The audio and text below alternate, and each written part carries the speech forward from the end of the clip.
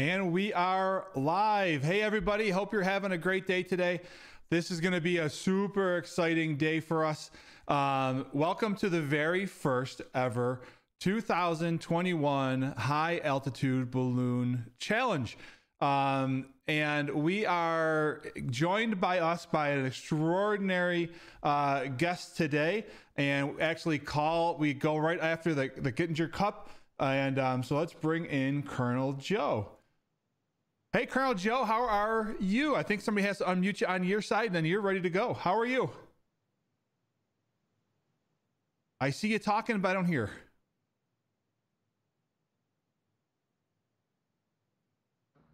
There we go. I think we got you now. Good morning, Good sir. How are you today? Great. How are you, Bob? I'm doing fantastic. Colonel Joe, thank you so much for a couple things. Once for all uh, everything that you have done for us. Um, and for the the the, the Colonel Joe Kittinger Cup. Um, obviously, it's got your name on it. I want to welcome everybody, first of all, that are watching from around the world, around the United States. Welcome to our live stream. We are going to be talking with Colonel Joe. We have airplanes in the air. We have ground teams on the ground. We have drones flying. Um, we've got high high altitude helium balloons going over 100,000 feet today. We're going to be tracking all of them. And um, so we are going to be starting the filling of the balloons in just about 15 minutes. Um, and though, for those of us in the production staff that are, we have people all over the country for today, I want you to know there's about a 30 second delay, it seems like, from the time that I'm talking live and the time that you're going to see it on the live stream. Um, so, two things. One, I am tracking the chat history. So, if you have any questions, any comments you'd like to make, feel free to put them in the chat. We can do some interactive questions. If you have any questions for Colonel Joe or myself or Stratostar, feel free put those in, and we'll try to get to those. Um, Colonel Joe, let me go to you um, to start off. And actually, I'm going to go to the wider view because you've got some cadets there with you. And I've got um, the young lady is a little off. There she goes. She leaned in. She saw the she saw the video footage. Um, so who do you have with you today? Well, I have I have five uh, uh, CAP cadets representing the thousands of CAP students all around our great country, and their their leaders are here. And I really believe firmly in the CAP objectives and the STEM objectives, and I support both of them because they are teaching the leaders of our great country right now. And these are the future leaders of our country that, that represent here today from the CAP cadets that are here enjoying this event with me today. That's awesome. And, you know, since you mentioned all the great people, I want to give a special shout out to a few really important folks before we we get kind of in the in the weeds of today. Um, first of all, we have to mention Dr. Jeff Montgomery. Um, he is the national director for aerospace education. Um, without his support, none of this would be happening. Um, we wouldn't have gotten um, the buy-in from national to to make this whole thing happen. It would have ended up just being a pipe dream in some of our heads. Um, and really, it was Dr. Montgomery and um, his his vision to allow this thing to kick off. So, um, you know, if anybody knows uh, Dr. Montgomery, give him a special thanks. I also want to give a special thanks to Susan uh, Millette. And um, Susan is in charge of um, educational outreach for STEM activities and aerospace education. And Susan and I, I tell you, Joe, we are basically like, we talk every day.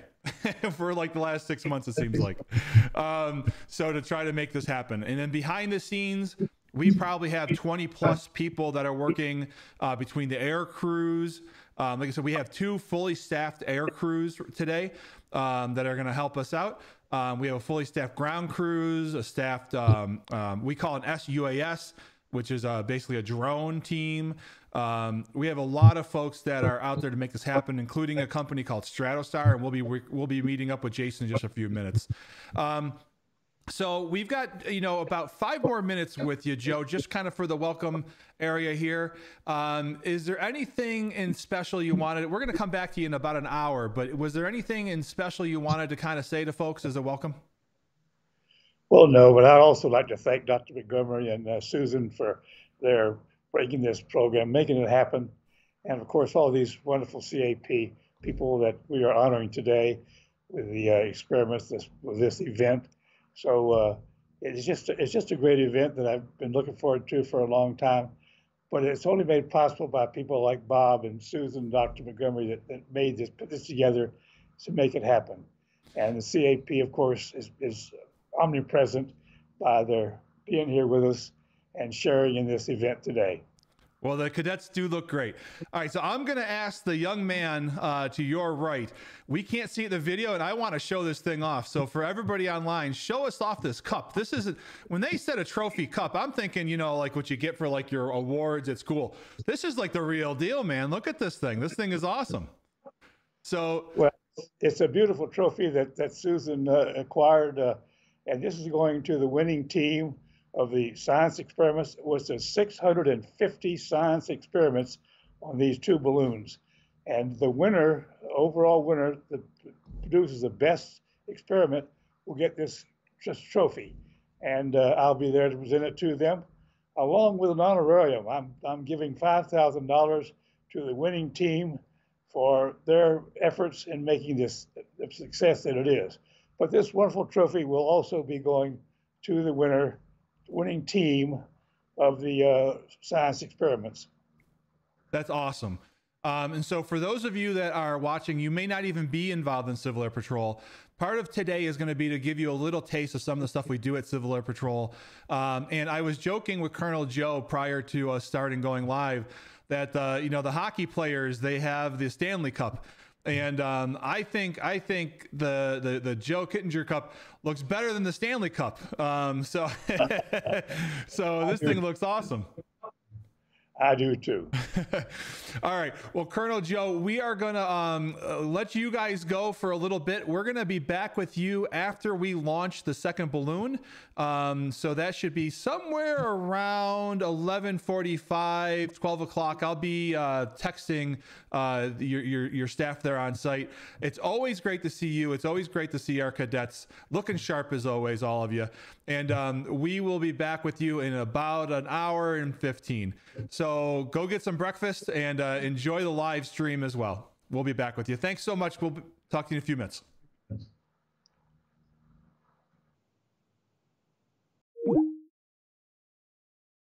All right, that's awesome. All right. So here's what we've got for you. So in about five to 10 minutes, we'll be reaching out to our on scene folks in Anderson, Indiana.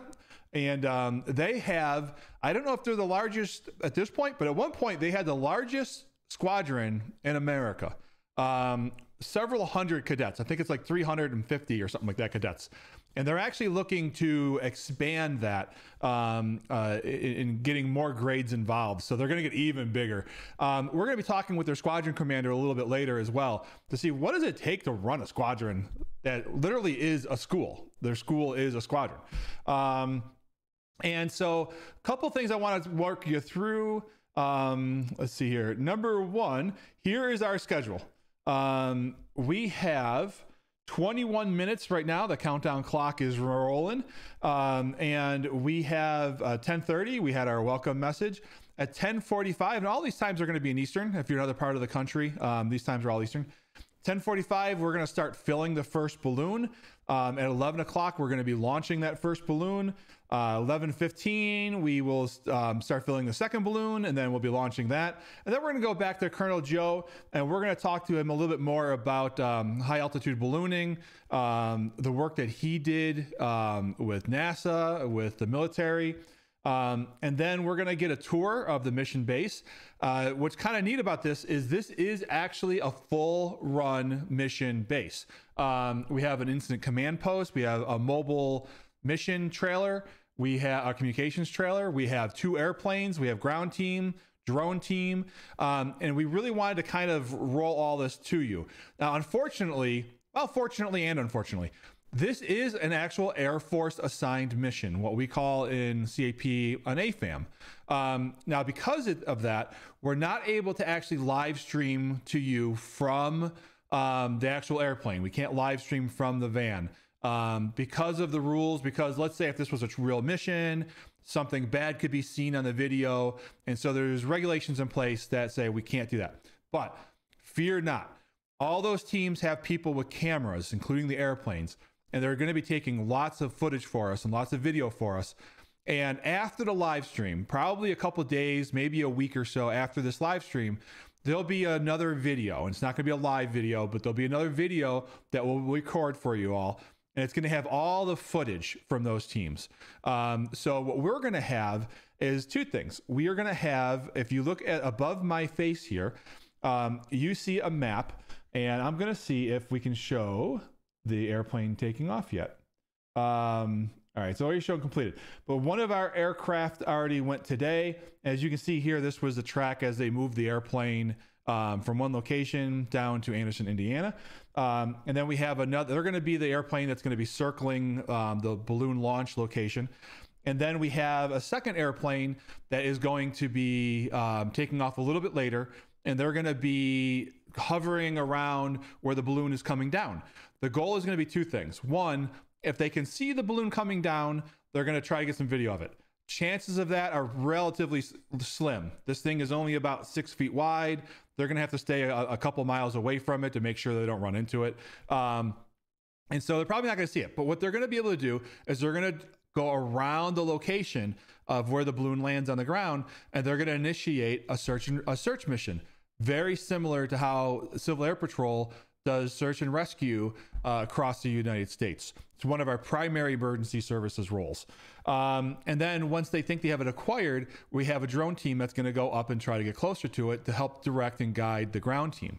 Um, so very cool stuff. Now, um, on our side, we are going to have um, a balloon tracker.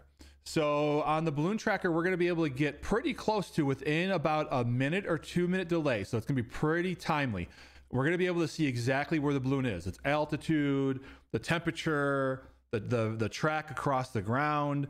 We're going to be able to see all these things. So we actually have uh, an example from a previous launch. As you can see here you will see the map with how the balloon um, you know went across the ground. And then we can look at some data and graphs as along with that. So we'll be able to see lots of great information about our balloons. Again we have two balloons. And so right above my face on this screen I worked super hard on this. This was like my first grade uh, art project. so um, we have our two balloons on the on the bottom here. You know, they're on the ground, so it's green grass, and then we're gonna go up until a thousand, a hundred thousand feet, and we should be bursting the balloons about a hundred thousand feet. So that what's gonna happen is as the atmosphere gets less and less, the helium stays the same inside the balloon, so the balloon gets bigger and bigger and bigger and bigger because the pressure from the atmosphere is not pushing down on the balloon. And then when just like how you would pop a birthday balloon, right, at your house and surprise everybody. The balloon, at hopefully over 100,000 feet, it's going to burst. When it bursts, it's going to have a little parachute. It's going to basically just drop, right? There's no atmosphere really for the parachute to open until it gets lower to the ground. And so it's going to drop pretty fast. And then when it gets closer to the ground, the atmosphere gets up higher, the balloon will inflate, and it'll be dropping about 2,000 feet per minute. All right.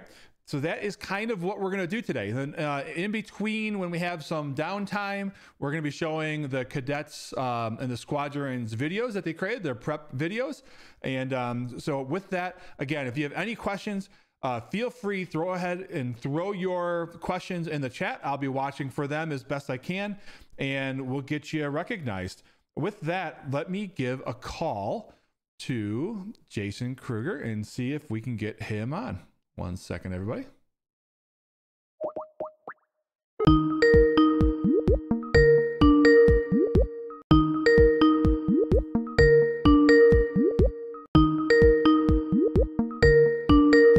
We are calling Jason. Hey, Jason. Hey, Bob. All right. I don't think I see. Oh, let's see. Let's get some video going. All right. Everybody, say hi, hello, hello to Jason. Jason, right. say hello to everybody. Hey, how's it going? So can you help me with this? So go ahead. This you're gonna film me. I gotta get you, you flipped. Get a, you want a Okay, show me how to get you flipped. Uh, dude, so, we are live. So, no, no, no, yeah. Hold on. Okay, Bob, can you hear me? I can hear you. You can hear me? Yep, I hear you great. All right, great. So we're we're we're we got the uh, we got the B teams going. We're we're getting going here. Got the helium set up. The boxes. Why don't you take a look at some of the boxes here on the live feed? So that's going out to all the people there. So now these boxes for folks that are watching that aren't involved, what happens is is we actually had 50 milliliter vials, and the goal was that the cadets had to come up with um, projects that they could fit into these 50 milliliter vials. And then these are packaged up in the boxes you see, and these are what the balloon is going to be lifting up into the edge of space. Yep. Hey Bob, I went ahead and activated the SATCOM. So if you could take a look at the uh, the tracking page every once in a while and see if um, the data starts showing up. All right. Yep, we got it. I can see it up now. I see the marker on the map. I'm showing that to everybody. All right. So we got our first packet through the satellite.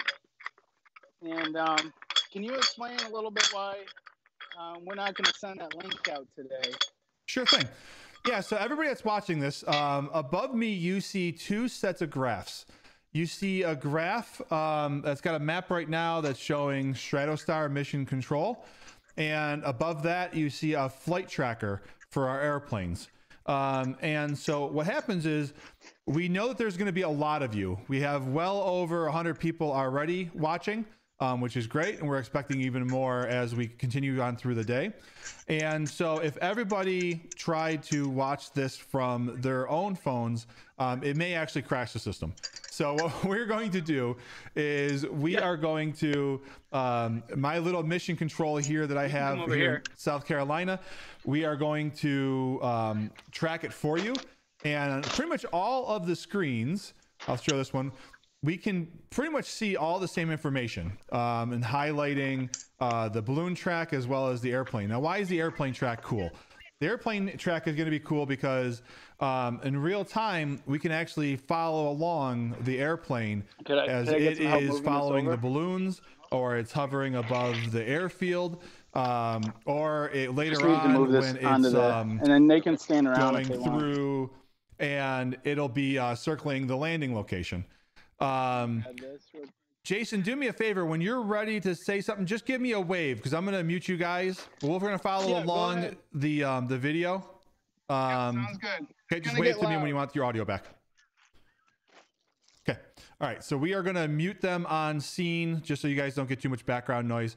Um, so, like I was mentioning before, we have a relatively large team that's helping to pull this together. So um, it really shows, and there's we got some of our cadets coming out there. Um, look at them looking sharp in their, their, their ABUs. So we want to do is we're going to take about 15 minutes and we're going to be filling up this first balloon. And I'm going to be following um, the first airplane to see because they should be taking off very momentarily.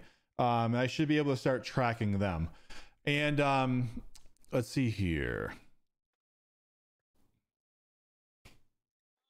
So, so Jason, how much helium? Now, the, the balloon is using helium, correct? Correct. So, walk us through why do we use helium as opposed to say hydrogen or something else? Yep. So uh, this is a lighter than air gas. So basically, um, because it's lighter, it allows it goes up. So if we let a molecule go, it would just fly up into the sky. And so when we put it in the balloon, it takes the balloon and carries everything else up with it. And helium is a noble gas, so it's not flammable. And, uh, you know, the alternative would be hydrogen, which is, is great. It's the first element on the periodic table, but it is very flammable. And we need to have a lot more safety and, you know, distance between everybody here. Yeah. So if anybody has ever seen, um, what was it? The, um, oh, um, oh, mental freeze. Uh, what was the big balloon? You guys can put it down in the grass. They had um, the big explosion, like way back, like in the 1920s. The Hindenburg. The Hindenburg. Thank you. My mind yep. lost that. Um, so the Hindenburg explosion. So that that's a, one of the reasons why we use helium and not hydrogen. If you guys hydrogen. are okay with it, they could stand at attention back there if you want them to. So or um, whatever is attention, you know. Okay, can you come help me, Kentner? We're gonna follow okay, we got, along with we them. We got the main camera crew. You go ahead and mute us, so we're gonna get going here. Okay, you are unmuted. Yeah. He's got the phone. Okay. Um, oh, I gotta give some directions here. Okay, guys, let me just give you a heads up, okay? So I'm gonna fill this thing up. It's gonna, it's gonna, you know, hang off this tank a little bit, and then when it's time for launch, I'm gonna go ahead and take the line. I'm gonna walk it down, and each one of you can grab one aspect of of the payload, okay? And you just hold it. I'm gonna walk to you, and then I'll just walk and grab it and continue to go up as we launch it. Okay. All right. Now, one of the other questions that we've already gotten, this was a great question. Um, this is going to be a question for me to help answer. Um, is let me just find it here because I want So to give you. I think they can sit up there. These guys are just going to help me um, launch it. Yeah, But work, yeah, by the way. Yeah. So, um, Jason Unwin um, asked me a question. He said, "Any thought about future missions for AEMs, thank you. AEX in schools, ACE, Oklahoma Wing, DAE?" So, um, Jason Unwin. So, yes, absolutely, right. So, a couple things. One, we are looking at doing this again next year. Um, we have to get approval. So, if this is something you think uh, you know is really awesome, then you know let your wing DA, DAE know. Uh, have them communicate that up to national. This way, National gets to see that um, there's interest out there for us. Um, also, follow along with us throughout the day, and then you can reach out to me separately if you'd like. Because, like here in South Carolina, when you know COVID restrictions lift and we're allowed to, we're actually planning on doing a very similar mission. Uh, here in South Carolina, so this is actually kind of a cool thing that you can do um, at a local level. Local level. Now, Jason there at Stratostar, his company actually that's what they primarily do. He doesn't exist just for cap which i know probably doesn't feel that way for the last couple of days for him. Um, but uh, typically he's working with the schools um, and they're doing the, this project at the different schools. So hopefully it answered that question. Um, the other thing you're going to notice too is we do have covid restrictions in place. Um, indiana is doing significantly better than some of the other locations um, however, we are still observing uh, mask mandates when we're indoors. We're still, you know, man, uh, looking at um, social distancing. So you're going to see us really work hard to make sure that uh, we comply with all COVID restrictions uh, in this in this time and day of COVID. Um, and Roger, thank you so much for that. Uh, All right. Jason, have we started the? Um, Great. Have we started filling the balloon? Or are we still getting ready? we're gonna go ahead soon. I, I see uh, the cap aircraft is on station, Sweet. so they're circling uh, at a safe distance. And I'm just going ahead and uh, checking the 360 camera here. This one, uh, we'll see if we can get that to work. And we're gonna start filling here in a few minutes. Great. And actually, I'm, I just pulled up the uh, the track of the airplane, so we're going to make that full sc- screen. So there we go. We can see that they took off from No. Anderson Municipal Airport, um, AID, Yeah, I can. and then Yeah. uh, we can see their track here. They went south, Um, and yeah. then um, they are over here right now Okay. at a little over 2,000 feet and about 120 miles per hour. So very cool. So we are getting the track on the airplane. That is awesome. All right, great. Okay, 360 cameras on. And again, as um, uh, what uh, Jason just mentioned about the cameras on, um, I know that from the video footage from the cell phone, it's going to be a little grainy at times. Um, the audio is probably going to clip a little bit at times. Um, that's just you know the technology that we've got to deal with. Um, but just know that uh, on scene, um, they have multiple cameras, 360 cameras, and one of the really cool, exciting videos I'm really excited about putting up is we're going to have video from the balloon itself going all the way all the way up to 100,000 feet. And I'm going to, when we get access to that, I'm going to be putting the whole video um, up online. So you'll be able to watch the whole thing. Bob, all right. start filling this thing up. Great deal. All right. So we've got a 1054 start time on the filling. Now, how much, how much helium, if, if a team wanted to do this on their own, Jason, how much helium would be required for this size balloon? Uh, this is a big one. This is like professional level. So, um, you know, we're looking at this is uh, almost to the full 12 pound max flight. So we're using 290 cubic one feet, uh, cubic feet of helium. But if you're doing a, your own flight with just a camera and a couple GoPros, maybe 100 cubic feet. Okay. So Jason's saying is when it's him, he's not messing around. he's going all in. Um, we can we can fly something a little bit smaller because we're not carrying. We're probably most likely not going to be carrying as much weight. Why don't you get on the other side? Because the sun is you're you're shooting into the sun.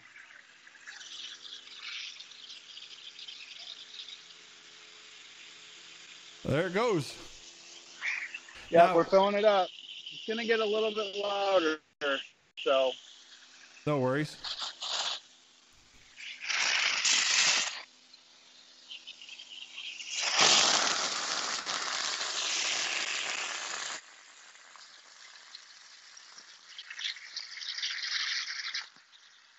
All right, look at that. We've even got a we've even got some folks in the stands.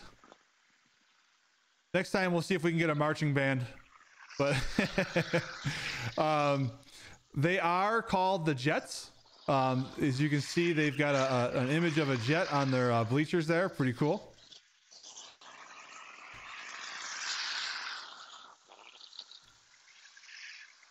Now, a little bit later, we're going to talk to Colonel Joe again.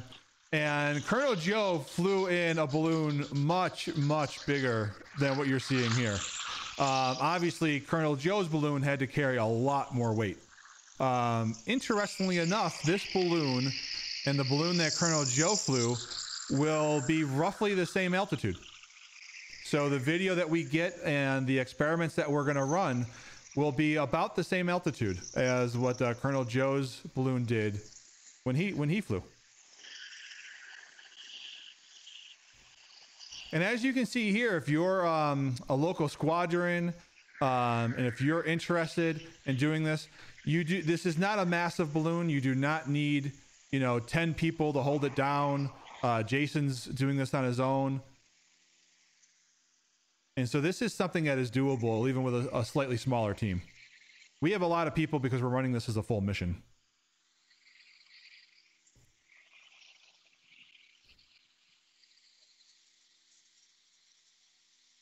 Now, while Jason's filling that up, I don't know if the person with the camera can hear me. I want to see, can they glance up? Can they see the uh, airplane? uh, not quite yet. Okay. It's gonna be a little bit more full. I'd say. Oh, there I'll we need go. Another five minutes to fill, and then uh, we'll, you know, ten minutes out. So Very five cool. minutes to fill, five more minutes, and then give them the heads up. Great. All right. Yep. Thank you very much. Yeah, we just saw the cap the cap airplane. I zoomed in on the map um, so we can see them circling overhead on the map. Very cool. This technology, yeah, there. Oh, that's a cool shot with the airplane flying behind the balloon.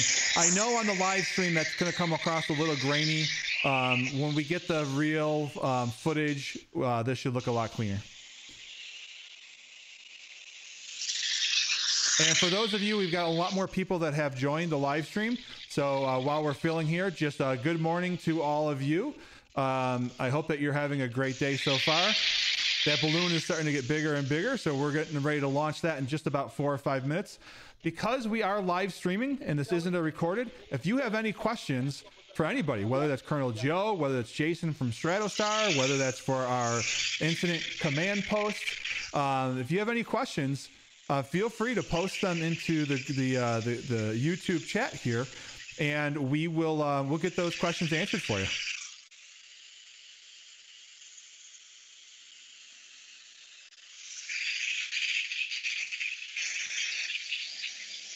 Now, Jason, how much bigger is that balloon expected to get? Uh, we might be a little bit more than half, halfway. Okay. All right, so we got a little bit of time. So I'll tell you what, if the camera person hears me, go ahead and zoom in on our, our banner a little bit and um, uh, have our crowd give you a nice wave. see, if, see if they see you waving to them.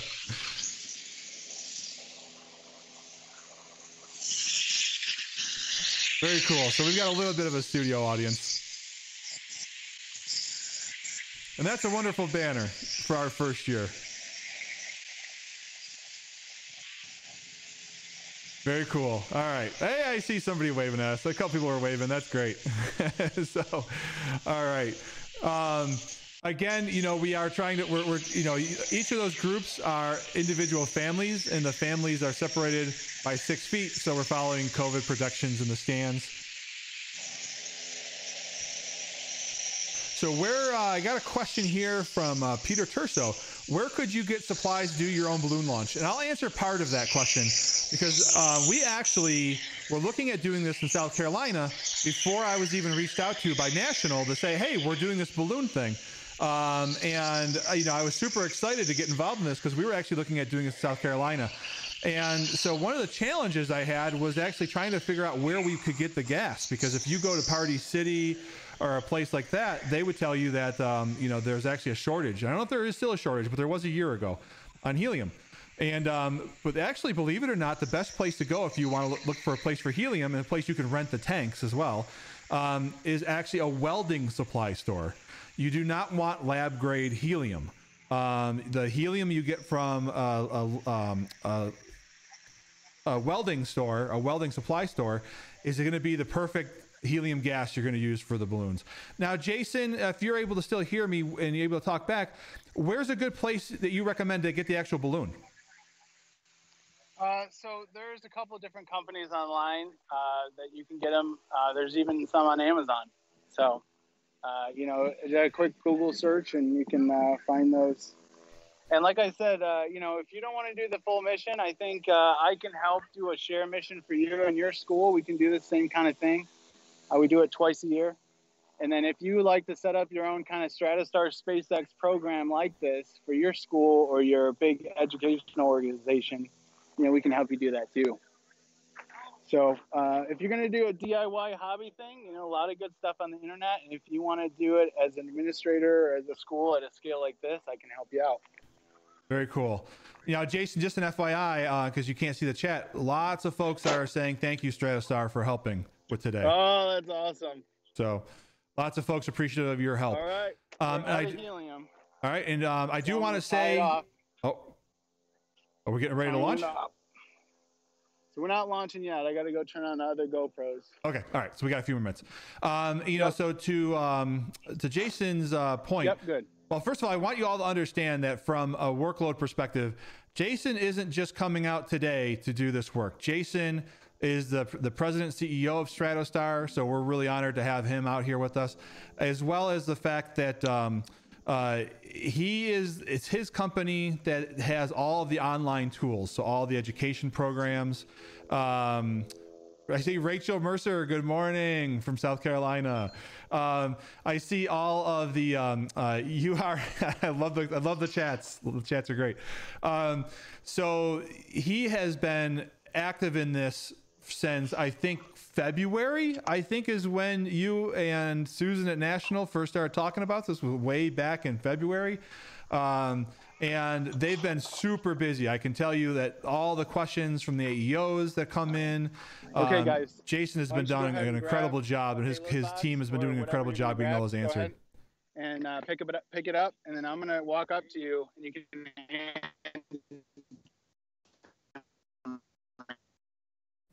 If it looks like your screen is uh, stuttering a little bit with the feed, um, that's that's just the limitations we have with the cell phone um, coverage in that area. So that's not a you thing. It's not a YouTube thing. That's local area. It gets better uh, over time. Um, so let's uh, we're gonna quiet down and we're gonna watch. Than an airplane flies. And we're gonna watch uh, the, the, the local scene. Blue line of the atmosphere and the darkness of the sky in the middle of the day. We have 139 projects from squadrons all over the country, and each one has 10 science experiments in it. So we have hundreds of science projects that are going up. We have a little uh, tracking device. That blue thing is going to tell us where it is, and it's going to go all the way down south past 70 today and land somewhere in a farm field. We have this plane. It's going to help us out, as well as some teams on the ground. All right, we're we're going to count down from 10. Sound good? All right, I need to hear it loud for the internet and for the plane so they know what's going on. Sound good? All right, let's do this. You guys ready? I'm just gonna walk down and I'll just kind of take it from you and then uh, I'll put it up. All right. You can just hold this on the top like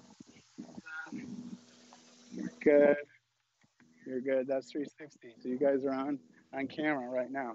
All right, let's do this. Hey, Michael. Michael, we good? Yep.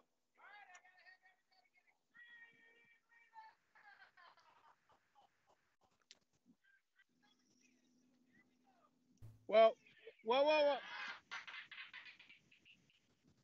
whoa.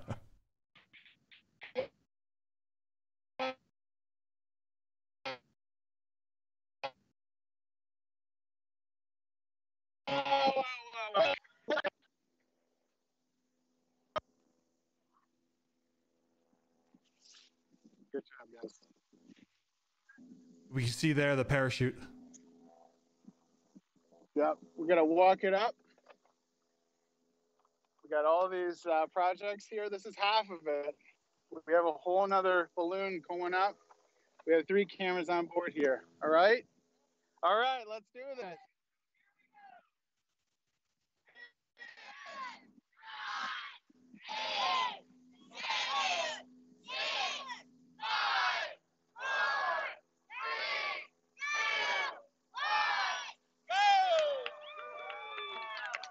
And there it goes. There it goes.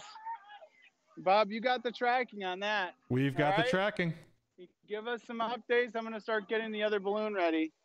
All right, sounds All good. All right, guys, I'm gonna get another balloon ready. That was practice.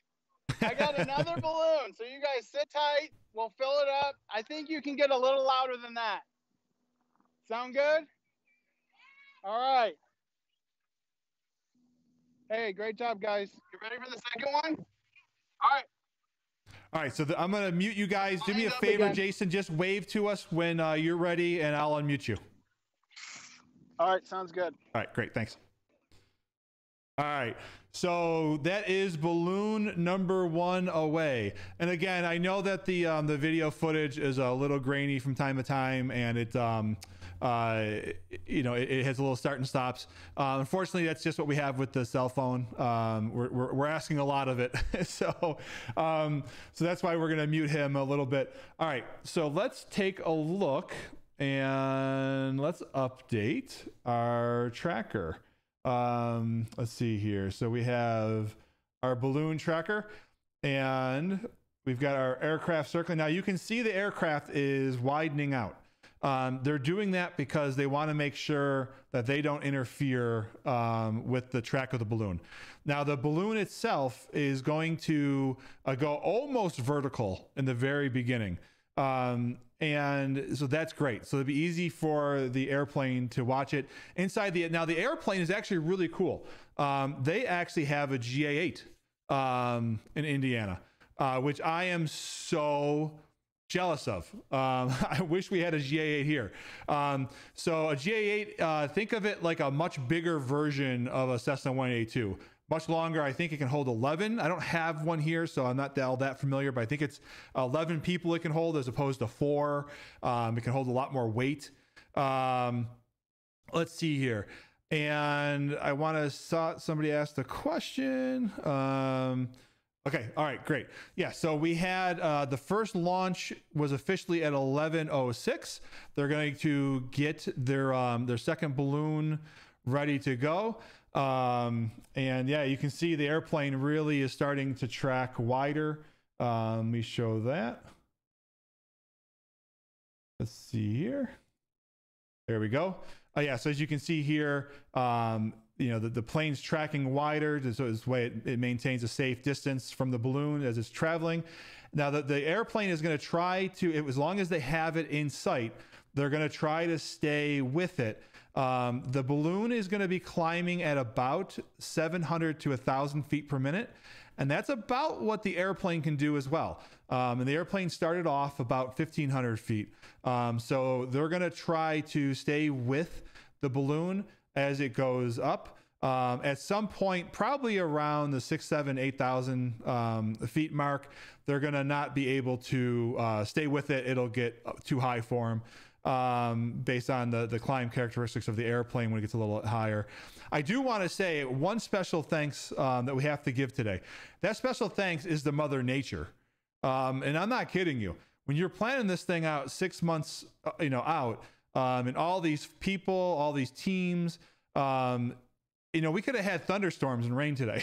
so, um, so I want to give a special thank you to Mother Nature. Um, if anybody out there knows a special dance to do, you know, a special rain dance, uh, you, if you did those dances, great job. Um, we have uh, literally a perfect perfect day today for this launch. Um, so let's see here. Um, James asked, I may have missed it, but what kind of tracker is being used? Okay, so we have a couple different kind of trackers. I'm going to have Jason, once we get the second launch done, um, after we talk to Colonel Joe, uh, Jason's actually going to be going into an area we call the pit. Um, and they have a camera there and microphones there, um, and they'll be on regular network um, internet. So uh, we should have better, um, better voice, better audio, and better video quality um, from inside. So I'll tell you what, if I don't remember, please, please, please. Um, go ahead and remind me of that question about the tracker. He can tell us a lot more. And I know Jason can, even though we muted Jason, so he can't talk to us, um, he's hearing me right now. So, Jason, just uh, as a reminder, when we get into the pit later on, we're, we're talking, um, go ahead and tell us a little bit about that tracker. Um, let's see here. Uh, I got some nice comments here. Thank, thank you, folks, for your nice comments. It's it's it's a it's a it's a work of love. I can tell you, I was up till about 3 a.m. last night trying trying to get things to make sure they work today. Um, so I appreciate those comments. Um, but I'll tell you what, it's it's it's a full team here. Um, every you know we had our, our on-site team um, we're going to get a chance to meet them a little bit later they are very busy right now they're coordinating the tracks with um, uh, they're coordinating the tracks um, with their uh, mobile mission communications base, uh, communicating that up to the air crew. Uh, the air crew is communicating back. Um, the air crew is also under um, under the guide that if they lose track of the balloon, that they are going to kind of peel away uh, relatively quickly. Because again, we want to make sure that um, there's no chance that the balloon and the airplane, um, you know, could. That would make this a really bad day really fast. Um, so, so the, we it, it's CAP like most places, right? You always hear safety first. Um, we've had several meetings um, that have specifically talked about the the the, the altitude restrictions and the um, where to fly. We want to make sure that we're flying on the upwind side um, of the balloon, so this way the balloon won't you know blow back into the aircraft. So all of these things that you know looks like are just happening are through the hard work and the dedication um, through the entire team that's there in Indiana. Uh, you get to see Jason, myself, and Colonel Joe and the couple of cadets, but there really is a large group of people there. Um, let's see. Lil John asked a question What is the URL for the mission control page? Lil John, you, you might have missed it earlier. Um, we are not actually going to give that out. And the reason why is because that tracking site can only hold so much um, so much traffic and it could actually crash it. So what we're going to do is we are going to, let me pull that back up here. Let's see, balloon tracking. Let me see if I can refresh this. See if I can get a current track. Oh yeah, I saw it. Um, I see it. So let's zoom in. There we go. That's already a current track. Um, so it started off, I think, let's see here. It started off on the red.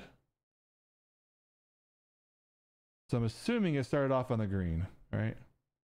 Yes.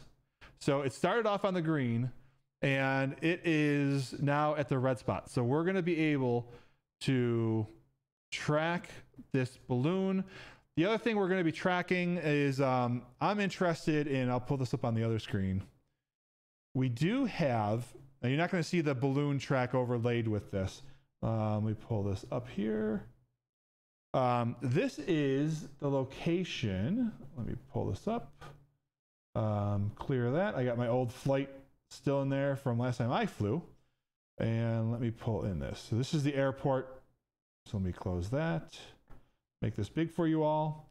Um, so one of the things that we had to do, and I'll show this to you because it's kind of neat. Um, let's see here. I want to show the. Uh, where are we? Okay, great. Um, so Anderson Municipal Darlington Airport. Um, one of the things that'll be kind of neat. Check this out. I don't know if you can see it on your screen. Um, you go to the NOTAMs. We have a NOTAM in here for AID Airspace Unmanned Free Balloon, um, starting at 11 o'clock and we have a window that goes till 2:30. Now we're going to be able to Actually, hey, that was actually a really good time for your question, uh, Ted. Uh, Ted actually asked, "Do the balloons carry temporary registration with the FAA?" And so, actually, that's what we're talking about right now. That awesome timing for that question. Um, so, so what we do is we actually open up a NOTAM with ATC. So ATC knows this is happening. Um, we also communicate with the tower. Now, we usually don't have to communicate with the tower because we're usually outside. Now, that being said, for this launch, if we look here, this is a Class D. So if you can see it on your screen, um, I wish I could show you my fingers here, but um, there is a blue dashed line going around this airport. You can probably see it better there. And so this is a class D. Now you see the number is 34 there.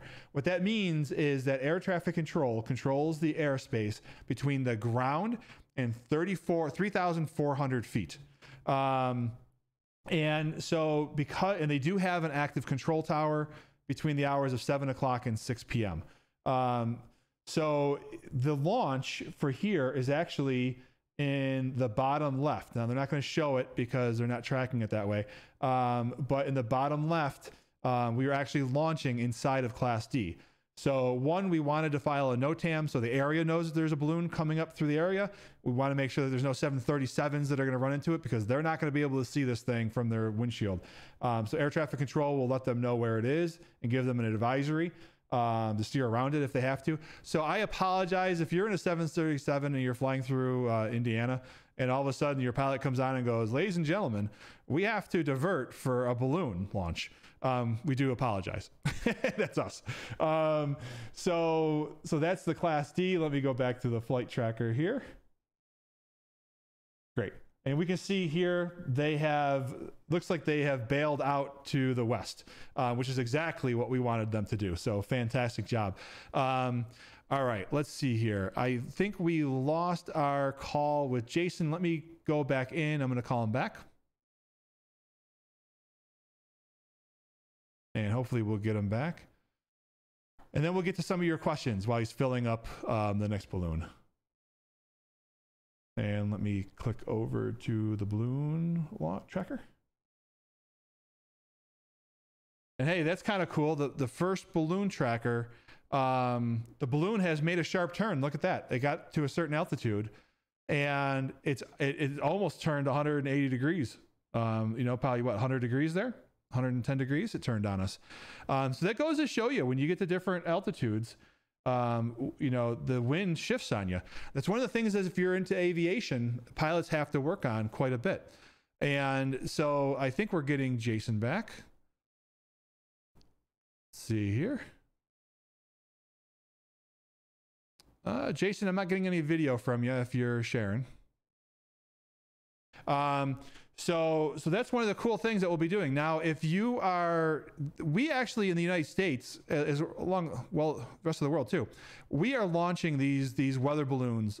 You know, we call them weather balloon. Um, you know, for this thing, we're calling it a high altitude balloon challenge. Um, you know, but these are we we launch weather balloons throughout the the country, and one of the things that they're doing for aviation is they're looking to see what the um, winds are doing at different altitudes, what the temperature is at different altitudes. Um, that's really important for uh, aviation. So um, let's see here.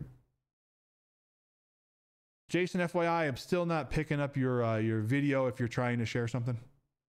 Uh, I'm gonna hang up on you.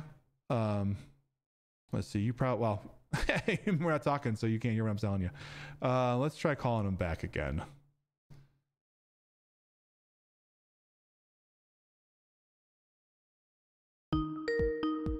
We're getting the Skype the Skype things.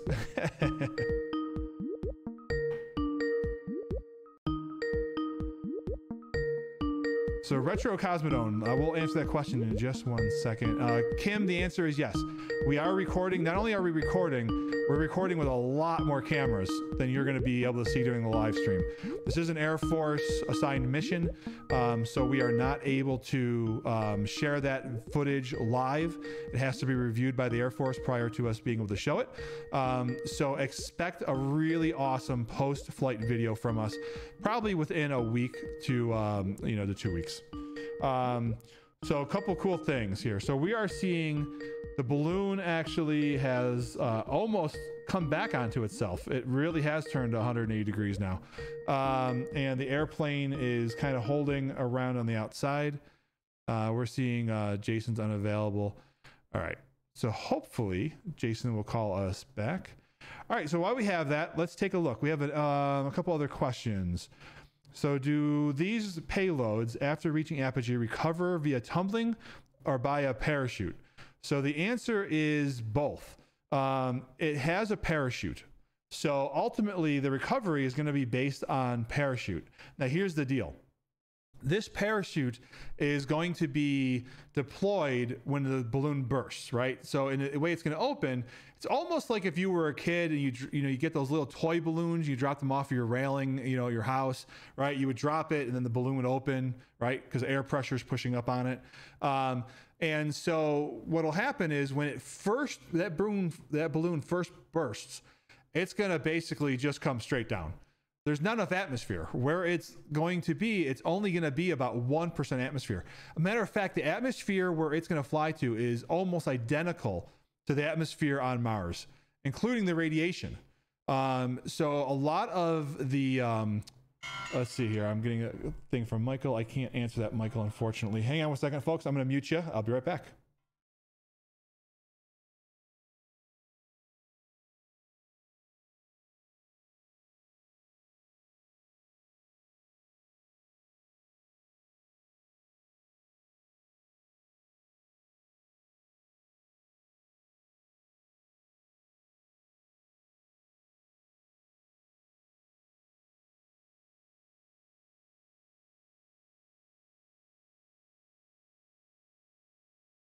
All right, so that was our site, um, uh, our local site.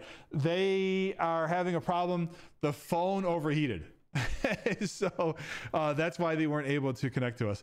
Um, so what they're going to do is they're going to let their phone cool down, um, and then they are going to reach back out to us um, before launching the second balloon. So uh, where were we? So we were talking about the parachute. So um, there's not much atmosphere. So that balloon is going to basically come, or the uh, the the uh, the whole payload is going to come pretty much straight down. Uh, gravity is just going to pull it straight down. Now, as the atmosphere gets thicker and thicker and thicker, um, the balloon will start to inflate. It'll start acting like a drogue chute. Um, now, when we talk to Colonel Joe in, in probably about a half an hour, um, we're going to talk about one of the things that that they did one of the real benefits to the work that they did was and they're still using it today is in a drogue chute um, you know when there's less atmosphere you're up really high. Um, you know it's really you, you, need to i apologize i've four things going on at once on my screen. Um, getting distracted. So they um, but um, so that will stabilize the package as it's dropping and then you know the, the there'll be more and more atmosphere and then eventually the parachute will fully open. Um, now even once the parachute is fully open you're still looking at about 2000 feet per minute. Um, which is the other reason why even though we're going to have an airplane in the air we're not look we're not likely to have um, a visual catch of it. One it's going to be pretty small six feet um, balloon, you know, a six foot, um, uh, even though it's red, a six foot um, uh, parachute from an aircraft that could be a few miles away. Um, almost, it's going to be very difficult to see. If they see it, we have a couple of folks that are in the airplane. So if we do see it, we're going to go track to it. Um, but again, this thing is also going to have about a 2,000 foot per minute descent. Um, I can tell you in a 182, because that's what they're going to be flying, and, and the 182s is typically what I tend to fly. Um, you know, anything more than a 12 to 1300 foot per minute descent uh, means that you've got the engine off almost, or pretty much off. Um, you've got idle, and you know that nose is down pretty good um, in order to go there. All right, we've got Jason back. Let's see if we can get him. Hey, Jason, we've got you live. I heard you had an overheating problem. All right. Let hey, me uh, get you back uh, you up. have here. the second balloon up yet? Oh, did you guys launch it? No, no, no. Just on the map. Uh, yes. I think we show another green balloon. I think so. All right. Why don't you zoom in and let me know? Okay. Uh, you can also go over to the graphs tab and see if uh, when you click on a graph. No, um, we've got it because I can see the um, I see the right. red line for the track and I see the green the green track And for you. if you. go to the the graph, Yep. you can go ahead and see uh, drop down in the top, and then you'll see uh, the green balloon is trackable. Okay. Yeah, there we go. SS07 is our second balloon, and SS05 is our first balloon. All right, and we're going to show uh, these are our cool graphs. We'll so- show these to everybody once we get the second balloon up. So for all of the the people you know that put their projects in it, balloon one is the one that launched first. I think it's SS05, um, Bob, and then the second one is going to be SS07 or something like that. And That's that's, obviously the second balloon. So if you're looking to see which project your your b- balloon is on, that's how it goes. Balloon one launched first, red, and the green balloon launched second, green. All right. Cool. Now, Jason, just so you know, that first balloon, it actually tracked north and it made a 180 degree turn. It, it missed you guys. It, it came right back over All you. right. Well, yep. So what's going to happen now is it's going to go south, um, southeast, and then we're going to hit the second jet stream uh, that's up above, and it's going to track, I believe, uh, straight west before it bursts. And then it's going to follow the same kind of a track pattern, the same wind pattern down through the atmosphere, if that makes sense. Cool. So balloons don't just go one direction. There's winds at all different altitudes going all different ways. Why don't you talk to about uh, what is turbulence and you know wind patterns and why is that important? And not just ground forecasting before flight. Yeah, so I think um, I, you broke up a little bit, but I think I got the gist of what you were saying there. So um, let's see here. So what we'll keep an eye on you, Jason. I'm going to bring your your volume down a little bit. Um, hey, do me a favor. Just let the person know who's videotaping. I think they've got their finger their finger over half Yep. the camera. So Oh, you have your finger over the camera. there we. Uh, there's It's the whole about finger. a- There Yeah, we go. There you go. You Okay, can great. try to flip it all the way around that way. yeah, there you go. See if that works. Yep, that works great. that yep, work, that looks Bob? good. Yep, perfect. Thank you. All right, so I'm going to bring your volume down. Just wave to me when you guys are ready. All right. So what Jason's speaking about is in aviation we have um, turbulence. Now turbulence is caused by lots of different things, um, but one of the things it can be caused by is two air masses rubbing against each other. Um, when you think of the air, you know, uh, just think about water. Um, you know, it's it's it's a vol- it's a liquid, it's a volume. Now with air, it's a gas, right? But it behaves very similar to a liquid. So think about like if you have a pebble in a stream, right? If you throw a rock into that stream, uh, that that nice smooth stream will all of a sudden start rippling and will be deflecting around the rock. It'll get it'll go up in spots, it'll go down in other spots. Um, and so one of the things that um, we, we look for is that will create turbulence. Um, is basically if you had a boat that was sitting in that stream and it would be going up and down, up and down, and that stream uh, you would be getting bounced around as well. Um, so what we do is um, um, it- the other thing that can cause turbulence is when you get two air masses and they go in different directions. Now, from if you look at the map here, I'm going to bring up the map full screen. We'll come back to Jason in just a minute. Uh, let me pull this up here. Um, let's see. There we go. All right. Um, so as we can see here, we had the air mass actually moving in two different directions. When it first took off, it went north, and then it went to a certain altitude, and literally it jumped into another airstream, and it went almost you know due south again. Um, so you literally had two airstreams going like this. Now, if this is, um, if you, let's say this is really low to the ground and you're landing, this is important information to know, and we call it wind shear because you could be having a wind pushing or pulling. Oh, sorry. If they want to know about the balloon. Oh, okay. Uh, Jason, do you have something for us, or were you guys just talking there? Nope, we're just talking. Uh, I'm gonna start filling the second balloon here, um, and uh, it's really hot here Is it? okay. yeah. So I got the phone in the shade. I don't know where all my helpers went. They're probably hiding in the shade somewhere. okay. probably not as hot as South Carolina though, but Uh, it's hot. It's 70 degrees in my office, so it's nice. Oh, you're killing me. Um, all right, let me go back to the All wind right. shear conversation. We'll come back to you. Just wave me down All when you're ready. All right. So, um, so if you're landing an airplane um, and the wind shifts from a headwind to a tailwind, it literally can almost immediately put less air across the wings and could cause the airplane to stall. Um, and so, if there's wind shear on the airport, it's good for us to know about it because we are going to probably carry a little bit more speed into the landing, um, knowing that we could have some of the our, our wind um, taken away from us. Um, so, good question there. Um, let me take a look while we've got a few seconds for the um, the chat here. Um, all right, so I do see. Yep, we've got the balloon tracked. I'm going to go ahead and bring the team live back on site. Um, yeah, so the p- folks are talking about the uh, the technology. Yeah, it's tough even with our current iPhones and Android phones, everything else, right? It's a hot day, so you know somebody uh, somebody needs to develop a liquid cooled uh, cell phone case.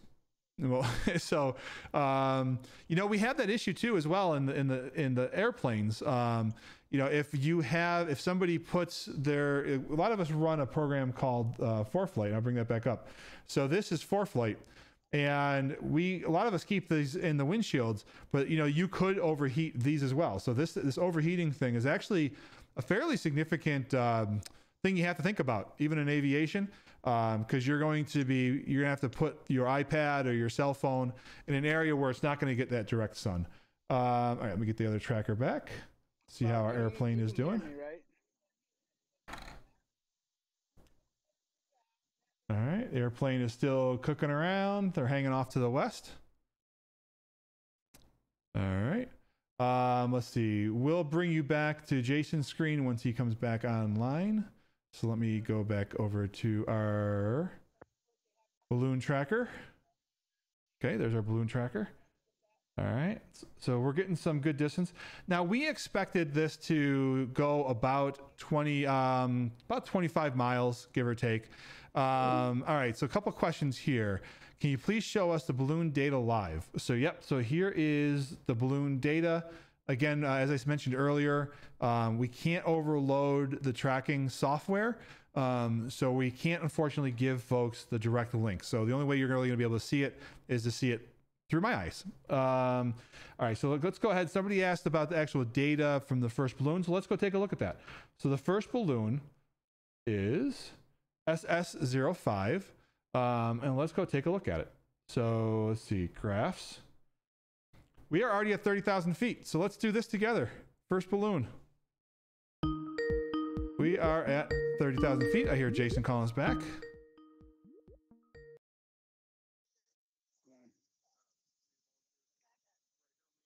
Okay, we, Bob, can you hear me? Yep, I hear you. Did we overheat again? All right. Nope. We're uh, we're back. Okay, We're great. good. Thanks, man. She's back. Sweet. Okay, sorry. You know, I'm trying to be IT and the balloon guy and the camera guy. Oh, it's crazy. All right, here you go. Yeah, we don't. Unfortunately, we don't have that SpaceX kind of money. yeah, yeah, we gotta. Yeah, I think uh, all of Cap probably combined for the year doesn't have SpaceX money. That's very true. That's time. very true. All right, let me sure. We're gonna we're gonna start filling it here. Um, take a little pan over here. I got some cadets helping me um, hold all the projects off the ground here, and they hand it to me as we take off. And so, really appreciate it. And uh, so I'm gonna get, get started here. Very good, very good. And I can see the airplanes coming back towards you. And the first balloon is at roughly 32,000 feet. Okay, great.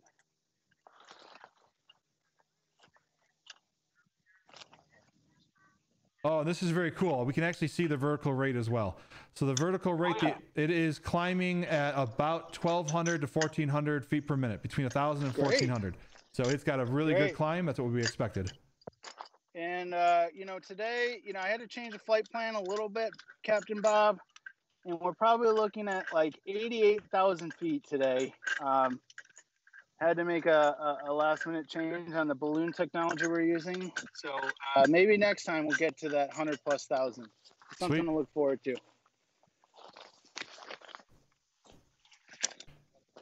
You got to switch tanks. There's no more helium left in this tank. Yeah, I absolutely love. I'm going to show, I'm going to come right back to you, Jason. Uh, I want to show them this graph. Uh, we'll still be able to hear you though. Um, take a look at uh, Captain Bob. Uh, just take a look at the speed it's traveling horizontally there. Yeah, that's actually what Um, you was got just temperature. You got all that. You can take a look at. Yep. So, folks, let's take a look together. Um, again, if we look at the altitude, we are at almost 35,000 feet. So let's go ahead and move this balloon up a little bit more. Um, again, this is my first grade science project. I should get credit for this. and then, so we have uh, lots of great information here. We're tracking temperature. This You is guys can, really uh, cool You guys can put it down. we are going to um, be able to take a look at the temperature. Now, now the temperature you're going to notice is cooling off at a pretty regular rate. Um, in aviation, we call this the adiabatic lapse rate. Um, it's about two degrees Celsius per thousand feet, uh, or for those of you that don't know Celsius that well, it's about three and a half degrees Fahrenheit um, per thousand feet. So, so now what we're going to notice is when we get up into the stratosphere, we're going to notice this actually, it's actually going to start getting warmer in some spots, um, which is very neat. Now, also, that um, when you look at the temperature, we, we talked about turbulence earlier, um, the stability of the air is you can almost measure it um, largely by the temperature. Temperature ma- makes a huge point in the stability of the air. Um, let's Uh, see Captain here. Bob, if you can hear me, I can hear you. um, Take a look at uh, in the in the graph section. You can see spin rate Yep. and turbulence, and that's accelerometer data. And then the spin rate is what we call gyro. And using those two, that those two data, uh, you know, systems, we can see if there's turbulence in real time. We'll definitely be able to see it on the video when it comes back, but that's what I use. Um, so when you see it change directions today, you might see some turbulence as you hit those different wind fields, Yep. if that makes sense. Yeah, we actually we, we show that we show that um, there was a spike, um, sh- you know, roughly when when we had that turnaround, and we can see that the turbulence right now is very light. There's very little turbulence, um, so the balloon is nice and calm. All right, and uh, he also mentioned the All right. speed. Oh, you guys getting ready to fill that second one? Yep, we're gonna we're gonna get ready here. Okay, well, So I got the second tank lined up and uh, just double checked everything. So we're gonna get going here. Awesome. All right. Looks like the airplane is coming back towards you. They looped up north. And again, for folks watching, the airplane, you know, depending on what they're doing with air traffic control, um, we're, we're pretty close to an airport. So the air traffic controllers are probably speaking with them. Well, they have to be speaking with them. Okay, you guys Um, ready? And so they may tell up. them at certain times that they have to move out of the way of another aircraft. Um, and you can see that they climbed with it because you can see that the aircraft right now is at 5,000 feet. So they, they, they must have saw. I'm like, super excited about that, Jason. The, the aircraft did climb with that balloon. So they must have had visual on it. That's great. Yeah, I'm super excited about that. Um, let's see here. Yeah, the track of the first balloon is almost a perfect um, southeast, south southeast. Um, it Yep. initially went north, but it is tracking almost um, due south southeast. So for our folks in the incident command post, um, definitely go by the initial indications that Jason gave you, um, the initial track. And if this track is lining up with that track, then that should start giving our ground team um, an idea of where to start positioning themselves. So very cool. All right. And I see the, the cap airplane is descending. Um, they're descending to the west of you. And so uh, probably when they get back to the regular altitude, they're probably going to try to make it to you by then. Let me, while you're filling that, let me take a quick look.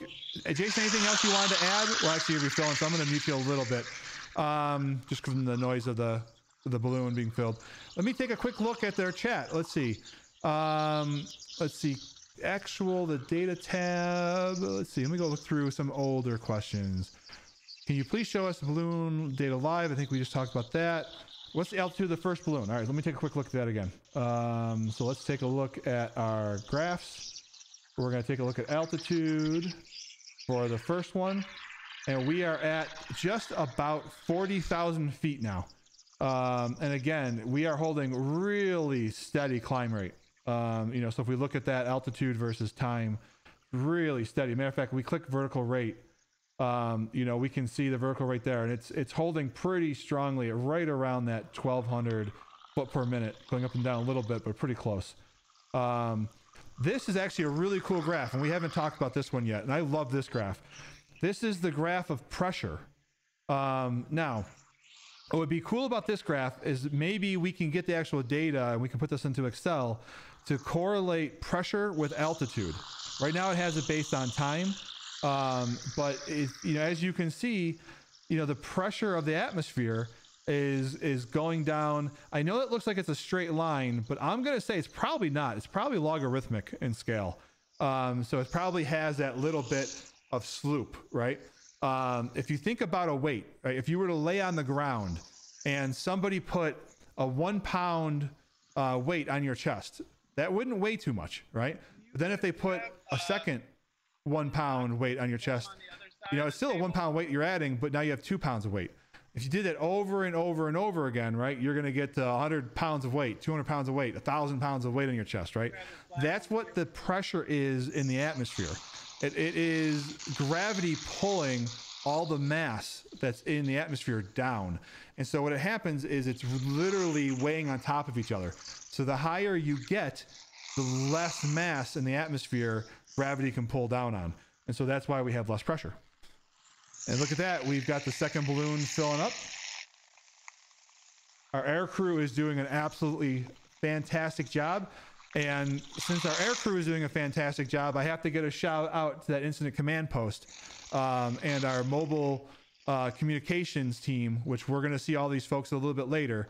Um, they are all doing an unbelievable job because um, they have to they ha- you know the the the ground the uh, the air crew can't see what Jason's doing on the ground, so there are people relaying the information from the ground up to uh, the airplane, and uh, a little bit later they'll be they'll be relaying that to the ground team.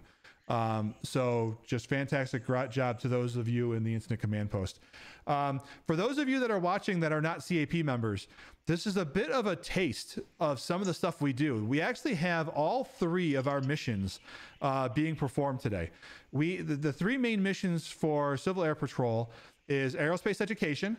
Um, that is the mission that we're running this mission under. That's where all the science that we do is under. Uh, we work with schools as part of our external programs. We have STEM kits. If you are a teacher and you would like um, access to great lesson plans and um, as well as uh, access to what we call top flights. Um, so as COVID restrictions allow uh, your state, you can actually meet up with us. Oh, I got you. Yes, Jason. We're uh, gonna let it go in about ten minutes. About ten minutes. So we're uh, we're I'm making a. Uh, we got the team. They're calling the local airport uh, give them a heads up. Great. Uh, so they can uh, notify the aircraft in the area and uh, keep everything safe in the sky. Good deal. Now you should be able to uh, the folks on the ground there. You should all be able to see that cap airplane returning now. Um, they're still high. Um, I show them at 4,000, almost 5,000 feet. So they're higher than they were before. But that's cool because you know what that means to us is that they got some experience with that first balloon and they they recognize that they can see this balloon from the air, which is awesome. We weren't sure if they'd be able to. Um, so the fact that they're staying up a little bit higher tells me that they're going to try to track this balloon through a higher altitude this time. Um, and so that's awesome. Um, again, uh, maybe I'm wrong, but that's what the data is telling me. Um, that the pilot radioed in and said, "Hey, we can we can track higher." Um, they also may be trying to stay out of the Class D um, and flying above the shelf of the air traffic control. That could be the other thing that they're doing too. Um, hey, Captain Bob, can you just tell them a little bit about the classes of airspace and maybe pull up, uh, you know, the upside down wedding cake? yeah, sure. Let me uh, let me see if I can get that. Hang on. Uh, let's see here. We are gonna switch over to here, and we're gonna say, um, let's see. FAA I'm just leaking a little bit of helium in there. There. Just that much, little bit could be the difference of miles on the other side. So I just want to squeeze all the helium out of this tank so that we get the flight profile that we're looking for. All right, so I'm gonna see if I can get this picture up. Well, anyway, you can talk about it later, Bob. But I mean, it's a it's a thing that most people don't know about. You just look up and you see blue, but there's a whole bunch of stuff happening from aviation standpoint. Yep, I'm trying to, to, keep everybody safe. I think I've got it. Let me so. just um, let me just try to pull it in here and make it a little bit bigger. All right, let's see here. Let's try to make this bigger for you guys. One second.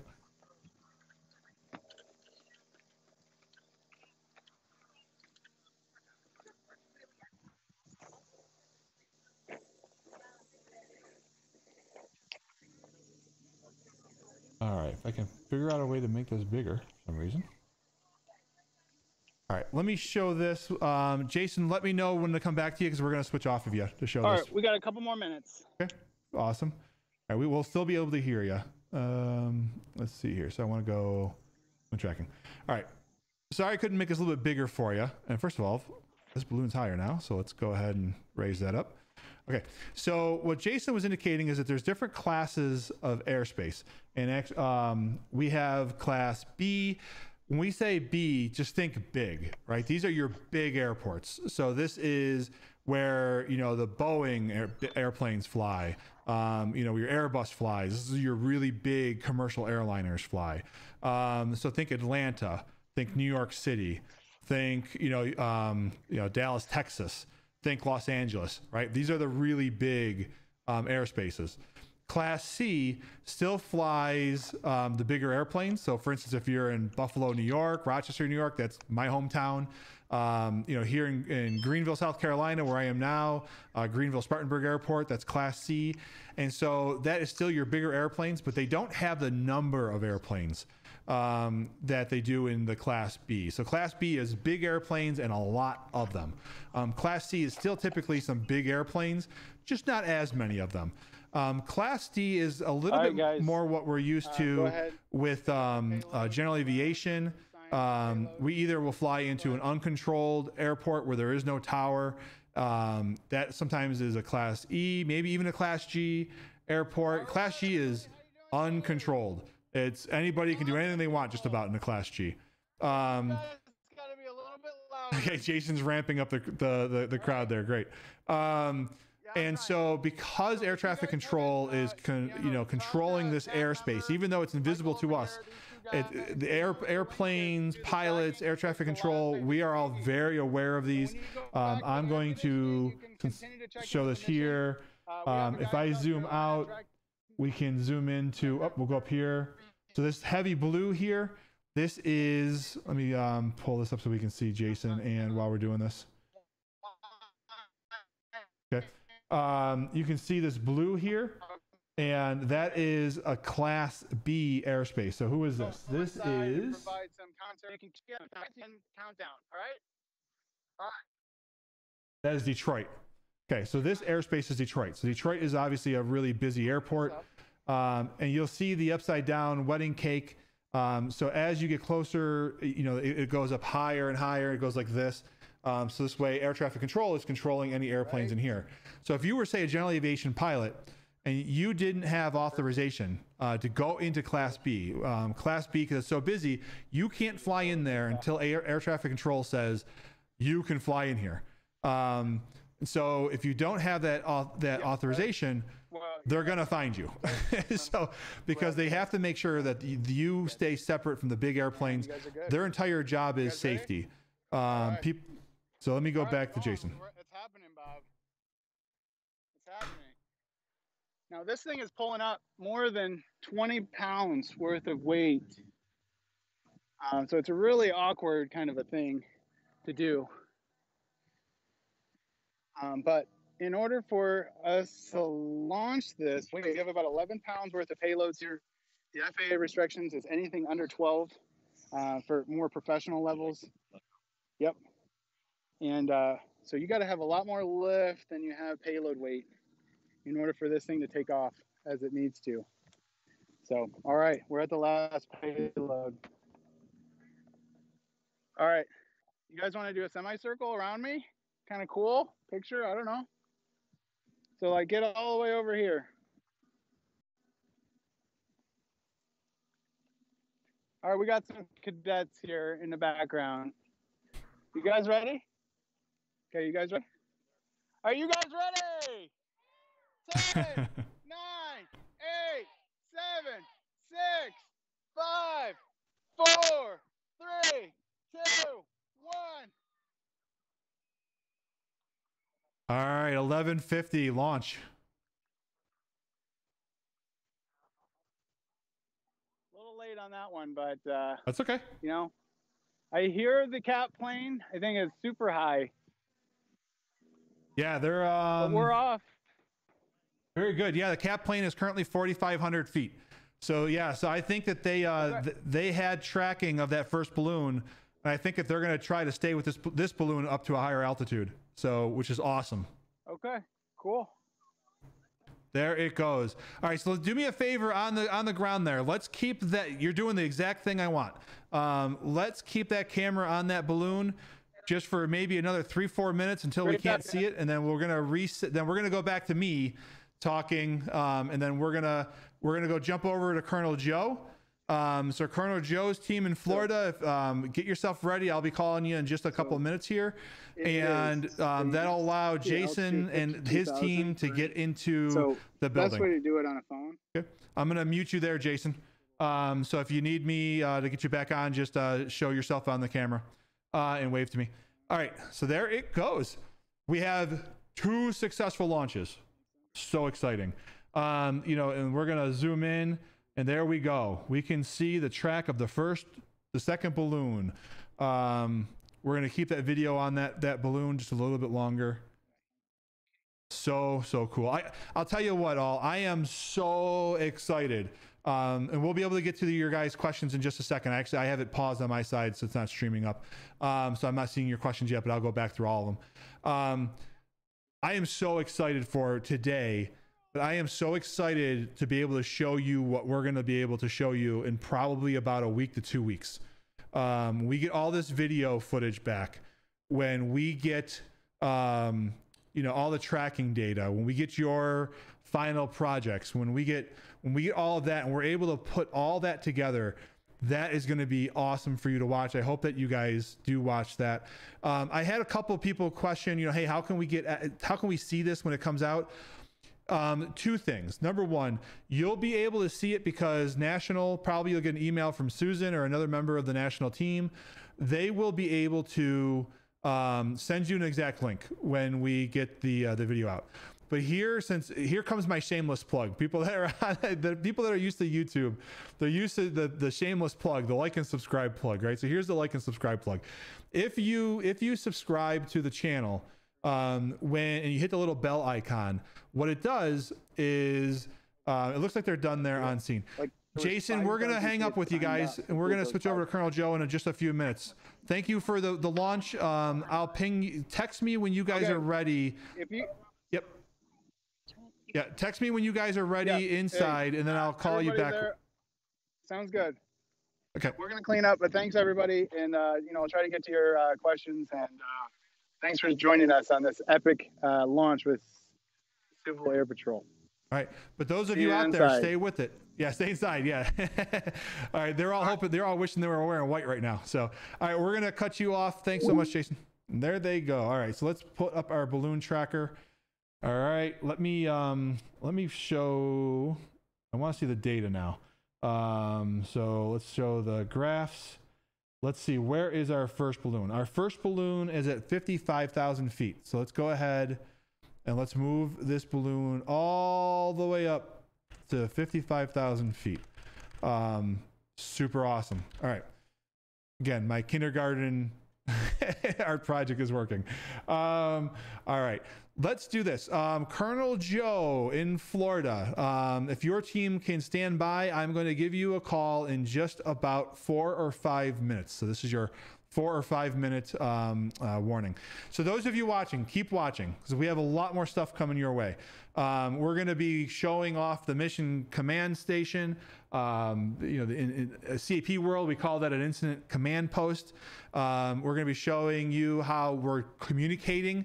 Um, there is no radios, um, you know, at this school. So we actually have a mobile command station for um, for communications, and so we're going to show you that. Um, we're going to show you all the people behind the scenes that are doing all this work. Um, that really we couldn't do it without them. Um, so going back to the other question about, hey, how can I see this thing? You know, the, the future videos, because uh, we have two really good. Well, we'll have three. We're gonna have three really good videos that are gonna be coming your way. Um, actually, I, I'm lying to you. We're gonna have four. We're to have as quick as we can create it. Maybe later, uh, probably sometime tomorrow, maybe Monday. Um, we're to have a really quick recap video. Um, and then after that, we're going to have a once we get the uh, footage from the Air Force that allow they, they, tell us what we can show, what we can't show. My opinion is they're probably going to say you can show just about everything. Uh, we're not looking for you know a downed airplane or something where there could be something critical in a security nature. So we'll probably get access to just about everything. Um, and then we're going to be able to chance to put all that together in a really great video then um, even though it's probably going to be the easiest video for me to put together it's actually one of the ones i'm most excited about. I'm going to put together uh, a video that's going to show the entire balloon um, one of them yep look at that it's going almost the same track as before. Let's see if it turns around the same way as the other one did. Um, and it'll um, it, uh, if, if it takes an hour and a half I'm going to show the whole hour and a half from the camera inside the balloon. I'm going to throw some music on it, um, you know, so it's not just the video. But that might be a really cool thing, just so you know, if you're studying or you're doing something in the background, you're at work, you know, and you, you can just throw it on your thing. Go, hey, what does this thing look like for the whole hundred? Because you're going to see something that you you're never likely to see with your eyes unless you can get the hundred thousand dollars or whatever it is to go on a SpaceX or a Boeing or uh, sort of Richard Branson's um, you know airplanes, uh, rocket rides.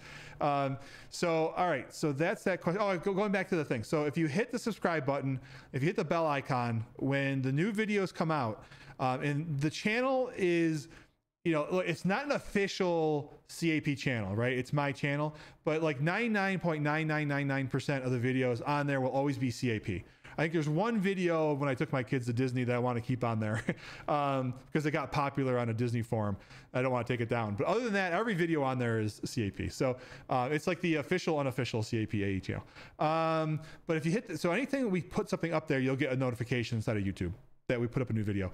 Um, let's see here. The other thing too is again, if you if you do the subscribe and like thing, um, th- that actually you'll hear this from all the YouTube people. Um, that helps the Google algorithm to know what to show other people. So it actually means a lot. So if, if, if you can, um, you know, hit that subscribe button that actually will help uh, folks to see the AE channel. Amazingly, if you type in aerospace education right now, um, this channel actually is the number one channel that comes back on Google. Um, so super proud of that. There's a lot of folks that have helped with that. Um, all right. So while they're doing that, let me go ahead and give Colonel Joe a call. All right. Well, calling them right now. Let's see.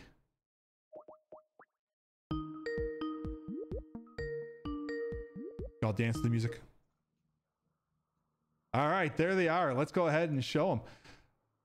All right, you guys are back. So, how did how did it look for you guys? You excited about those launches? It was exciting uh, and uh, very informative. Great, Colonel Joe. Um, you know, the cadets are sitting there. They're wondering. I can see it in their eyes. Is Captain Ro- Roberts going to ask us a question? I'm going to keep them on their toes. I might ask them a question. Um, and I know you have, you guys are going to be talking in just a few minutes as well. But I had one question for you. As we're tracking the first balloon, especially now through 55, 60,000 feet, you are one of the few people alive that has done that. Now, uh, you are a special person who has done it because, yes, we have astronauts that have gone higher than that but you took the slow ride to get to that altitude. You didn't go on a rocket that was jostling around and all of a sudden you were up in space. Uh, you took the slow ride. So, so you actually know. What's it like to be at 50,000, 60,000, 70,000 feet? Well, you're, you're, as you go aloft, of course, the pressure suit starts inflating at 40,000 feet. And uh, you're, you're, all you do, you cannot tell your altitude above the ground except your altimeter. And I, I would, I had a constant interest in that altimeter. And of course, as I went aloft, it got colder and colder and colder. But let me say this, Bob, I made five high altitude balloon flights. Uh, the lowest was 75,000, the highest was 103,000 feet. But the same principle that they use in the weather balloons with the positive lift of the helium, uh, or if you're using hydrogen, as a matter of fact, hydrogen has a higher lift factor than helium, but as you pointed out, it was more flat, it's flammable, whereas helium is not. But I had a, a great interest in my altitude as I went aloft, as my pressure suit constantly inflated to keep my body at 40,000 feet. The pressure suit kept my body at 40,000 feet, even though I was almost in a vacuum of space. Now, we did this program uh, called Excelsior for, for two reasons. First of all, man had never been in an actual space environment before. Man had never had to depend upon a pressure suit to, to exist. And we knew that when we went into space that we'd be getting outside the spacecraft. So there were lessons that we needed to learn uh, prior to the space program. The other purpose was to develop a means of escape from very high altitude. But in order to do that, we had to get up to 100,000 feet because we, we had airplanes that were flying at that altitude, and we were going to have spacecraft that were going to be going through that altitude. So there was a good scientific reason why we were doing the program. Uh, and we it's the same protocol that the cadets used for this program. They dreamed up a reason to, for their experiment. Uh, they constructed the experiment, uh, and when it gets down, they'll analyze the data just like we did. So what we're doing here today is the same that we did back in the in the 50s on our high altitude balloon research programs. I think it just it's really unique that here now, uh, some uh, 50 years later, that we're using the same vehicle for high altitude research that we did back in the 40s and 50s. The uh, balloon is a, a, a cheap way to obtain data. Now, when this these packages come back, these experiments come back, they'll be analyzed. There'll be a report written on each one of them. There'll be a committee that will be uh, put together to analyze the best, the very best experiment of all of the 650 they're going to pick out one, and that person that and that team that went that is the best will get the trophy and the honorarium. So there's a, a, great benefit and, and, and uh, recognition for that team that that uh, come up with the best experiment. Um, what else can I say, Bob? No, I think that's great. Um, Colonel Joe, I'm going to give you and the staff there a little update as well. The uh, first balloon is now crossed 60,000 feet. It is still climbing at uh, about 1,200 feet per minute. So that climb rate is still going great. We're now at 63,000 feet. I can see that the cap airplane is starting to come back down. Um, so they're probably going to start coming in for a landing. Um, so let me ask. I, I, I, warned you the cadet. I warned the cadets. I told you I was going to get you into this. So what um, what questions or conversation would you guys like to have there on on site? I know, you know, I, I, I Joe, I Carl Joe, I know that you hate, you know, probably when people say, you know, you're a legend, right? And you, you're probably, you know, you're a humble man, and but listen, seriously, you're a legend. So, so, um, you know, so the cadets that are, that are sitting next to you, um, you're sitting next to a legend. Um, and so I, I, would love, I would love to hear a little bit uh, between you and the cadets, if they have any questions or anything you'd like to talk to them about. I'm available. Any questions? So I wanted to know, like, if you were to do the high altitude balloon challenge what would you put in the capsule? Uh, that's a good, good question. Uh, if you, if you don't mind, Colonel Joe, I'm just going to repeat the question so that we can hear it better for the folks online, just real quick. So the question was, if um, Colonel Joe was going to be part of the, his his challenge, uh, what would he put in the vial for this the experiment? Thanks. Go ahead. Well, one of the great interests we had back in the 50s was cosmic radiation and uh, we uh, we uh, had experiments to define cosmic radiation. We used we used a, emulsion plates, and we could detect the direction of the of the uh, cosmic ray through that emulsion plate. So if I had one item to take aloft, it'd probably be a something to measure cosmic radiation, because uh, you're you're actually out there amongst it, and cosmic radiation is one of the real challenges we have going to uh, to Mars, uh, because they're going to be there for, for a long period of time, uh, over a year transit from launch to getting to Mars, and then they'll spend a year on Mars and then a year back. So they'll be exposed to a tremendous amount of radiation.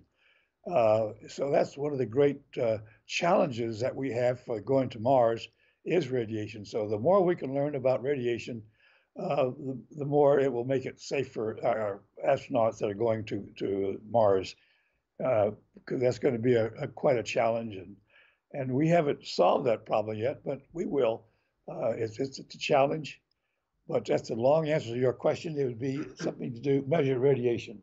Thank you, sir. Now, Colonel Joe, let me ask a follow-on question to that. Um, in when you went up, they did experiments um, very similar to what you just mentioned, and uh, the young lady there mentioned uh, talked about, and that was putting film um, around the head of mice and guinea pigs. Is that right? Yes, uh, the early uh, tests we did, we, we put had an emulsion plate on top of a guinea pig, and they had a, a structure that held the emulsion plate, and the guinea pig was beneath it with this emulsion plate on the the uh, guinea pig's head. So we knew exactly the direction of the cosmic radiation into the, the chickmunk's brain. We could track it from that. And we also did that with, with monkeys. Uh, we, so we use those, those animals to show man how to, to cope with radiation. And it was, a, it was our unique beginning was, was with, with the guinea pigs and, and, uh, and monkeys showing the direction of the cosmic radiation through their brain. Wow, that's cool. How about the young man there? Uh, does he have a question for, for Colonel Joe? Uh, yes, sir, I do. Um, if you could give one message to the youth of today uh, based on your past experience, what would you tell them? A very good question. Um, let me say that uh, the uh, effort that went into this was a team effort. Uh, you, man cannot accomplish anything by himself. It takes a team working together. And I think you should always think about the team uh, dynamics, team psychology, because you have to work together in order to accomplish anything. The other thing is, it takes hard work. It takes a lot of dedication. I, I've never met a successful person that didn't work hard at what they do to accomplish their task. So hard work, setting goals, working as a team, all of these are things that, that are important for your future. Um, the other thing, of course, that, that I say that you know we are we are so fortunate here in the United States. We we live in the greatest country that's ever been. We have wonderful opportunities because of our our intellect and our, our background, our democracy. Uh, if you have a, a dream, you can work toward that dream. All it takes is dedication and hard work and setting a goal and then working toward that. So I think that a program like this shows teamwork, dedication, organization, and it's just a wonderful example of what can be accomplished if you work together for a, a common goal. Does that answer your question? Yes, sir. Good. All right, how about the young lady? Does she have anything else that she wanted to ask? Um, Sir, what was your favorite moment being throughout your entire career? What was your favorite moment? A very good question. What was my favorite moment in my entire career? I would say my favorite moment was when I landed after jumping from 103,000 feet and I was back to the earth. That was, my, that was my favorite moment because I had confidence in what I was doing. I had confidence in the team. I had confidence in what we were doing but there's still an unknown. And when I got on the ground, I was the happiest person in the whole world. That's great. Um, you know, Colonel Joe, you and I talked about this once before, and actually, for the folks there in Florida, I want you know this is a bigger. You talk about the team, right? And so, if I could get the folks that are there with you in Florida to come back by you. I, I want us, the folks online to be able to see um, the team that it takes just to even put on um, the video footage to talk to you today. Uh, we have lots of other cadets and other senior members there. So if you guys can all go on and, and, and stand behind Colonel Joe for a second, I think it'd be great for the folks online to see.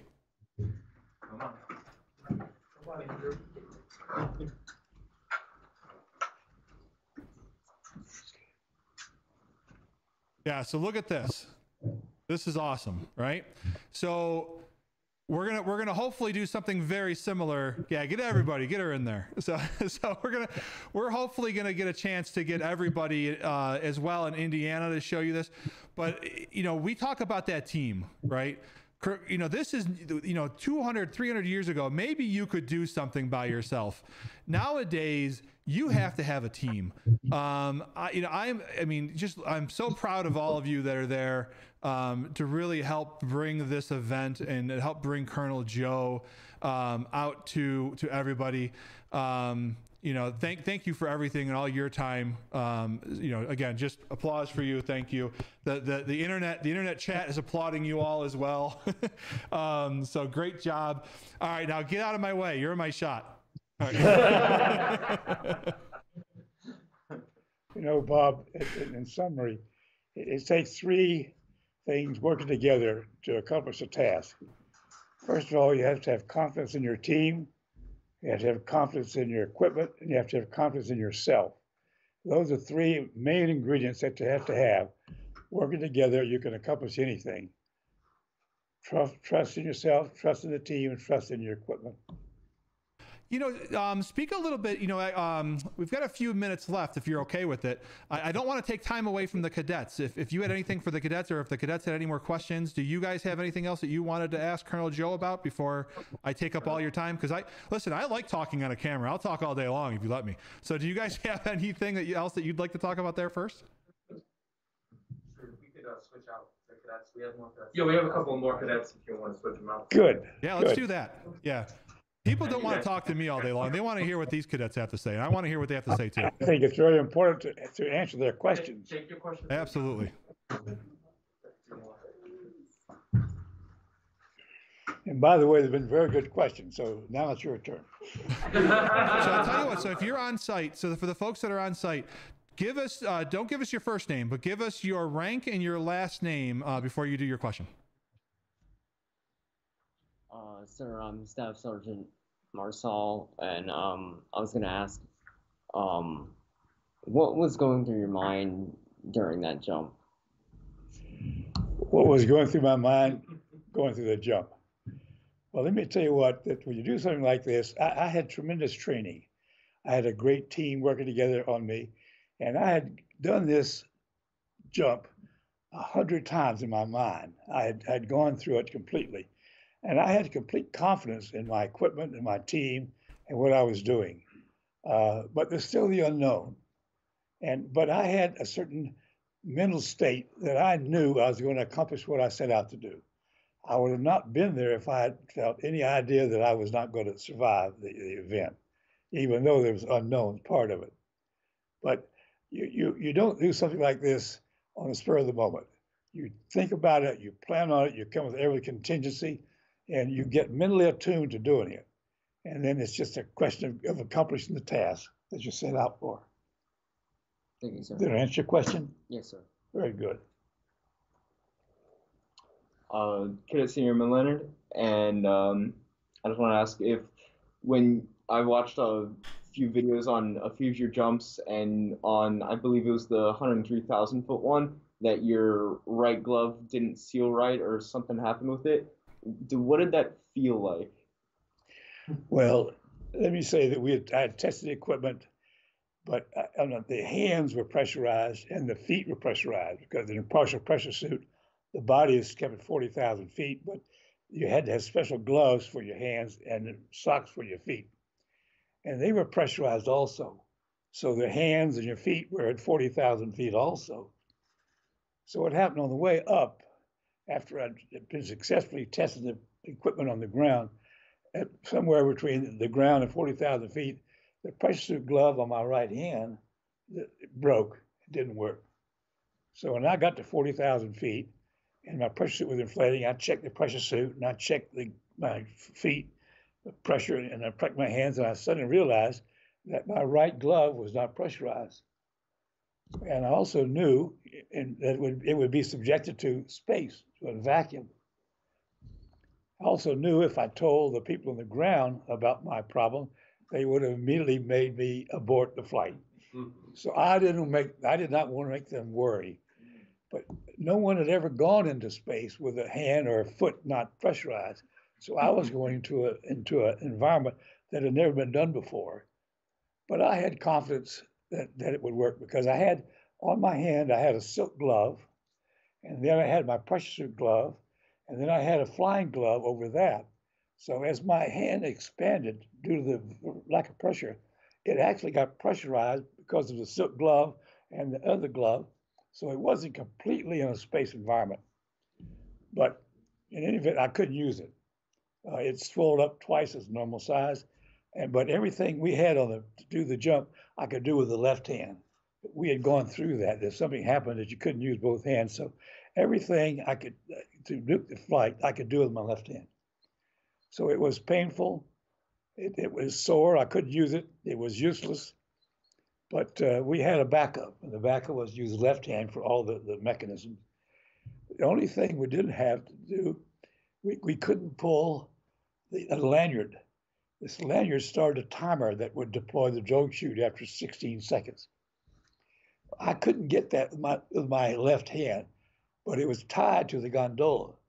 So when I jumped out, the line pulled the lanyard. And you'll see the pictures of me jumping. You see a, a line between me as I'm free falling away, and that line was pulling a timer that I could not do with my right hand or my left hand. But we had a backup. We, we had planned on something like this happening, and it worked exactly right. And uh, when I got down the ground after a couple hours, my hand was back to normal. And uh, uh, but it was uh, the only thing that didn't work on the whole flight was that glove that I had in my right hand. But we had a contingency for it, and it worked out okay. Now, if the pressure suit hadn't worked, I would have abort. I had to abort then, because that pressurized my whole body. But the glove, I took a chance, uh, and it, fortunately worked out. But uh, that was the only real uh, violation of the procedure that we had set up. But I said I didn't want to let the people on the ground know that I had a, a challenge like that because I had a concern that might not be able to have an opportunity to do it again because there's a lot of people against what we were doing. So I, I have I felt that if I didn't get this jump this time, that I might not have another opportunity. So I accepted the risk of my hand not be pressurizing because I felt it was in the benefit of the total experiment. That's a long answer to your simple question, but that's it. No, thank you. Very good. How about other questions from um, on site there in Florida? I know we had a, a lot of cadets. We have some senior members. Any other questions there? Ask them now. Otherwise, you got to listen to me talking. You don't want to do that. We, we have another one. Please come up here.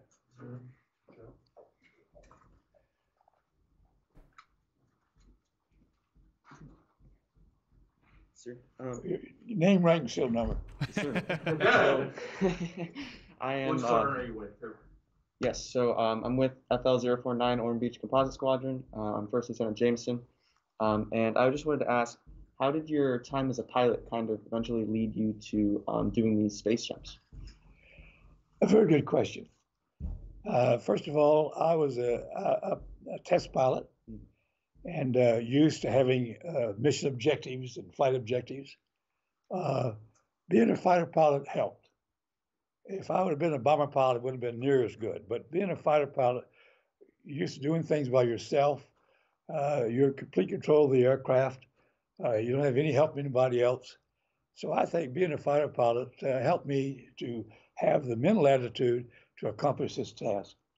Not that a bomber pilot couldn't do it, but fighter pilots can do it better. Um, and also, um, what kind of inspired you to take that journey of becoming a pilot? Uh, What kind of what? To become a pilot. What inspired you to do that? What what did So, like, what what inspired you to become a pilot um, before you you took well, job? like all of you here, all you cadets that are in the CAP, you have a vision of being an aviator. Uh, that's that's why you're here. You're you're interested in aviation, and this is a great stairway to aviation into being a pilot. Uh, there's no better education than a CAP to give you the lessons that you need to be a pilot. So learn what you're doing, what you're doing, and what you've been exposed to is going to help you achieve that accomplishment. But of course, in the Air Force and the Army, there's a whole team of people. The pilots are just the lucky ones that get to fly airplanes. But it takes an awful lot of other people to get you there and to keep you there. So it's teamwork once again. But I would say that the, the biggest thing, when I was a young boy, uh, I was just captivated with aviation, like all of you cadets. You're, you're, you're interested in aviation because if something could happen to you in your life, you saw something that interests you uh, in the profession. Well, I had that happen to me when I was a very young age. And when I was a young lad uh, at your age, I set a goal to be an aviator.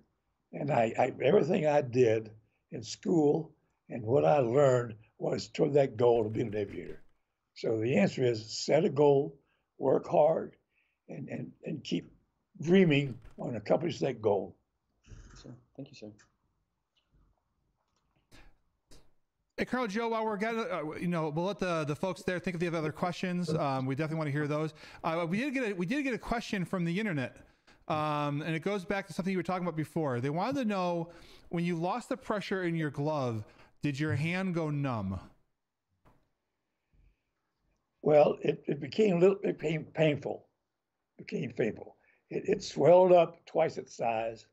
And fortunately, the glove kept it from getting bigger because the blood would go the blood would go to to the skin. But uh, it was it was painful. Uh, it didn't go numb.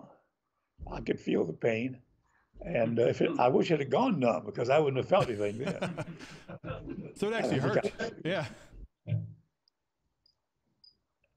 So the um, the other thing I want to point out real quick, and then we're gonna get some more questions from you guys there in Florida, um, is for the folks on the internet. We've got a lot of folks that are watching online, and so for the folks online this is a really cool opportunity for you to ask a question as well. So, um, you know, we're going to go back to the folks in Florida, but go ahead. This is interactive. This is live. Um, this is not recorded. This isn't something you're watching, you know, on YouTube two years from now. Um, so go ahead. If you have a question for Colonel Joe, go ahead and ask it in the chat, and then I'll relay that to Colonel Joe. Um, all right. So back to one thing. One question: Who are the squadrons that we have there with you? Where are they from? Um, sir, today uh, it's just Ormond Beach Composite Squadron. So uh, we're based at um, Ormond Beach and from the Ormond Beach Municipal Airport. Very good, very good. Um, do you all have more questions for Colonel Joe? By the way, there was going to be a lot more CAP cadets here, but because of the virus situation, it was reduced to these wonderful people that are here today. But there was going to be a lot, much larger audience, but it's because of the situation that we had. Yeah, it's unfortunate. We are we, we are limited. Thank thankfully in Indiana, um, they, they don't have as many restrictions right now as we're seeing in Florida. So uh, so thankfully for Indiana, it's not a big as big an issue. But um, we are so proud of all of you there in Florida uh, for being able to do that. Um, all right, so some all right. I know the answer to this, Colonel Joe, but somebody's asking online, so I'm going to let you answer. How old are you? I'm 39. 39. Man, he no, looks good for 39. I'm 93 years old. 93. By the way, I'm still fly airplanes and balloons. Uh, I have uh, 16,800 hours of flying in 93 different airplanes. So I had a wonderful career in aviation. Uh, and it is a wonderful career made up of very dedicated people. But we have a lot of fun flying airplanes. It's just nothing but fun. But there's two other questions that have been asked here. Let me, let's, please. yes, sir. So earlier you mentioned that your happiest moment in your career was when you landed after that jump. Um, what was the first thing you did after landing? First thing I did was say a, a thank you prayer. That was the very first thing I did. And then the next thing I did was try to get out of my pressure suit. That's your question? Yes, sir. Thank you. Good. I'm gonna try so, to pull up a real quick um, picture of you in the in the the pressure suit, just for the folks that haven't seen it. Um, any other questions on site? We've got a couple of questions online, but I want to give you guys the opportunity on site first. Sir, when you look back, uh, you know, on all the amazing things you've done, uh, what really sticks out to you as something that you're very proud of and, you know, is very touching to you? Well, the thing I'm most proud of was to be a member of a team that conducted research on escape high altitude. The lesson we learned on escape high altitude is still being used today. Every ejection system in the world uses a drogue chute for low altitude ejection and for high altitude stabilization coming down. So what we did back in 1959, 1960 is still being used today. And that makes us all very proud of what we did because it's not something that was just something temporary, but something that's lasted and saved a lot of lives. So what we accomplished was for the good of, of aviators around the world. That's your question. Yes. Thank you. I'm putting up a quick picture of you with your um, with your your pressure suit up. Hopefully, folks can see that online. Um, let's see here. So, so that you had a par- Where was your parachute? So the, the, the it, was that in front of you? Is that what the big bulge is in front of you? Is that the parachute, or is the parachute behind you? No, the parachute was behind me. The one in front of me was my emergency parachute. Okay. You always have a reserve parachute, and that's that was the one in front. The normal parachute was on the back. Gotcha. And by the way, I weighed uh, at that time, you won't believe this, but I weighed 160 pounds, and my equipment weighed 160 pounds. So I weighed a total of 320 pounds during that free fall, and because, and I had a kit on. The kit had, was weighed 65 pounds, but every aviator has a kit strapped to his rear end that has a life preserver or survival equipment. So I was in the exact configuration that an aviator would be in aviators had a pressure suit. Aviators had a had a uh, a kit. So I was exactly like an aircrew member jumping in, except for the reserve parachute, which was rel- relatively small and lightweight. Did right, I so- answer your question?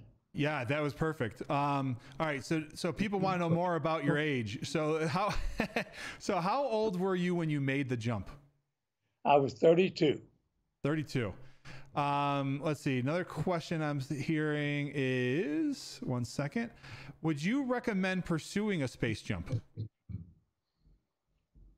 So we still have some folks today. Space folks are still doing some high altitude balloon jumps. Uh, would you recommend that? Only if you're going to acquire knowledge.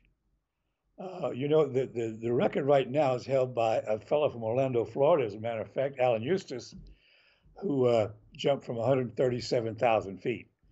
Boy, that's that's really up there a long ways. And when you get to be 137,000 feet, you got three millibars of pressure, almost a complete vacuum. So you're you're already into space. Um, so I, I I would I would support it only if it's going to give us knowledge that we need for the space program and for escape systems. Very cool. Um, do you recall what was what was the speed you hit when you were at terminal velocity? I'm, I'm sorry to hear the question. Uh, terminal velocity. Somebody asked a question. What speed did you hit for terminal velocity? Do you recall? Uh, it was I think it was about 1,600 feet per second. It was Wow. uh, 614 miles an hour, uh, 0.94 Mach. Wow. That's amazing. But you got to remember this: it was in a complete vacuum. It was my true airspeed. My, my the equipment didn't flutter. When I was doing 600 miles an hour, my my pressure suit was not moving at all because I was in a vacuum. Now, as I fell, the density increased and I slowed down until about 18,000 feet. I was terminal velocity at, at about 200 miles an hour. When I landed, I was doing uh, 18 feet per second. So it has a has to do completely with the atmosphere that's around you. I had no idea I was going that fast. I had no way of knowing because I was in a vacuum. I was in a sp- space environment, and it was my true airspeed, not my indicated airspeed, because my indicated airspeed was would be the, the density corrected. So uh, I had no way of knowing I was going that fast because there's no telephone poles, there's nothing you can see.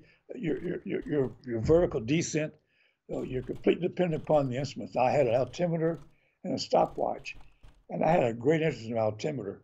and I, I knew exactly what altitude I was at, but you had no way of knowing what speed you were going because there's nothing there to judge speed. You judge speeds by your depth perception, by visual acquisition. And when you're in a space environment falling, you don't have any guideposts to see how fast you're traveling. Hey, one real quick thing before we have more questions. Um, it does look like from the track, um, it does look, yeah, definitely. Um, so we hit 90, just shy of 90,000 feet with the first balloon. Um, I made, oh, here, you guys can't see that. I can move it over. There we go. Um, we are definitely seeing a, a downward descent now, uh, a very fast downward descent. So if we look at the vertical, the vertical rate now as well, yeah, look at that. So we are hitting 8,000 feet per minute. That thing is just falling out of space. Um, all right, very cool. And I did make the graph a little bit bigger for the folks online, um, so folks wanted to see some of the data. Um, one of the questions we got online was about another um, space jumper that you worked very closely with, and that was Felix.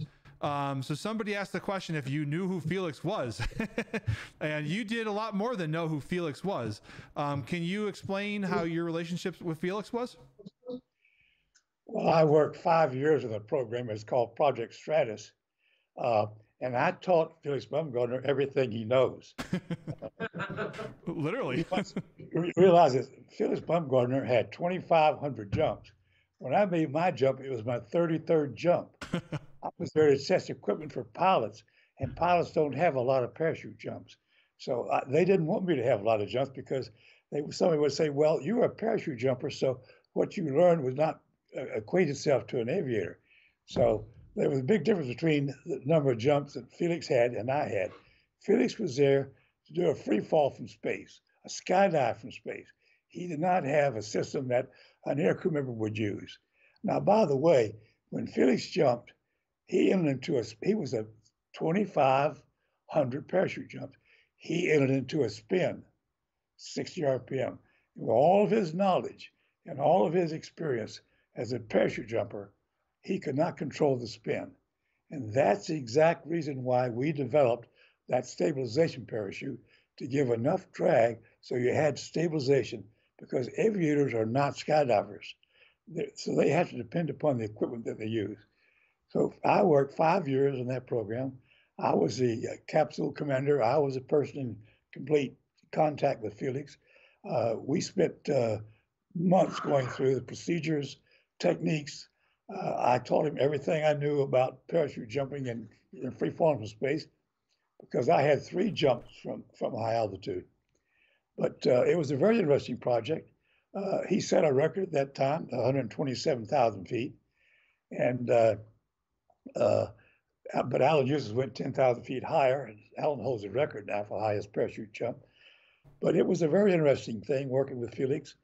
I only did it because uh, he convinced me that the program would have some scientific merit, and it did.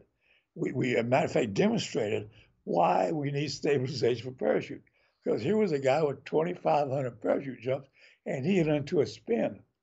So uh, his his program showed why we need stabilization from very high altitude. But it was a very interesting program. I thoroughly enjoyed being a part of it. Uh, we uh, and I think we helped Felix a great deal. He felt comfortable because he knew I was on the radio. He asked me to be on the radio with him, and we talked all the way up, and we discussed what ifs every contingency that could come up, we had discussed. We had a plan for it, and uh, it was a well done program because of, the communication we had between Felix and myself. And uh, as I said, I taught him everything he knows. Yeah, and to be honest with you, I don't think that's you being humble. I think, or, you know, I, I, think you probably really did. Um, if anybody hasn't watched that um, that document, unfortunately, you know, when Colonel Joe did his jump, they didn't have the sheer qua- quantity of cameras that they do now.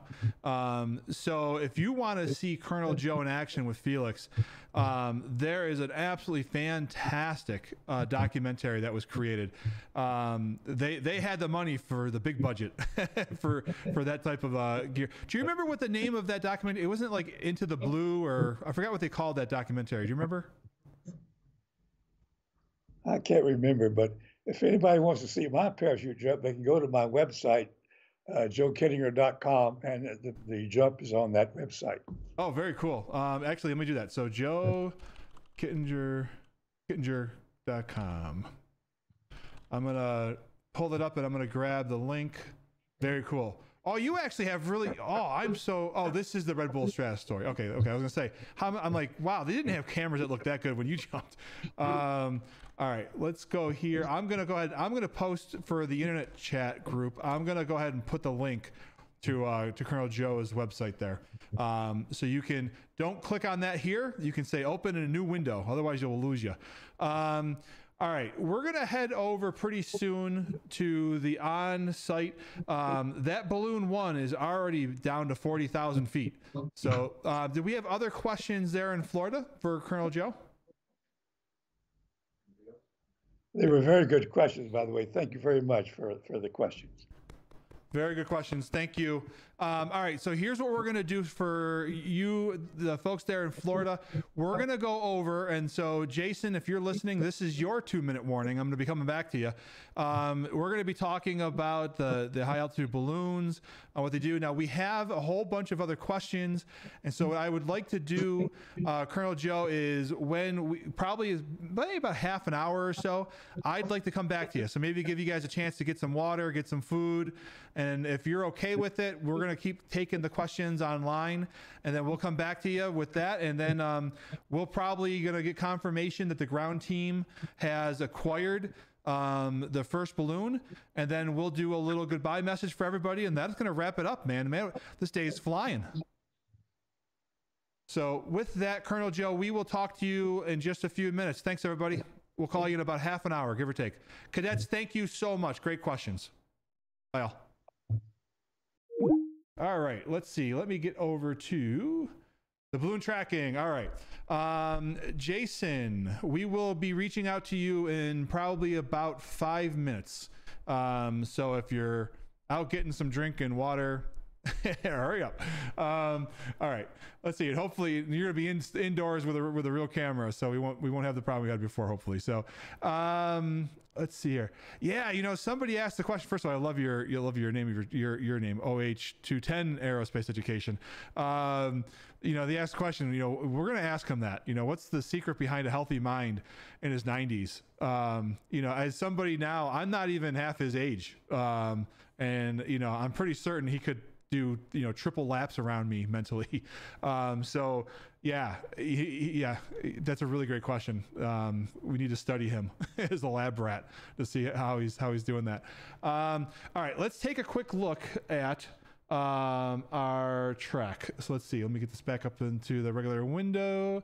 Um, all right. Now check this out.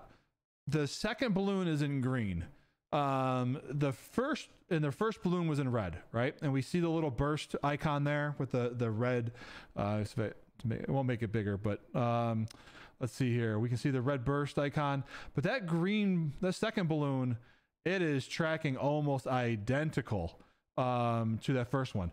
Now here's the cool thing about that. That means our ground team um, they're not going to have to drive 100 miles between one balloon and the second balloon. There's a really good chance that second balloon is going to um, is going to be able to uh, land relatively close, maybe even within a few streets. So of that first balloon, so that's awesome. When we get done with all of this, um, it won't be on today's live stream, but when we get done with all of this, we are going to um, uh, Jason, I would like to have an image of what the projected track was, and I'd like to put that on top of, or have these uh, balloons put on top of that track. So you and I will figure out how to make that, you know, graphically happen, because um, I think it'd be really fascinating to see how close the uh, the estimated track was to what the real track was. Um, let's see here. Let's check real quick the graphs um, we can see that the first balloon has now passed the um, the second balloon because now it is down to 32,000 so it's about here. And if we take a quick look at the second balloon it is still climbing and we are at 58,000 give or take 57 so let's go ahead and move this guy up. All right, so that's about where we are now. Um, I've been watching the aircraft, and I'm not seeing, at least on Flight Aware, I'm not seeing the second aircraft um, showing yet. Um, so this is a special message for the incident command post. Um, if the second aircraft is up, um, do me a favor, have them radio into air traffic control and do flight following. Um, this way we can get their track online. Um, that'll be that'll be good for us to see. Um, and they may not have gone up. They may have been waiting for the second balloon to be coming down further. Um, let's see. Yeah, you know, you, so um, uh, you know, Susan mentioned on the online chat, he does more than puzzles. He's still involved in flying and much more. Um, you know, we know of Colonel Joe here from his time uh, with high altitude ballooning the Colonel Joe story is so much more than that. I mean, like, you know, listen, if you live one lifetime and you did just the high altitude balloon thing, um, you would have lived a pretty awesome, um, you know, life. But the, the, the gentleman has been involved in aviation his entire life. Um, you know, he was a, a Vietnam fighter pilot. Um, we won't get into it here, but um, he actually was captured um, and was at uh, Hanoi Hilton for a long time. Um, what is the cap plane ID? So, um, Matt, I've got two of them that we're tracking 606 Charlie Papa, uh, November 606 Charlie Papa, if you're going to put it in flight aware too. Um, and anybody wants to, you can do that. Um, so, November 606 Charlie Papa was our morning airplane. And I'm assuming that um, our afternoon airplane is going to be November uh, 964 Charlie Papa. So 964 Charlie Papa. That's what I'm looking for um, for the second one. Um, let's hear. But he did so much more. And then even when he got back, right? So now you, you get the high altitude balloon, you got the fighter pilot, you got the, you know, um, uh, getting captured. I mean, that's enough for more than one lifetime, right? But no, you know, he doesn't want to be bored, right? so he goes out and he literally just like goes to tons of air shows. I don't even know how many flight hours he has. Um, it's just unbelievable. And you know, he visited just an amazing amount of people, right? So this isn't somebody that's just interested in aviation for themselves. He's somebody that goes out and really brings in other people into it. You know, the outreach. Um, what is the flight tracker? So um, I'm using Flight Aware so, Mike, if you if you you can download FlightAware, you can do it on your um your your um your mobile device. You can also do it on the website. Um, let's see here. So there was a question online. Um, actually, let's see if we can bring in Jason because I think Jason will have some good conversation here too. Uh, hang on a second, all. Let me see if I can bring him in. Otherwise, I'll just talk to you all day, which I could do.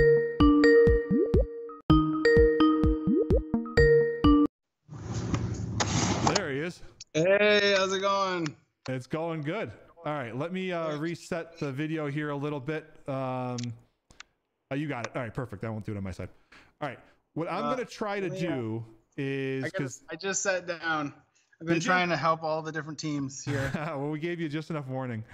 Um, let's see here. I'm gonna try to uh, get my sets set up. Yep. What I'm going to try to do, and so folks are seeing this uh, live, um, they're like, why are all the screens moving around? What I'm going to try to do is, we're, you know, based on this is based on your feedback online.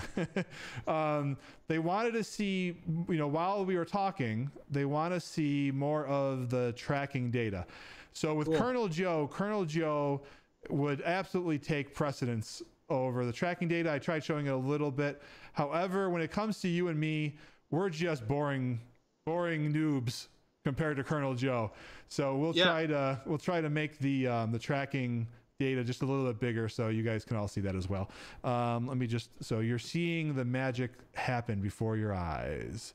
Uh, let's see, we'll make that bigger there, and we'll make this bigger here, and we'll go here. All right. See, look at that we we respond to our community and what they want. Um, Yeah. So you know, so one of the one of the comments, um, uh, I just it looks like it's uh, SRM. I'm not sure who the, whose name that is, but SRM made an interesting comment. Um, looks like um, there was you know little wind having effect um, on it.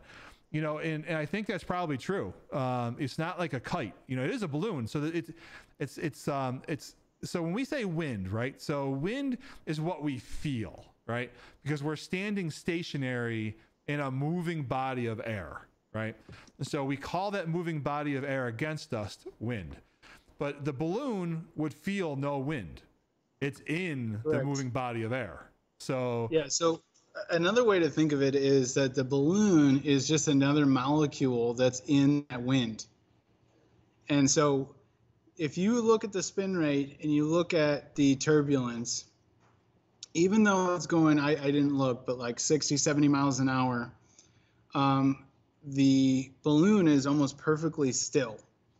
And that's because it's in an air mass, it's a molecule, and that's the ground speed that it's traveling. And so sometimes in the winter, you'll see over 200 miles an hour. So those little boxes can go faster than an Indy car uh, or, or a Cessna. I don't know what the stall speed is on a Cessna, but like, you know, those little boxes, they uh, take off.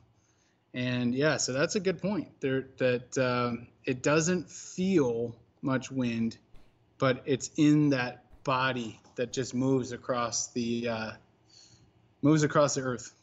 Yeah, yeah, and a Cessna is um, the uh, flaps down stall stall speed is about forty about forty knots, forty five knots, depending on certain things. So about Wow. fifty five miles an hour. Um, so people always ask the question, you know, can you land um, an airplane on the highway? Well, we don't recommend it. Your engine shuts down. The only thing in front of you is a highway and trees on both sides, and there's an opening. You can actually fly down, go past the cars, uh, so this way you, the cars can see you, and then and then start bringing your nose up, slow down. This way the cars behind you will slow down with you, and you don't have to touch down, you know, until you're going 55, you know, 55 miles an hour. So. Um, All right, so let's go ahead. Um, one of the questions we had earlier, and I'm going to try to go back to it, um, is the the the dent the width of the um, the balloon. How thick is the balloon? Uh, the material itself, or you know, the the sphere size of the whole thing. Um, the uh, let's go with the well. Let's do both. The, the thickness of the rubber itself.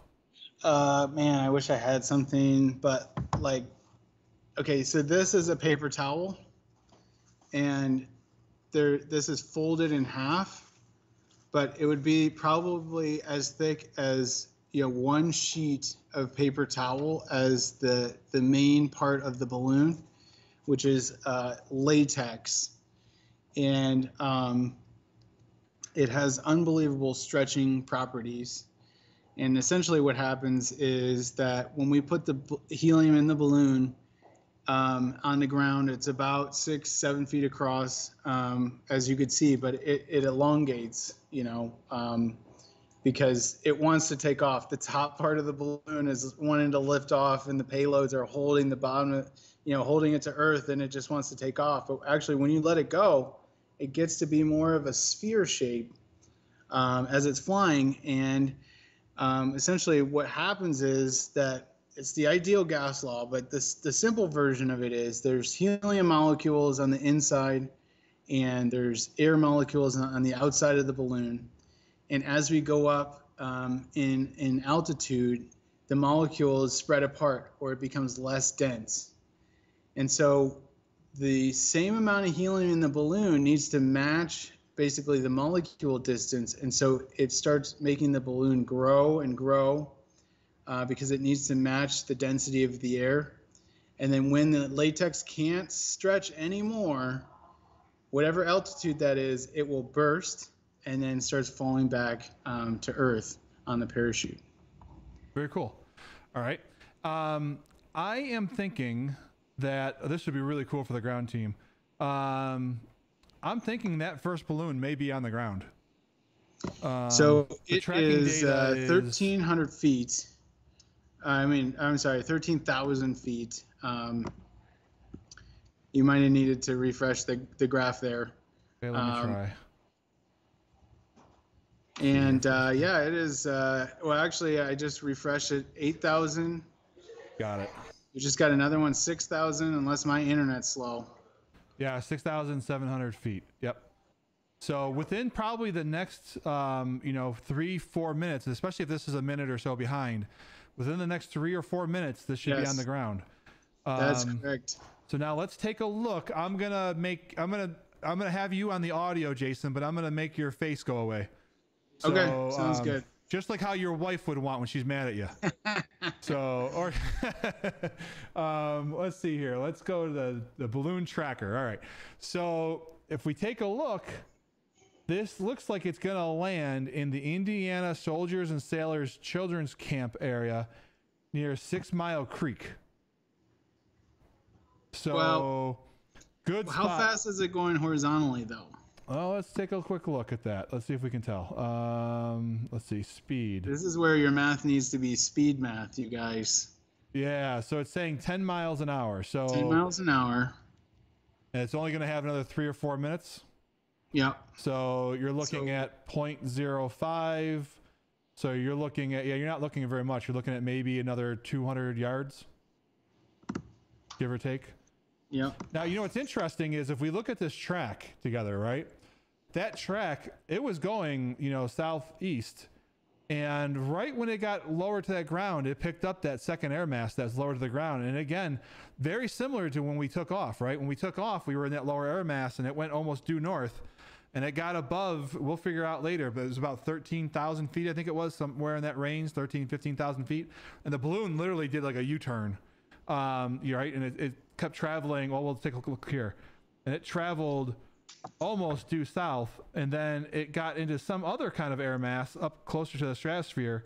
Yep. And it all of a sudden jumped west. Very clear lines, right? Um, I expected these to be much smoother, and they, that's I mean that's a very abrupt change.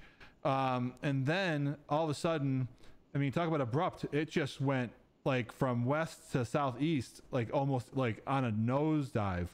Um, and then as we get down lower, um, we see it now as it got back into that lower air mass again, that 13,000 foot air mass, whatever it is. It went almost, you know, spun right around again and it went back almost north, just like we saw during the launch. So, Yeah, that- hey, Bob, do you want to put it on satellite mode and uh, see if we can see what kind of tree it's going to land in?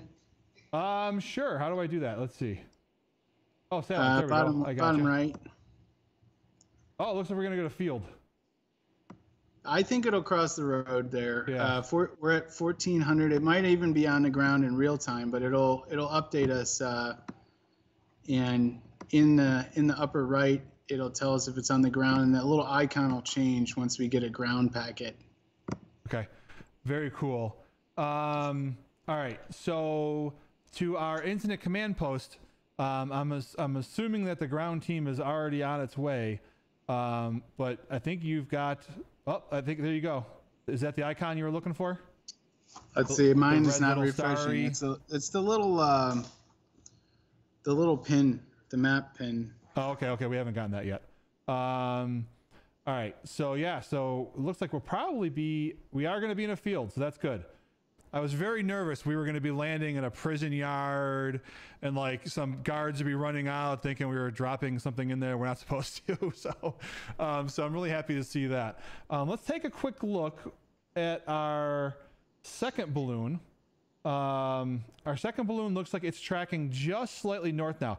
It was literally laying right on top of the other um, balloon.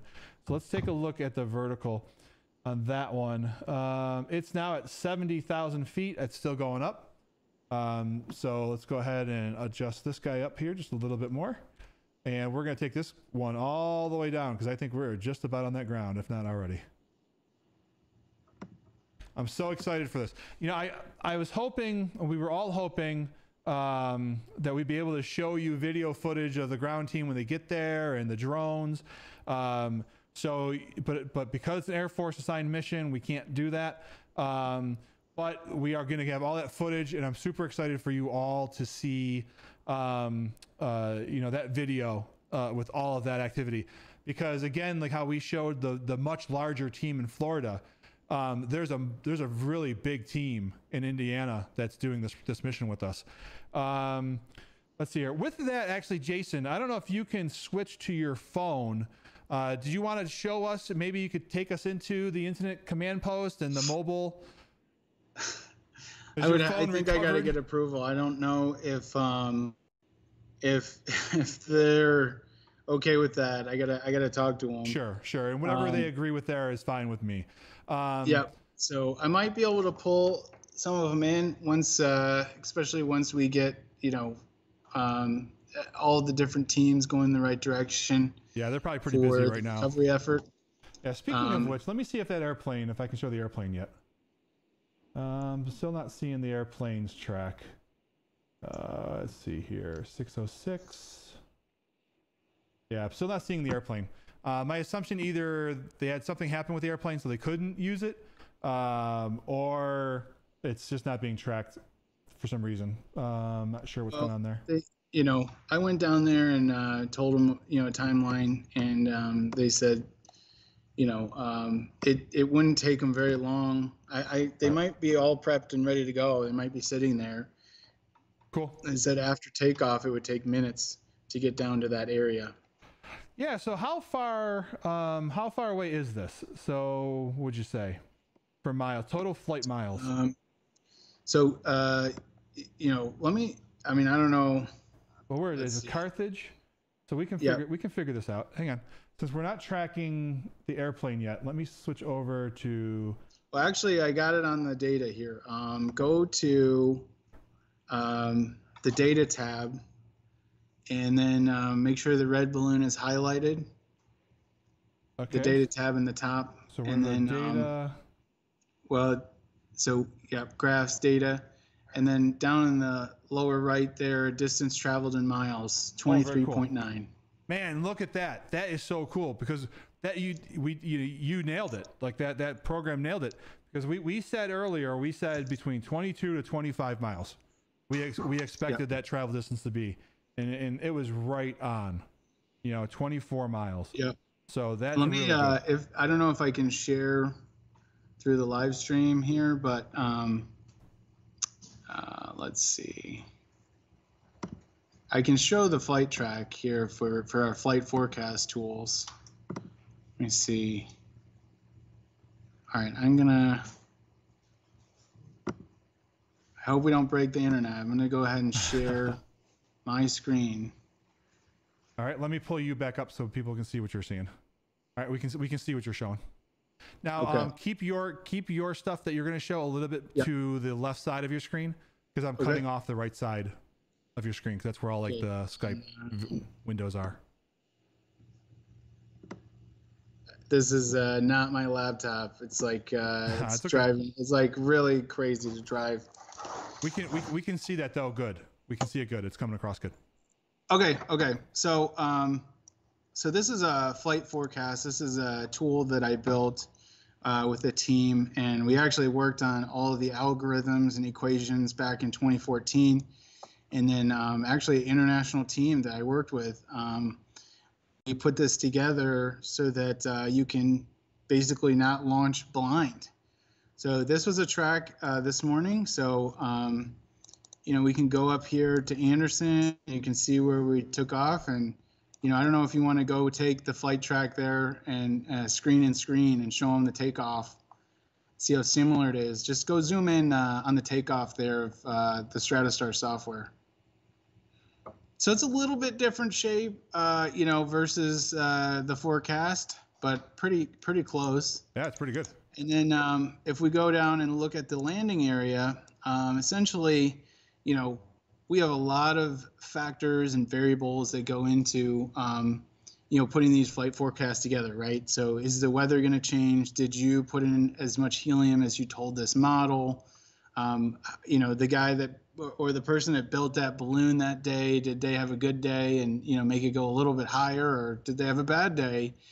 and you know the factory was too warm and it burst a little lower so you have these two you know we obviously put a point on the ground but then um, you have these two rings and i think it's about two miles and then five mile radius and when we're planning a mission this is kind of how we gauge like are you okay with it landing anywhere in these concentric circles all right uh, a lot of people will zoom in on that little dot and say, you know, I, I wish that it could land on this side of the road or Right. something like that. And there's no way we can control it like that. Um, but the best we can do is be like, are we okay with everything, you know, in this circle?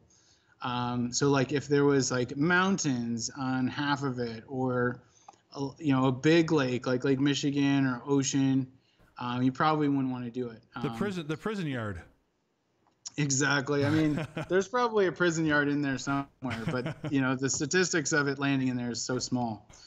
But um, you know, we said south here, you know, Carthage, Westland, and I think it landed slightly south. Might even be in this first circle. I don't know if you want to take a look at that track. Yeah, I've got it up.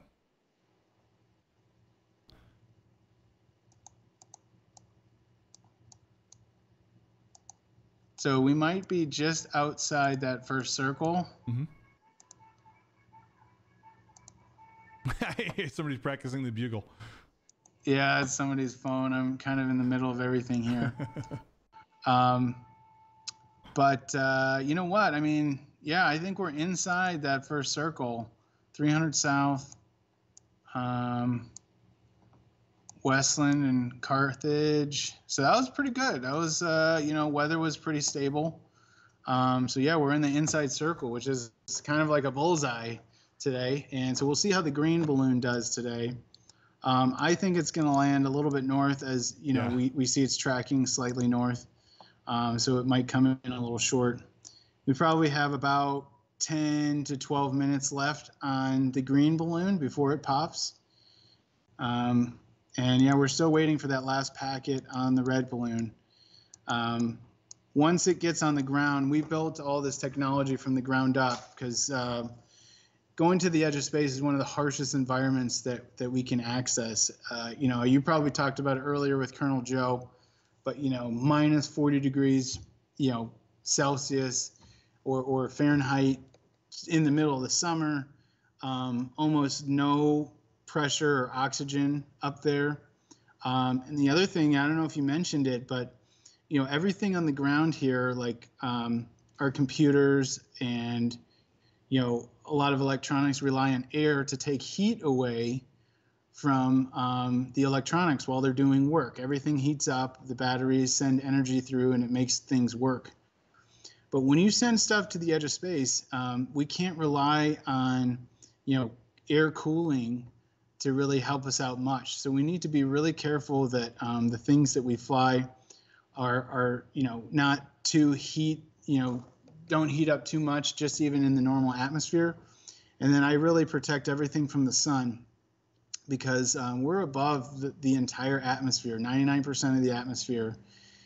And um, essentially, that sun just bakes everything that it touches. Uh, just like if you're sitting inside your house next to the window and it's sunny or in the car, um, that sun just blasts everything. And you you had overheating problems before, but then the sun is exposed to the sun, it just continues to warm it up.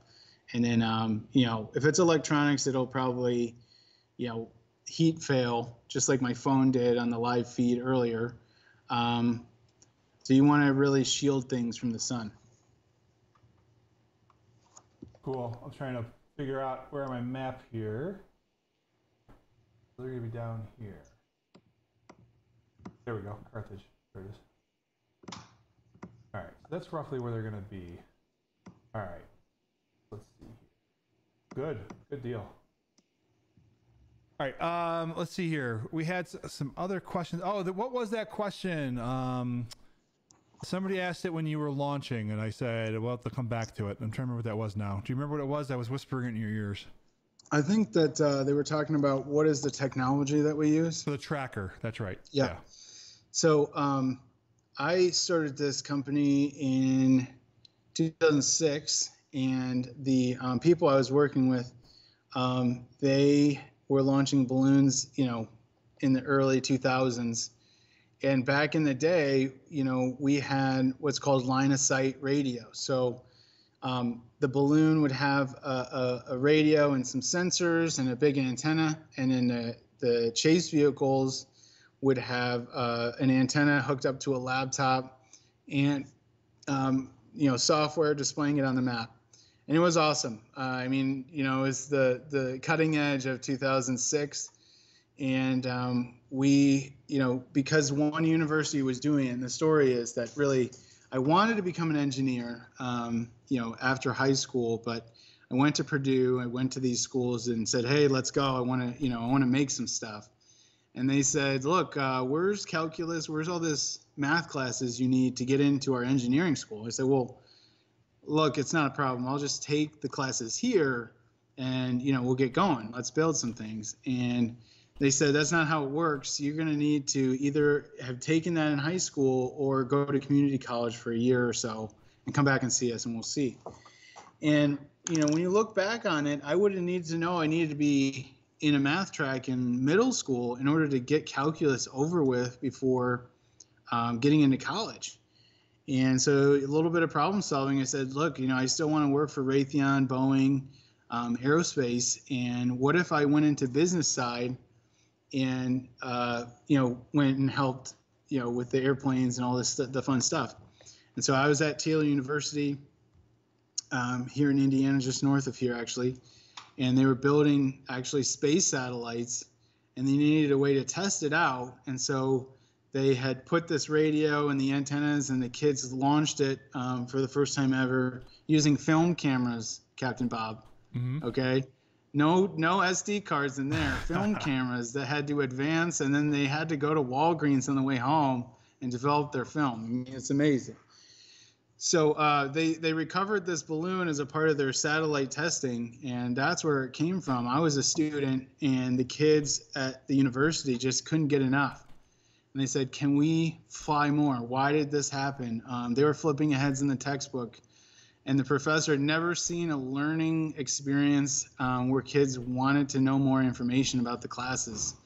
Um, so, anyways, uh, he said we should get it out to some other students, and um, I, you know, they had one of these uh, trackers, and I, you know, figured out a way to make another one so that we could get another university set up, and and you know, it was a very painful process to make each one at the beginning and then luckily enough, you know, we, we got enough out there that we could change technology. And so now we use satellite based radios.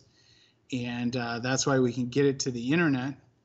And so uh, I was able to sit down on the second version and build it from scratch um, with engineers so that it met what the needs were for education um, and basically learning environments and make it easy so that uh, you know anyone with a web connection like this can jump on and see the tracking. And I, I'm I am very sorry that we weren't able to release this tracking link, you know, out there. Um, however, after the live feed, Captain Bob, you can go ahead and um, you know we can release this link, and you guys can take a look at all the data um, out there, and and click around just like we are. But uh, we're not Twitter or Google, and so when right. the amount of people Cap has involved, if each one of them, you know, or even half of them tried to come to the website during this experience, um, we don't have the resources on our servers in order to to take that traffic. Um, so, anyways, all that being said, um, we I got to build it from scratch to make it easy to track and put up and create a great experience like this online um, and then make everything reusable. And so once it gets back, you just charge it up. You could fly it the next day. I think our record is uh, four days in a row with the same equipment. I'm just charging it overnight and going out and launching it again. Very cool. Um, let's see. We had a couple questions. I answered them in the chat, but I'll, I'll answer them here. From as far as altitudes, uh, looks like balloon number two is just crossing the 80,000 mark. Um, and if we took a look at the graphs, I'm going to talk about this this time and temperature one. I love this temperature one, uh, so we're going to talk about that because um, this is something you see in the books, but you know, especially for pilots. But you know, uh, you're talking about the temperature differentials at the different altitudes, but you don't see it like in real time. So that's pretty cool. So we're going to talk about that in a second. Well, you know what, Captain Bob, why yeah. don't you go ahead in that graph uh, in the upper right, do it versus altitude. Oh, you can do it here. Oh, there it is. Yeah, that's what I want. All that's right. the that's the textbook graph right there. and that is, um, um, you know, what we talk about for aviation, uh, the troposphere. So where that little kink is um, in the top, that's where basically all the weather lives underneath that. And where we see that kink to the right, so where it warms up, that's the beginning of the stratosphere. Very cool. And um, you know, with balloon number seven specifically, I think that you know number two is what you were looking at, right? Um, let me see if I can get it up. Yeah, there we go. Um, yeah, and so uh, you know everything below fifty thousand feet is the clouds and the weather, and then that's another layer of the atmosphere uh, when you see that. And then um, number five, um, the reason we're seeing that the the little reflection of the graph, um, and now this is a you know this is some more of the advanced science, aviation science. And if you guys love this, you guys like drones, you guys like aviation, there's a place for you in aerospace industry. Okay? If you, you know, maybe you aren't, you know, your grades weren't the greatest, we need a lot of people in all of the industry to put everything together. Okay? You don't have to go to aerospace engineering school to be on some of these cool projects we need technicians in electronics. We need people running the, the mills uh, for aluminum. You can be a part of aerospace just like everyone else. All right. But uh, let me tell you about this graph. So as, as you know, um, the density of the molecules on the way up, it goes down. The pressure goes down. I think Captain Bob talked about that. Our little temperature sensor, how it works in temperature is actually measuring the movement of um, the particles, the energy. So the, the warmer it is, the faster the particles move. So a temperature sensor is actually kind of complex in, in what we're actually measuring. But in order for temperature to be accurate, it needs to bump into enough molecules to get that reading. And the, the difficult thing with the balloon is that it's going up at a fixed rate, 1,000 feet per minute. And as you go up, you don't get to bump into enough molecules um, just because of the, the air is getting thinner and thinner. And so when the balloon is coming down quite fast, the temperature sensor hits a whole bunch more molecules and it actually becomes more accurate. And so that's why we see this temperature reading here in at 40,000 feet of uh, minus 40 degrees Fahrenheit. And so this, the temperature sensor actually gets better on the way down. Everything else kind of, you know, goes crazy. Oh, um, I see. I didn't get that at first. So the yeah. so the the little the, the line with a lot of dots is it, it's on its way up way because up. it's traveling yep. it's climbing slower, and then the other line to the left is the um uh, the, the dots are further apart yep. because it's descending faster. Correct. And so and you yeah, get so a better the one line is up, the other line's going down. much faster through the air, the atmosphere. Okay, cool. Yep. All right, that's an awesome one. Yeah, th- this is a cool one because even for the younger cadets out there, um, you know, us pilots have been flying for a long time. We see these types of graphs, but we really don't play with them because when am I going to fly to 100,000 feet? You know, right. um, so it's like it's it's cool. It's a question on some exam, some cap exam about you know the lapse rate. The FAA asks you for, for commercial pilots, but um, but otherwise, you know, uh, what are you ever going to use it for? So you kind of learn it, you pass your test, and you forget about it. So it's really kind of really awesome to see it now in a hands-on, practical way. Uh, I'll be honest with you, on a personal geek perspective, uh, today the whole day is awesome, but this was actually really valuable on a personal level to see it this way. This, this, cool. this, really locks it in. That's cool. Uh, let me give you another mind, you know, melting uh, example here. Um, if you take a look at, uh, why don't you go ahead and do, you know, uh, balloon number two, yep. because it's got clean on the way up yep. data. We've got balloon two up. Go now. ahead and do speed versus altitude. Speed versus altitude. All right, speed versus altitude. Cool, got it. All right. So, uh, you know, this this is a little bit more advanced, you know, graphing. Uh, but to me and, and Captain Bob, graphs uh, are are so valuable. They tell you so much information. It's like a picture. Uh, it's like if you guys have ever watched The Matrix. I know that that ages Captain Bob and I, but they they look at this code on the computer, right? If you could read computer code, and um, that's kind of what a, a reading a graph is. It's it's uh, such a fun experience. So let me explain explain this graph. So um, on the left side we have altitude. Okay, so imagine this is like we're looking at the side of a, a cheeseburger or you know. Uh, you know, a Big Mac or something, and we're we're gonna take a look at all the different layers. Okay, so we cut that cheeseburger in half, and we kind of see what's going on. So down here on the lower left, you have zero and zero. So zero feet and zero miles per hour. And I let the balloon go and it started accelerating in the atmosphere.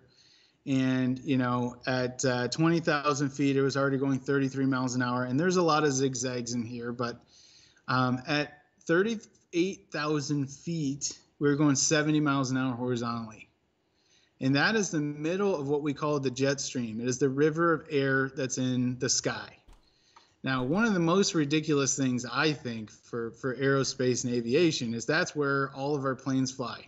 It's pretty much in the craziest part of the atmosphere. Um, now, if you might not know this, but um, when you're flying in an airplane, and if you're from either coast, you may have experienced this, but um, going from the west coast to the east coast, your flight time across the country could be an hour shorter, 45 minutes to an hour, because you're in that jet stream. Um, you are flying 500 miles an hour in 70 mile an hour wind, so your ground speed is 570 miles an hour.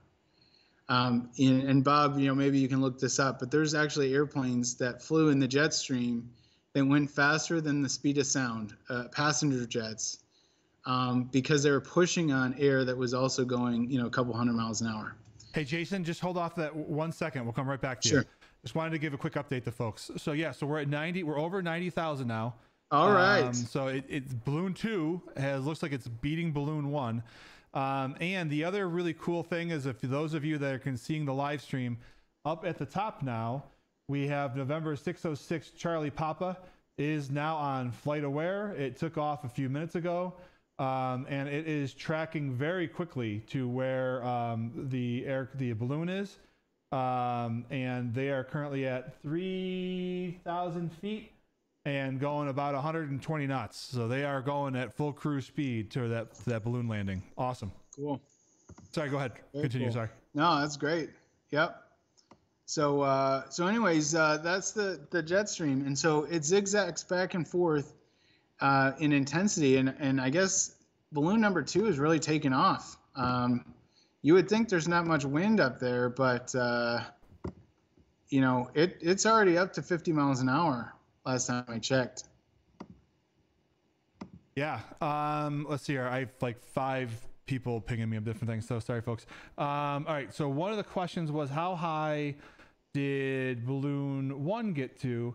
And it looks like it topped out about 88,000 feet, if I'm looking at this right. Uh, well, actually, you could tell from the data, right? So if I go data tab, um, will it tell me the exact? Well, that there? gives the the most current. The graph okay. is probably the best, and if you hover over it, yeah, it was eighty-seven thousand six hundred twenty-one feet. Now that's internet data. Yep. So we send data every minute. Okay, so each dot is a minute, but on board we have a black box, just like an aircraft, and we're logging data every few seconds. And so um, there's a possibility we could see a little bit higher data on on on there, but it's going to be probably pretty close to that. All right. And then um, We're I at about guess uh, you know now. whoever built our balloon number two on that day, they were having a great day. Ninety-four thousand feet so far. Uh, I don't think that we'll see hundred, but you never know. All right, we're gonna. All right, so this is where Captain Bob tries to make a little money on the side. So, Jason, what's you're a betting man? Let's put our quarter in place.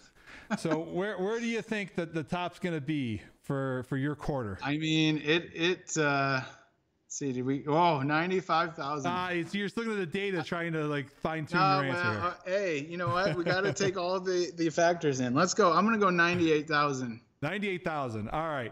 Internet chat room. What do you all think? What's what's your quarter bet going to be? I want all the quarters when we're done. I, I demand you send them to me uh, if I win. Um, I'm going to, you know what? I'm going to say 100,001 feet. I'm going all in. Joe's the expert, so I'm sure he's gonna win.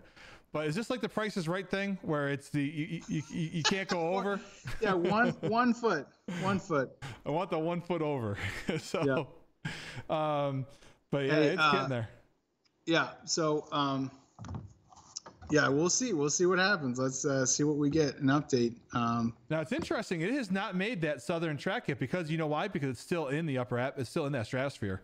Longer. uh, correct. So it's It is gonna track a, more um, west.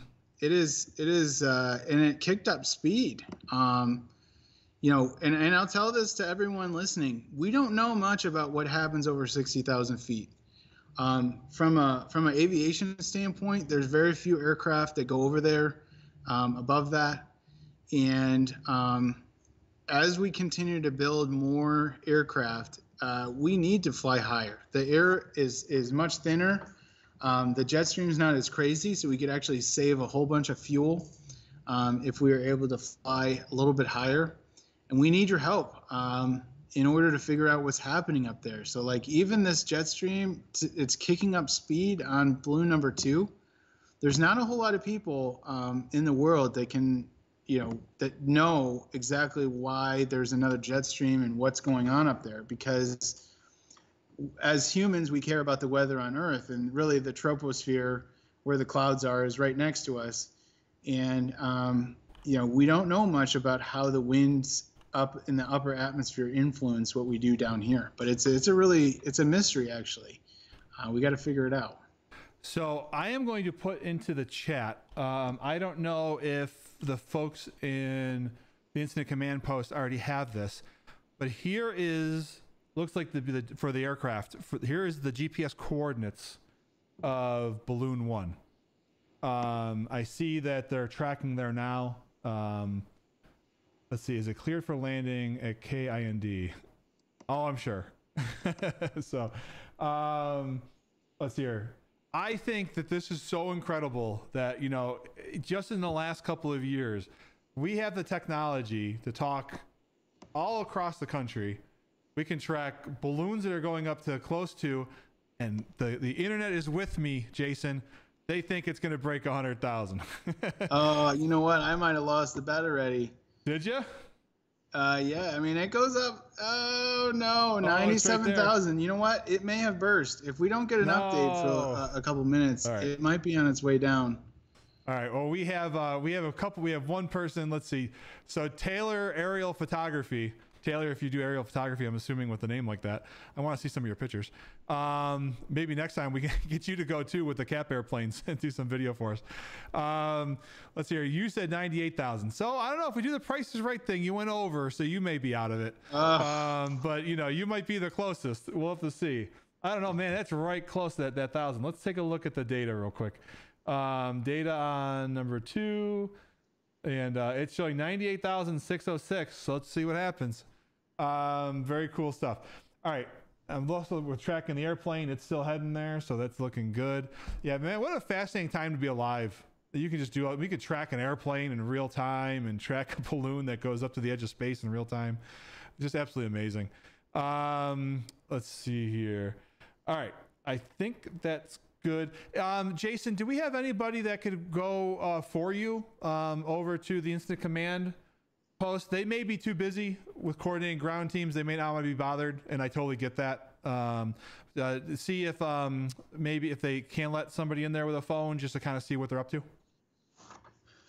Um, yeah, let me see if there's somebody around. They kind of it's kind of cleared out. Everybody's out there in the field, you know, doing the fun stuff. Yeah, right. So I'll be right back. All right. I'm going to go it's just to me for a second then. Um, let's see here. Let me go to the balloon tab. All right. So, all right. So let's update this. So let's see. 99770. I think we're going to do it. We got an update. We're, we're right at that 100,000 mark. Let's do this. Um, all right. We're definitely on the ground now. So we'll put that one all the way back down. All right.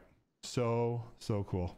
Um, any idea on the status of E- November 9-4 Charlie Papa? It looks like that one didn't go. Um, it looks like um, it's going to be cap 1206, which is um, November 606 Charlie Papa.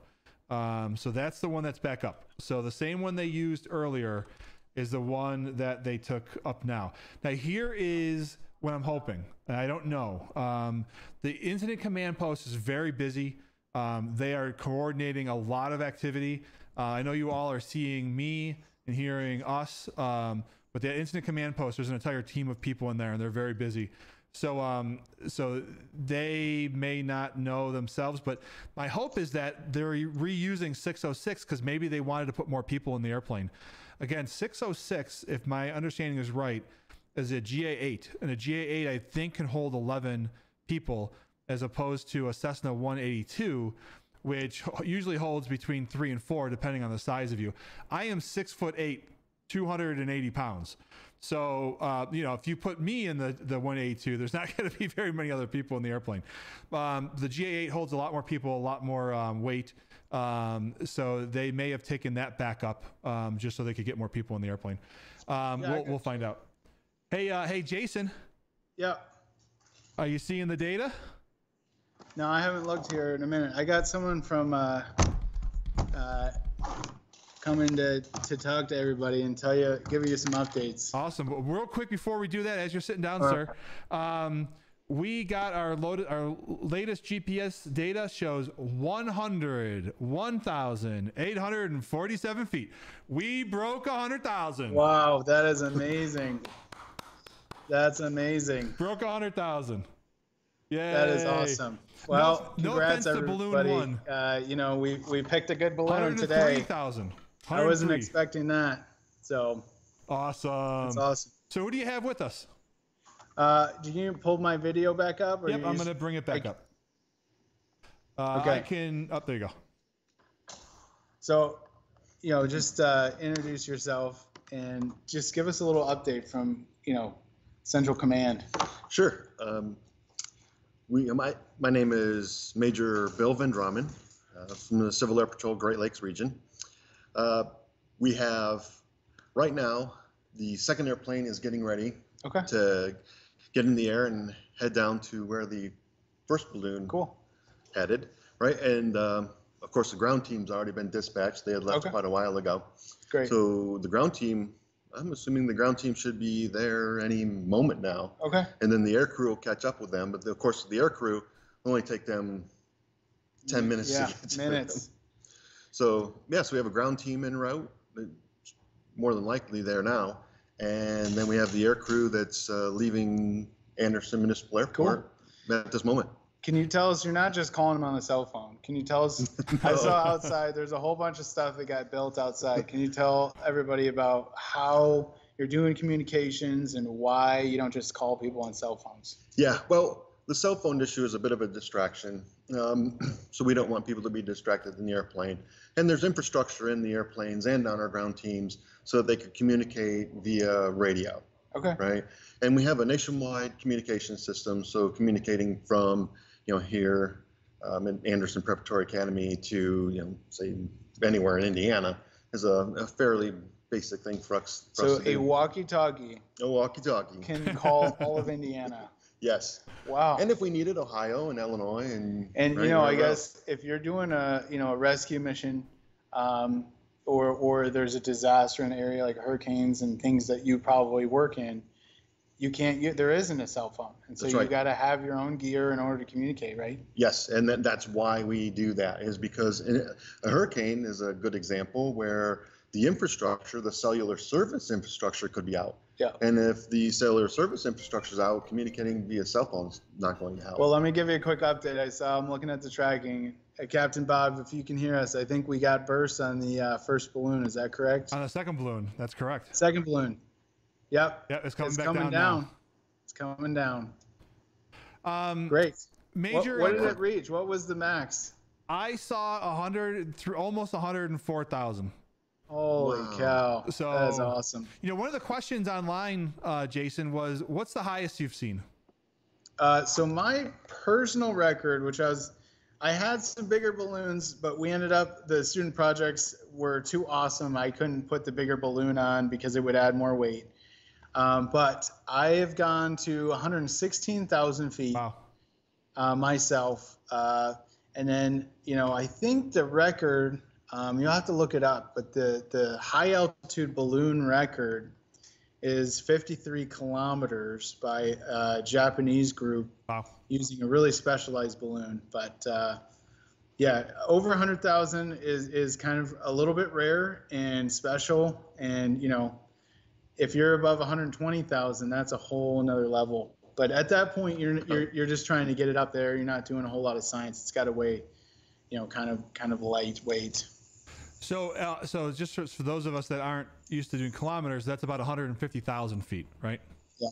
So that's pretty amazing. It's it, it's unbelievable. Um, and hopefully today, even today, um, we'll be able to share out some pictures uh, of what it looks like um, from these altitudes, and then um, we'll also, um, you know, I'm sure that we're going to put a video together from this channel for Civil Air Patrol, kind of a highlight video. Uh, each balloon had three cameras. That hopefully they all worked, or at least some of them worked, and we'll be able to put a good, you know, good video together.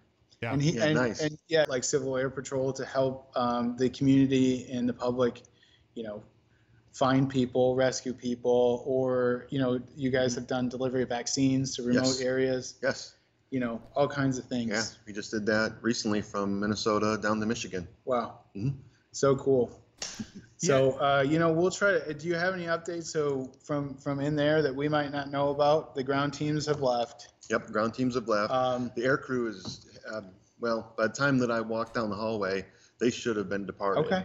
So they were getting ready to. They were supposed to depart at one o'clock. There was a little bit of delay, but they, they. Okay, I think cool. they should be in the air by now and All right. probably over the ground team Okay. because cool. of the short. You know, only takes five minutes for them to get there. Yep. And so if if uh, you guys don't know, you know, on the internet there, um, Indiana is pretty much covered with corn and bean fields. Um, there's very little trees, you know, in the north part of Indiana where we've landed, and so uh, the corn is over eight feet tall. You could actually drive a vehicle in a corn, Yes. and it would be taller than the vehicle, right? Yeah, yeah. I mean, right now, especially right now, the corn's kind of you know hitting its peak, and it's everywhere. So the, if the balloon falls down through the corn stalks, Yeah. it may be a little harder Yeah. to find.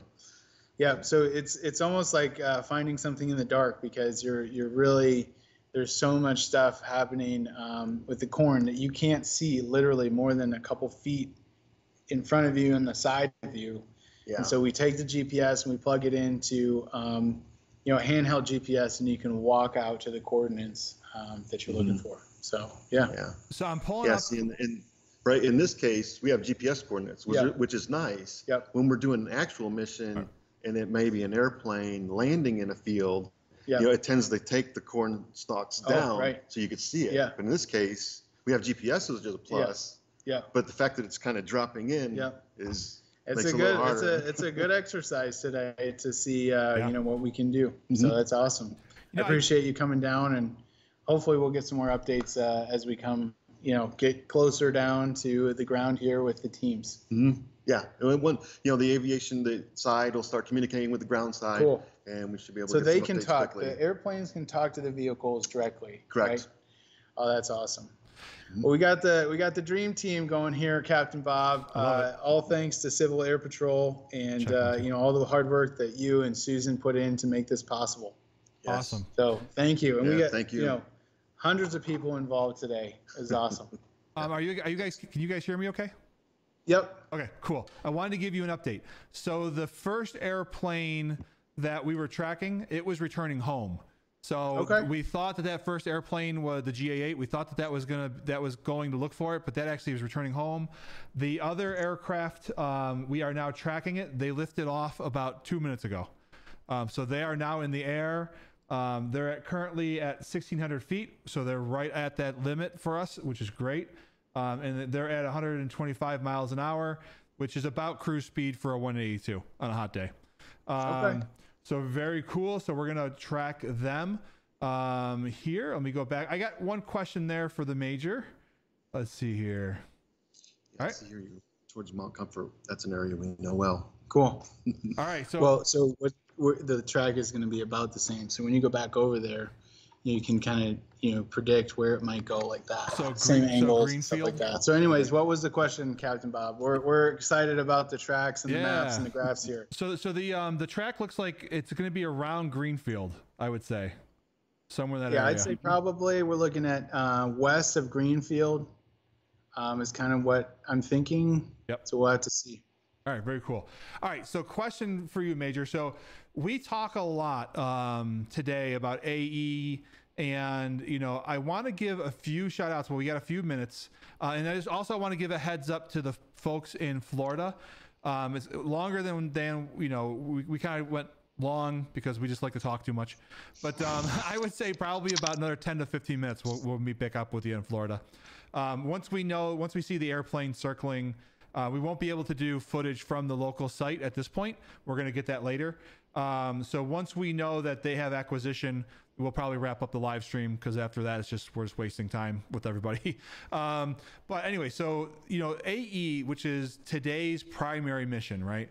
Um, but we have our two other missions inside of Civil Air Patrol because a lot of people watching this, and you guys will be excited to hear this. We have over a thousand people watching right now online. So Wow, that is awesome. yeah. That is awesome. Yep. Um, so very cool.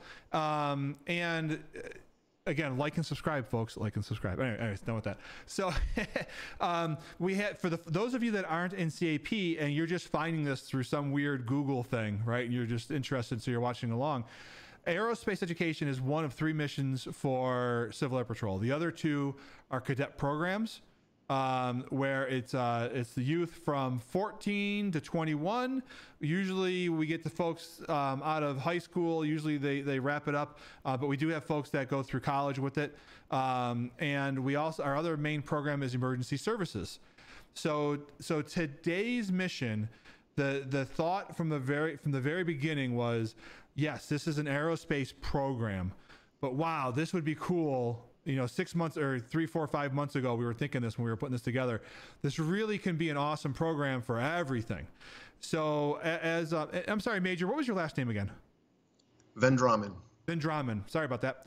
So, um, so you know, Major Vendramin and the whole team there, you know, they're they're they've been focused on um, the emergency services side of this program, right? As we've been focusing kind of on the aerospace side, they've been focusing on the emergency services side because this is a wonderful practice for them.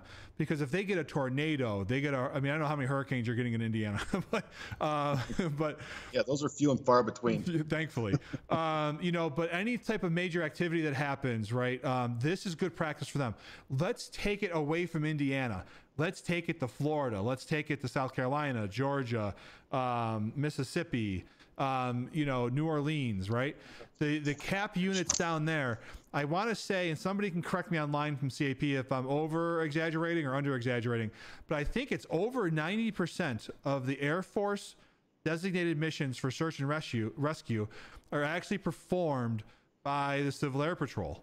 Um, a lot of folks don't know that. And so a lot of folks in Civil Air Patrol, you know, the running joke is, you know, we're the best kept secret, you know, and I hate that comment because it means we got to get the word out more. But, um, you know, we have the largest fleet of single engine aircraft in the world. Um, I still think that, no offense to our folks in Canada, I used to, I, I lived in Buffalo and right across the water from Canada. I think Civil Air Patrol's fleet of airplanes could probably take on Canada's Air, Air Force. I'm not sure, but um, but anyways, they um, um, the, where I'm going with this is I want folks to understand that we have an entire, a really big. So for you guys, this is a really cool practice. Now you've been in the other room with folks at the incident command post. Um, give it since we're not really able to get in there. Can you kind of give us a, a, a, a verbal representation of what it's like in there? Sure. It's it's it's basically team members working together, right? So you have uh, like air branch directors.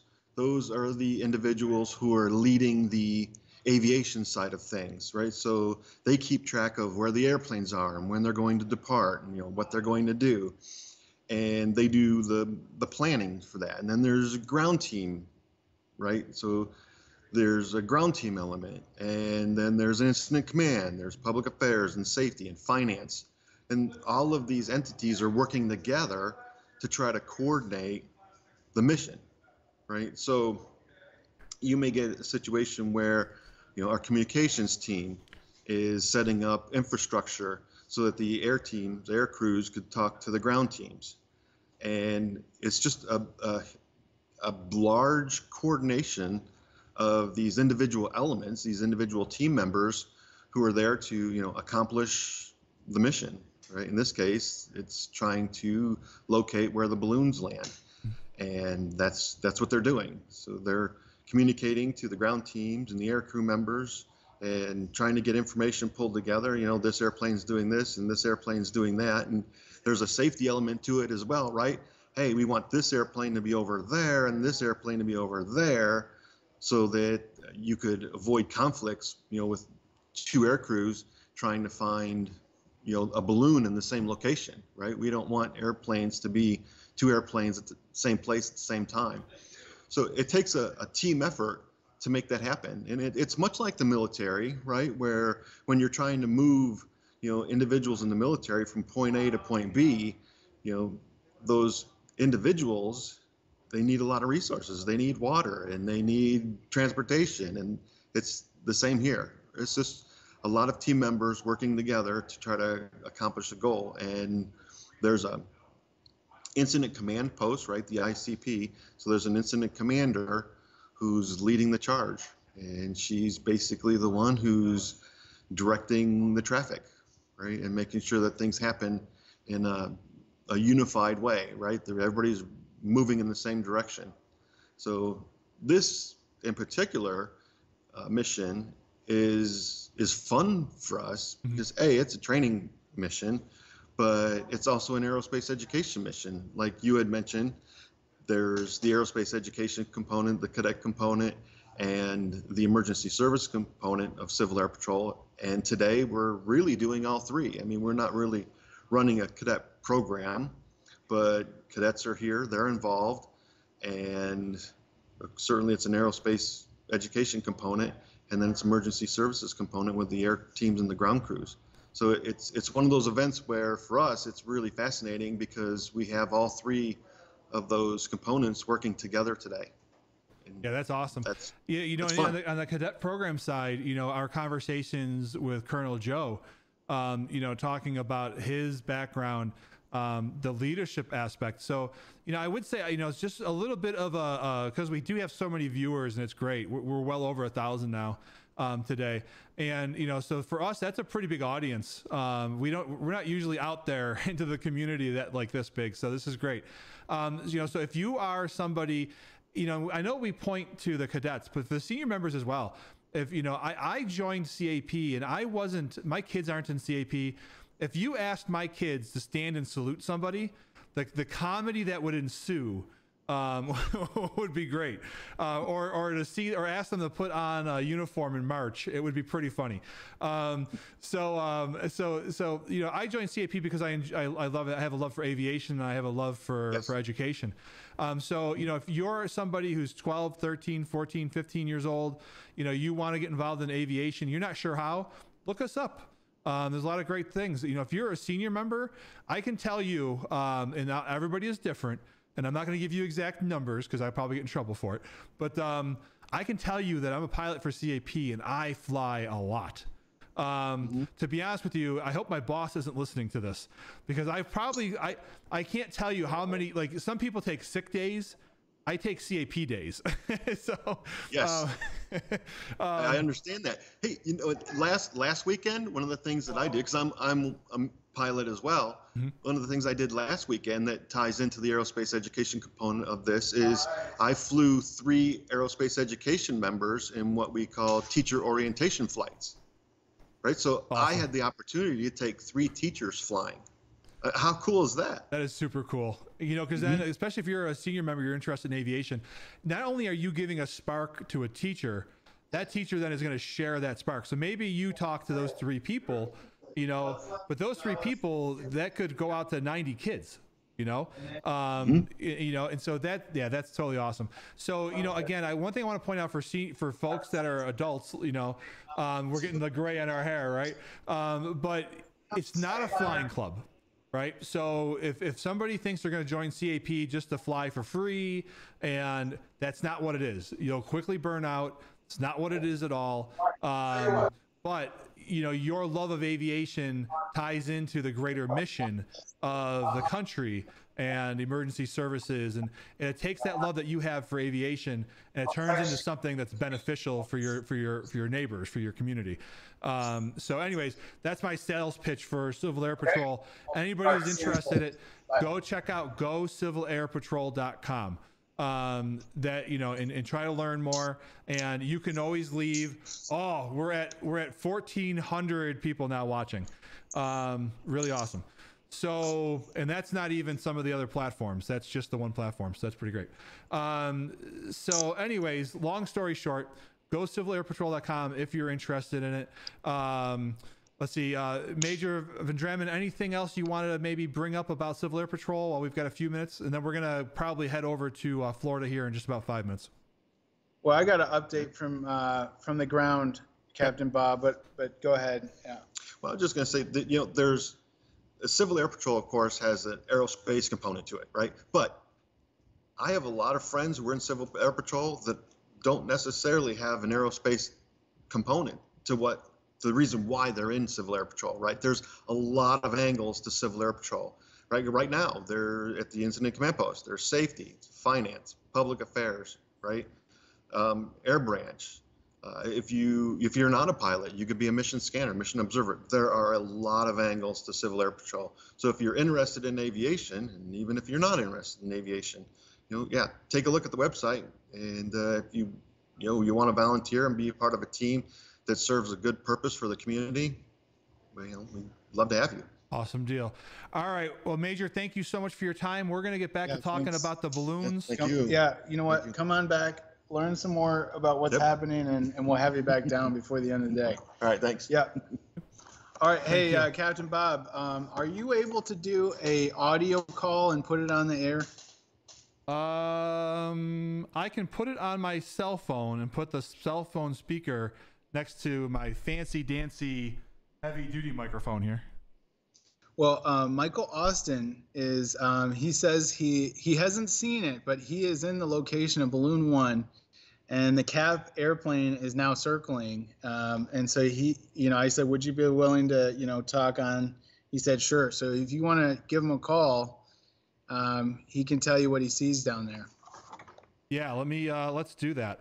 Um, and I do see for folks. Let me pull it up real quick. Um, let's me pull it up real quick. And I, I'm getting pinged on my phone from other folks watching, going, "Yes, that is a great idea." so we are definitely going to do that. Let me pull in real quick the uh, flight track um, while I give him a call. Hang on a second. Where's my flight track one? And that's going to be over here. All right. We now see the airplane that um, is searching for the balloon is circling. Um, so they either have seen it or they are now initiating a search pattern to look for it. Um, so we're gonna kind of keep an eye on them here. Let me take a. Let me give. Let me give Austin a call.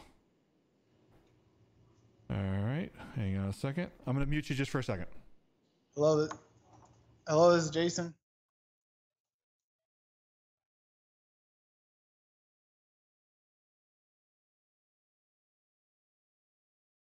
All right, so Jason is taking. Oh, that was too loud. Sorry. Um, Jason is taking a phone call. What we're gonna do is we're gonna give uh, Michael a call on the scene. So hang on one second. Uh, Jason, I muted you, but I'm gonna. You're unmuted now, so you can talk to us again. All right. Um, so let me. Jason, I, I talk to the nice folks for a second. I'm gonna put you back on the video, and I'm gonna mute myself and give a call to him. All right, so you're back All right. on. I'm muted. It's all you. All right, guys. Uh, you know, um, I'm gonna take a look. He's got the uh, graphs up. If you could put the map back up, maybe. Yeah, there you go. Um, zoom in a little bit. So um, what you guys are seeing now is that the the the track down um, is going to be pretty similar to what you're seeing on um, for both balloons, and um, we're about 8,000 feet for uh, the the second balloon, and it's going to cut north there, and it's going to be um, west of um, Greenfield. And there's still some bunch of farm fields and everything up there. Um, so that'll be interesting to watch. But I still cannot believe we made it all the way up there. Um, if you guys are interested, if this is exciting to you, um, we have a couple different ways that uh, you can get involved. Like we've already mentioned, uh, Civil Air Patrol. We hope that we can do a another mission like this, and, and get even more squadrons involved, um, and have a great time across all of the different uh, parts of Civil Air Patrol. And then uh, another way is that we do um, kind of open share missions, just like this um, where if you're a teacher. Hey, Jason, my um, apologies for interrupting yep. you. Um, we have Michael Austin from um, Indiana on with us. He's part of the ground crew. And he was giving me a little bit of an update, and I told him to hold back because this way everybody can hear it. So, Michael, where are you? What are you guys doing? Well, we are located just a little bit uh, on the other side of Carthage. Uh, we can see the plane overhead, and they've communicated with the the ground. Arrived just a few minutes after uh, the uh, aircraft uh, came overhead, and so they are now out coordinating with the proprietor of the property and uh, giving him a little bit of background of what the uh, mission is that they're doing and uh, getting permission to be able to enter his property to search and find the the payload. Very cool. Very cool. All right, so you guys, did you guys get a chance to see the balloon at all as it was coming down, or probably not? No, actually we didn't. But but uh, following the uh, the tracking uh, device on uh, the internet, uh, I, I I got out here fairly easy. Uh, now the hard part comes is to pinpointing the exact location. Very cool. Very cool. Now, now you guys have a special piece of hardware that's relatively new for us at CAP for emergency services. We've been talking about them for a while. We've been trying to get the training up for a while, but it's just relatively recent. We've got some, and I am so sorry to this individual. Um, I try to make sure everybody that's um, doing incredible work at National gets the the, the credit that they deserve. Um, and I'm, I'm, maybe Susan can uh, find this out for me real quick. Um, but we have um, our SUAS teams. Um, so that's our basically our drones. Now, what people need to understand when we talk a drone, we're talking different things at CAP than what you may think of as a drone. So we actually have fixed wing drones as well as rotary drones, like you would think of if you went to Best Buy. Um, so we have some drones that can stay airborne for very long times, um, like a glider. Um, and, however, it's just remotely piloted. Um, now, for today, we are using um, what you would more likely think of a drone, um, almost like a, it's not a Phantom today, but it's more along those lines. Um, but we actually have a SUA, and we don't call them drones in Civil Air Patrol, we call them SUASs. Uh, that's actually what the FAA calls them too.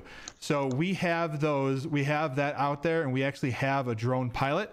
Um, that drone pilot has an observer with him for safety. This way, as the pilot is worried about flying the drone, the observer ensures that there's no other aircraft around.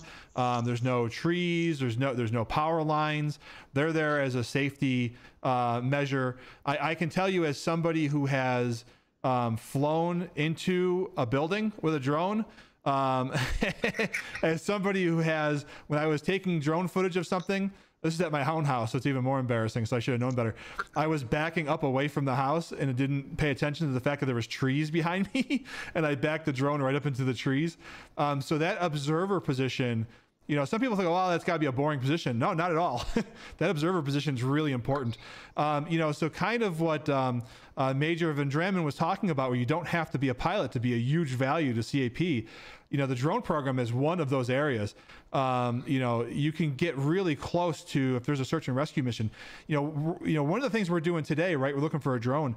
One of the missions we get a lot in cap is to look for somebody lost in the woods um, you know, to see if we can get an airplane up to see if we can find somebody. If we know they're wearing a yellow jacket or a white jacket, or hopefully they're not wearing a dark brown green jacket. um, but if they're wearing, you know, a jacket, we can find. You know, we, that's one of the things we search for, and we have ground teams to help look for people in the you know in those wooded areas. So this is a really awesome practice uh, for the team today. Um, Michael, anything you want to add um, that I'm missing? Well, actually, uh, Captain Bob, my role is just an observer, uh, so I'm not part of the ground crew, but it is it's a pretty fascinating process. Uh, our, our, drone operator is, is actually getting the, the drone up in the air, and his observer is there. They went through their safety checks. Uh, there's there's some people that are deployed, uh, seniors as well as cadets that are uh, starting to head out into the area where they think that the uh, the payload's at. So it's a pretty fascinating process to observe. All right, that's awesome. Um, I see J- Jason's waving on the side here, but he's also eating. So I'm not certain if he just ate something hot and he's trying to be like, oh my gosh, somebody get me some milk, or if he's saying he wants to talk. Like at all today. It's all balloons all day. all right. I will let you go then. Awesome. Well, hey, do me a favor. Um, call back to me when you, you know, if you guys actually find it on the ground. Okay, we will. Thank you. All right. Thank you so much. And we want to give a shout out. Uh, Susan was able to find it for us. So for today, our SUAS pilot's name is Lieutenant Vincent Cannon. So um, he is one of our, our, our drone aviators today. Um, Jason, I want to get back over to Colonel Joe because we've had him out there for a while um, to get his take on this. Is there anything you wanted to add before we reach out to Colonel Joe? Go ahead. Uh, I'm going to have lunch. It's just, uh, you know, you guys are awesome as CAP you know, being down there so quickly, and uh, we're going to recover this for all the cadets. And um, you know, there's 139 squadrons involved. Each one probably did a whole bunch of science missions, so there's probably, you know, close to 500 science projects out there flying today. And uh, I got all the labels and everything ready to ship back. Um, we'll get them in the mail on Monday, so we got to get that back here to Central Central Command. All right, Jason, we're going to hang up on you. All right. So you can eat in peace, and then we're gonna go back right. and talk to our folks in Florida. Thanks so much. All right, thanks. All right, let's go get our group in Florida. Exciting times. We're almost done, folks. We are in the the final phases here. Um, let me give uh, Florida a call. One second.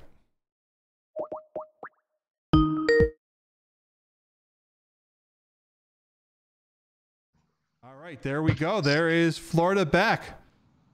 Well, how exciting is this, everybody? We we've got the airplanes in the air. We're tracking them. Let me get you guys live here. Um, we, we are tracking them right now. Um, we had two successful balloons. Colonel Joe, we got the hundred thousand we were looking for. We got the hundred and three, I think it was. Um, so very exciting. Any any comments from you guys down in Florida watching this all? Well, it was exciting, of course. But let me say this, Bob. Uh, I was honored when Susan Mallett asked me to be a part of this wonderful project.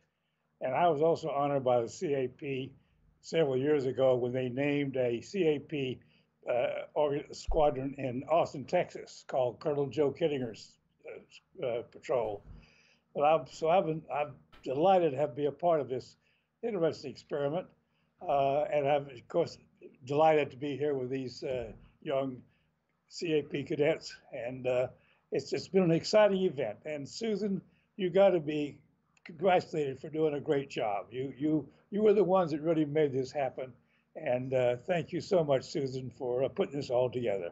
And Bob, you've done a great job as the master ceremonies. I appreciate that. You know, I I can't. Um, you know, listen, I, I think that Susan likes to be uh, behind the scenes and she she likes to let other people kind of take the spotlight, so to speak. Um, you know, so I'm gonna I'm going to embarrass her a little bit, um, and I think Colonel Joe, you can help me with that. Um, Susan, so anybody doesn't know, so Susan is in charge of educational outreach um, and STEM activities here at Civil Air Patrol at the national level, right? So she works for Dr. Jeff Montgomery, um, and she gets her authority and support from from from Dr. Montgomery. Um, but on top of that, Susan isn't somebody that sits in a cubicle in a room in Alabama. She is all over the country. She is constantly going to um, air shows, to um, you know aviation symposiums, talking to the women in aviation forums. Um, you know, she is a retired uh, school principal, um, which I can tell you, if you don't do what you're supposed to do, You know, you you can get the principles there um, but she, you know, so we thank everybody at CAP, and you know, we thank you, Colonel Joe. We this didn't happen without Susan. Um, and again, I know she's in the background and she's probably like, oh my gosh, people stop talking about me. Go back talking about the balloons. Um, but, you know, from a CAP perspective, we, you know, you don't, if you are new to CAP or if you're in, involved in AE, um, you know, at a local level, you may not know Susan's name like the back of your hands. Um, but just, just understand that Susan is one of the, one of the best people we have at National. Um, just an incredible job. Any, Joe, anything else you want to add about that? No, I think you covered it well, Bob. Uh, but uh, we're, we're much indebted to her. She's she's dedicated to aerospace education and to the STEM program for these young cadets. And uh, she's a, a, wonderful asset to our country and to our nation. She represents the best in aerospace education. She really does. She really does. And I will tell you, I am. I love the um, the, the, the extra work that she does with women in aviation as well. Um, she spends a lot of time on diversity in aviation, um, and that is something that we all can learn from. So, um, yeah, so Susan, everybody out there on the internet chat, give Susan a virtual clap for. Um, great job, Susan. Um, this didn't happen without you. Um, all right, so Joe, we had a couple more questions. So, folks, are, you know, usually we get out there and we, you know, people are saying, hey, you know, what about the balloons and where's the track of the balloons? So we got a little bit, we got a few more minutes to talk because what we're going to do is we'll be wrapping up relatively soon. Um, right now, we are tracking the airplane, and the airplane is just doing you know, donut after donut. So um, I'm waiting to see if they actually break off at some point because they're actually going to go for the second balloon um, at some point here. But I think they're going to try their best to try to fir- find the first balloon. So because of that, there's really not a lot else to look at from the balloon perspectives. Um, they've gone up, they've gone down. Um, so we've got a little bit more time to talk. So we had a couple of questions that have come in since the last time we talked. So, th- you know, one of the ones that just came in is, what is your favorite airplane? Well, actually, let me ask that two questions. What's your favorite airplane? I'm going to add on to this question. What's your favorite airplane that you've flown, and what's just your favorite airplane, whether you've flown it or not? Well, I have two favorite airplanes. The first one, the prop driven, was a P 51. I love that airplane.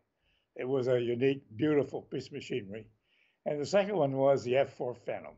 And I have over a thousand hours flying that airplane, flew it in combat. It was just a phenomenal airplane, and I thoroughly enjoyed it. But you know, I've flown 93 different types of airplanes, and I've enjoyed flying every one of them. Every one of them. If you can fly a Piper Cub you can fly an F4. It's, it's the same mechanics of making a piece of machinery do what you want to do, same as a Piper Cub or a 747. If you can fly one, you can fly the other. Just a little bit more instruments uh, and more pay uh, and more fuel that you burn. But uh, an airplane's an airplane. And uh, once you are part of this profession, uh, it, it's nothing to go from one airplane to another because you have the, the elements of flying a piece of machinery and make it go where you want it to go. So let me ask you about that, right? Because we have a lot of cadets that are watching today. Um, you know, I, I, I don't know if you heard before, but we have several thousand now that are watching. Um, so really great turnout. So one of the questions that they may have, right? Maybe they've done an orientation ride, right, where they've been in a Cessna 172, a Cessna 182, um, something along those lines, and they think to themselves, okay, I could see myself flying, or even the adults, because I could see myself flying a Cessna 182, but there is no way I could fly an F-35 or an F-22. So what what is that progression? You know, that from say general aviation, single piston to say a jet. Like what? How much harder is it? Like what's the big differences? Well, the one thing we have today that we didn't have two many years ago they have wonderful simulators. And, and they learn an awful lot in the simulator. They, they learn the techniques, the procedures. Uh, if you can fly a simulator, you you you know that airline pilots take their training on their new airplanes in a simulator, and their first flight is out of that simulator is in actually flying an airplane. That that's how that's how uh, precise these new simulators are. Uh, but you learn a lot by that. But what happens is you, you start with a Piper Cub, and then you go up to a, a Cessna 182, and then you go to a, a twin engine airplane, and you, you, you get you progress uh, at more complexity, more instruments, more things to be concerned about. But an airplane's an airplane. One, what you can make it go where you want it to go, but it takes a lot of training, takes a lot of simulator time, takes a lot of checking, looking at the tech order, and it takes a lot of study to do that. But uh, the basic elements of flying an airplane are the same. But it takes a lot of dedication, a lot of simulator time, a lot of personal interest in what you're doing to get where you can fly better, more and more faster airplanes, more complicated aircraft. Yeah, I think it's interesting. Um, I have a good friend of mine who flies 747s, and she, um, uh, I'm trying to think if I should say her name here because she has a YouTube channel too that folks should go check her out. Um, I'm not sure if CAP would want me to do that. Anyways, um, I'll do it anyways. Nancy Bradshaw. So, so anybody's interested, go check out Nancy Bradshaw. She's a very family friendly orientated YouTube channel as well. Um, so I don't think it'd be a problem with CAP having me say that. Um, so she she flew for a while 747s, right? One of the biggest airplanes, you know, in the sky. Um, and she flew an older one, so not even like one of the you know ones with all the glass cockpits and everything else. And she said something I thought was interesting. She goes, she finds it easier to land a 747 than she does you know, a Piper um, between all the systems on the airplane and the autopilots. And um, she finds it easier, you know, to fly those than, than sometimes even the smaller planes. So, um, so I thought that was really interesting. Going back to your, going back to your initial, was one of the, I got this question twice. Um, can you give us kind of a feel for the size and the, I don't know about weight, but like the size of the capsule that was under the balloon that you, that you took up? Well, I made five high altitude balloon flights. Uh, two of them were in pressurized capsules, and three of them were in un, uh, open open gondolas. Uh, the first flight I made is, was to 97,000 feet on the uh, Manhigh program. That was in 1957. And that capsule was three feet across and seven feet high. Very small confined because we knew when we were into space that the pilot was going to be in a very small confined area.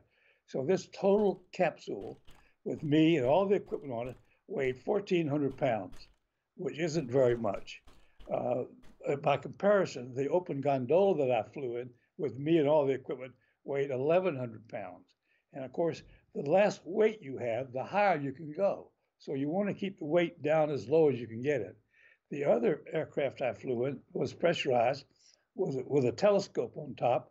It's called Stargazer, and this was a pressurized gondola that had an atmosphere of 15,000 feet, which is common, but it was made by oxygen and helium uh, as, as the atmosphere. But that weighed uh, 2,800 pounds because it had a big telescope and, and a lot of equipment to do experiments with. But the, the, to answer your question, the, the gondola's weight was, was from 1,400 pounds to 2,800 pounds, depending upon the mission that, that was there. What happened? Just out of, now, this is my own curiosity. This wasn't a question online, but this is my curiosity because what goes up comes down. So, what happened to the parachute and gondola when it came back down? Well, when I jump, after I jump, uh, the three jumps that I made, after I jump, and I'm safely on the ground, they send a radio command signal to the uh, system that cut away the balloon, and then the parachute brought the gondola down, and we used the same gondola on all three uh, jumps I made. So we used the same technique that we saw today, where when the balloon burst, the parachute inflated and brought the payload down. Same way on my on our flights. And thousands of balloon flights have been terminated that way, mostly by radio command to the cutaway system, cut away the balloon, and down comes the parachute. Okay, so it came down under under a balloon, or I'm sorry, under a parachute. So it didn't just drop on somebody's house at 700 miles an hour or something. so that's good. oh, not let any houses. Oh, that's true. That's true. Um, you have a. St- I'm going to ask one more question from the internet here, but then, then I also you had a story that I thought was really you had mentioned before that I think would be great for the folks here in case they hadn't heard it on our previous talk. Um, the question online was, how long did it take you to fall from you know give or take hundred thousand feet? Okay, on the, the jump from 100 and actually 102,800 feet, I free fell for four minutes and 37 seconds from the time I jumped out until the time the main parachute opened. Okay, now the main parachute, the main parachute opened at, at uh, 18,000 feet. Normally you open lower than that, but there's two reasons why we, we use that altitude. First of all, the elevation at, at Alamogordo was 4,000 feet. So that meant I was opening my parachute 14,000 feet above the ground. It was an experimental parachute. And if something went wrong, I wanted enough time to get my reserve parachute out. So that's the reason why I opened so high, is in the interest of safety and uh, mainly saving my butt uh, by a reserve parachute. Very good. Now, that actually that dives into the question I was going to ask you. You had told a story about when you you may have mentioned it kind of before too, or alluded to it. When you first jumped, um, not the one where you were kind of spinning, but when you got a chance, you you rolled off on your back and you looked at the um, the gondola, and you you said you I'll tell you let you tell the story, but you were like you thought you like you were holding steady in space and the gondola was climbing away from you. Can you tell us that story? That's a great story. Well, when, when I jumped after about 15 seconds, I, I, wanted to see, I just wanted to see what the balloon looked like. So I rolled over my back and I looked up. And, by the way, the balloon was 200 feet across, the, the diameter of the balloon at altitude. Where it was. So it's pretty big. So anyway, I looked up and the balloon looked like it was shooting into space, where actually I was going like butt out of hell and the balloon was sta- stationary. So, but how can you tell? I mean, you, you, one, one or the other, the balloon's going up or you're going down. Well, I knew I was going down because gravity is a law. Right, you can't you can't battle gravity. it's gonna win. Um, quick update for you all. It looks like air, the aircraft has completed its search um, profile of Balloon One, and it is now heading to Greenfield, Indiana, to go help the search for Balloon Two. Um, so we definitely got some progress there. Um, Colonel Joe, was there any other questions? And this is actually for everybody in Florida. Um, is there any other questions there in the room for Colonel Joe? I actually haven't, sir. So you've lived 93 years now? Yes. So are there any things in your life that you regret not trying or not doing? Well, I never wrestled a shark. Does somebody have a no, boat? I've had a, I've had a wonderful life, uh, a life full of adventure. Uh, I flew across the Atlantic Ocean uh, from Maine to Italy just for the fun of it, just for an adventure. And I set four world records that'll be there for a long, long time. But I did that just for the adventure of it. The flights that I did in the Air Force, were, there, were, there was a specific reason for it. There was a reason for research that we needed. So there was a big difference between flying the Atlantic for fun and versus the work that I did in the Research and Development Command uh, and in the Air Force. Uh, I was so fortunate because I was in the right place at the right time and always had a wonderful team of people. And also, I worked for a visionary. This man was named Dr. John Paul Stapp. John Stapp was a man who rode a rocket sled to 600 miles an hour. Uh, he, was, he was a visionary. He knew we were going into space back in the early 50s. Uh, he was a, he knew that, and he knew that there were certain things that we needed to obtain. And everything I did in the Air Force and research was because of Dr. Stapp. He gave me the tools and the team and support that I needed. But without him, he was like Susan Mallett. She's behind the scenes, but she made things happen. Well, Dr. Stapp was the same way. He gave me the opportunity, and I had a, always had a great team that worked with me. Uh, and that's that's the reason the, the fun that I had and the research that I accomplished was because of Dr. Stapp and uh, his uh, vision. And he was a one. He's probably 0.1 percent of the of the scientific community that believed we're going to go into space. Space in 1950 was Buck Rogers. That was something we would never do. Nobody could ever imagine we were going to walk on the moon. But when you think about it in our lifetime, all the wonderful things that have happened uh, in a short period of time, and think 100 years from now, where we're going to look back and say, boy, they thought walking on the moon was something. What we've done today was, you know, far superior to that. But time marches on. We learn more, uh, and the world uh, profits from it. Yeah, that's awesome. You know, it, it is amazing to think, you know, a couple things. One, the Wright brothers. I mean, that was only a, a little over 100 years ago. I mean, think about, you know, not not that war is a good thing, right? But war war breeds invention or whatever however that saying is. I mean, you know, the jet the jet fighters started, you know, at the end of World War II. Uh, We we went from uh, in in a span of 20 years, you know, two bicycle makers learning how to fly something that got eight feet off the ground um, for you know a couple of, of minutes at a time. Um, you know, to biplanes in World War One um, that you know were stitched together with fabric and tape. Um, you know, and then you know, then moving to World War II, where high performance engines, um, you know, um, rotary engines. You talk about the P-51. What a, what an amazing the Spitfire, the P-51. What amazing aircraft those were for their time. Um, and uh, I'm, so jealous of you. I, to be honest with you, I'm, I'm almost more jealous of you for the flying a P-51 than I am. I'm six foot eight. I ain't getting into a, si- a, a P-51. Um, and um, and you know, th- then you talk about you know your generation for space um, coming out of World War II. Um, you know, because literally space was a battlefield. It was a battlefield between nations to see who could do what the fastest and whose science could expand. Um, and so, you know, education and, and technology, um, super valuable during that time. But, but, you know, people think about Buzz, you know, Buzz Aldrin and Neil Armstrong and, you know, the work that you guys did. Um, and again, I, you know, I say you, but it, it, like you say before, it's a team. So that the work that entire team did set the groundwork. Without your teams, there was no Mercury program. There was no Apollo program. Um, we didn't know if the, the space suits would even work in space until you went. So very cool stuff. Uh, for anybody um, that uh, I'm going to sound like I'm wrapping up, and I'm not, but just I just want to point this out before we move on. Um, Colonel Joe has done so much more than we have talked about here, right? So, um, and unfortunately, I mean, honestly, dude, I could talk to you for you know years um, and not even touch the surface of things I want to talk to you about. Um, so rather than fanboy out, I, I, I do think that folks should go take a look at what Colonel Joe has done.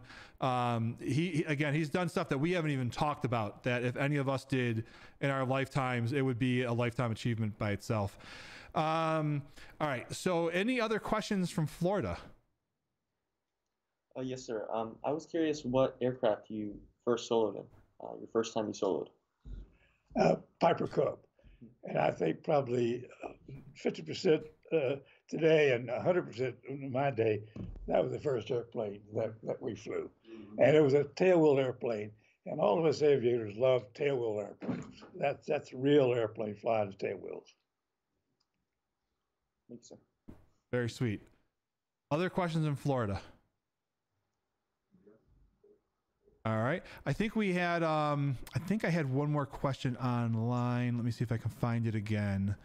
Um Okay, so this was about uh, Dr. Stapp. Um, let's see here, but that's not really a question. It was just more information. Um, all right, so the autobiography, Colonel Joe, come up and get me. I've heard that's incredible. I, I will tell you, I'm about two thirds of the way through it, so nobody spoil the ending for me. um, let's see. All right, so Colonel Joe, we're gonna head back over to because I now see them. I, I see the aircraft circling around the second location. We're gonna head back to um, to wrap up with Indiana, uh, but I wanted to give you the final word from Florida. Anything that you wanted to talk about, or or any comments for the team as we wrap up in Florida? Well, once again, I just want to thank Susan for inviting me to be a part of this wonderful program. And what a pleasure it was for me to meet these CAP cadets and know that they are the future leaders of our country and that the, the work that, that the aerospace uh, industry gets from the CAP program and the STEM program is invaluable. And these are the future leaders of our country. Absolutely. Closing, my, my book is Come Up and Get Me. Uh, it's, it's interesting and uh, it does have an ending to it. And the, the writer is, was successful. All right, very good. All right, so last call. Any other questions for Colonel Joe, either on the internet or down in Florida? Because then we're going to let them go and enjoy the rest. Colonel Joe now needs to go find somebody, take him out in a boat so we can go wrestle a shark. That's what I heard from this whole thing. All right, I think that you guys are set. So, first of all, Colonel Joe, thank you personally um, for everything you've done you know, I've had a chance now a couple times to talk to you, and I really am looking forward to this uh, whole COVID thing getting out of our way, so I can get down there and shake your hand in person. Um, I know Susan's looking forward to that as well. So as soon as we can make that happen, we're going to do it. One final thing, Bob. Yes. I'm looking forward to the day when I meet the people that put up the winning prize winning experiment because we're going to give them that beautiful trophy and I'm looking forward to meeting them and I hope there's a lot of CAP cadets there with me to congratulate the winner of 650 different scientific experiments awesome. that went up those two balloons today. Absolutely awesome. Absolutely. Yep, we've got to um, we've we've got to get this COVID thing to come back down. But I know that uh, in just a couple of weeks, um, I can tell you I've already been looking at the video submissions, um, and I'm not going to give any of you a hint. But I've already got a couple of squadrons that I'm I'm leaning towards. So we're going to see how you're. Uh, I've looked at the patches. I've been looking at your your your science projects. Um, so go out there, do a great job with your post analysis um, there, there's definitely a couple of you that are in the running, um, and it's pretty exciting. So, as Colonel Joe said, you know, we, we want to try to get uh, these cadets, if, if, if uh, time allows, we can get them down there to you, and, and I think that that's going to be awesome. So, I would love for you to be able to hand them that cup on person. So, with that, uh, Florida and Colonel Joe, thank you so much for your time. And actually, I've got a call coming in from Michael Austin or Austin Michael. I always say it backwards. Um, and uh, so he may have, he may be calling me, telling me that they have the first, uh, the first balloon. So we're gonna let you guys go. Thank you so much, and uh, you know, good luck with the wrestling of the the shark. I want video of that too. So, all right, thank you, Florida. We'll talk to you soon. Bye bye. Yep. All right. Hang on. Hang on. We, we're going to get you on the, the thing here. Let me get back over to this. All right. Uh, actually, I think nobody wants to see me. hang on. Let's go over here. All right. We are back on. I, I apologize. Is it Austin Michael or is it Michael Austin? Michael Austin. Michael Austin. Okay. Austin's the last name. All right. Thank you so much. All right. Michael, what do you got for us? Well, sir, we have uh, retrieved the contents from balloon number one. Woohoo! I've got it in my vehicle. I'm about uh, 15 to 20 minutes from uh, arriving at APA. As soon as I get there, Jason and I will get some pictures to you, lickety split, so that we can see what the uh, the contents looked like after impact uh, of the ground, and then we'll start going through the process of sorting those out getting them back into envelopes so that hopefully we get them out in the mail tonight and get them back to the units as uh, quickly as possible. Uh, tell us a little bit through your eyes. What was the terrain like where it landed? We were extremely fortunate in where the uh, the weather balloon contents landed. It was actually in a soybean, crested up on a a little elevation uh, in the country. There's uh, it was surrounded by uh, a wooded area that was a uh, uh, a summer camp for kids, and it was very close to a fork in a river. So we had some good landmarks, and I will tell you, for the first time I've watched a, a rescue mission, they did a superb job. It was there was no fiddling around and you do this. They all knew what they did was going to do the instant they got out of the van. Uh, things went into action. I think last time I talked to you, I uh, kind of played through how the drone operation went, but it was so instrumental to watch the aircraft in the sky communicate uh, with the team on the ground and how they deployed themselves. Uh, and once the drone had located it, it appeared to me that the ground crew then went and navigated the terrain uh, and then came back with the payload. And then there's an entire process that goes on there communication with the aircraft to, to uh, probably go search for the next uh, weather balloon contents.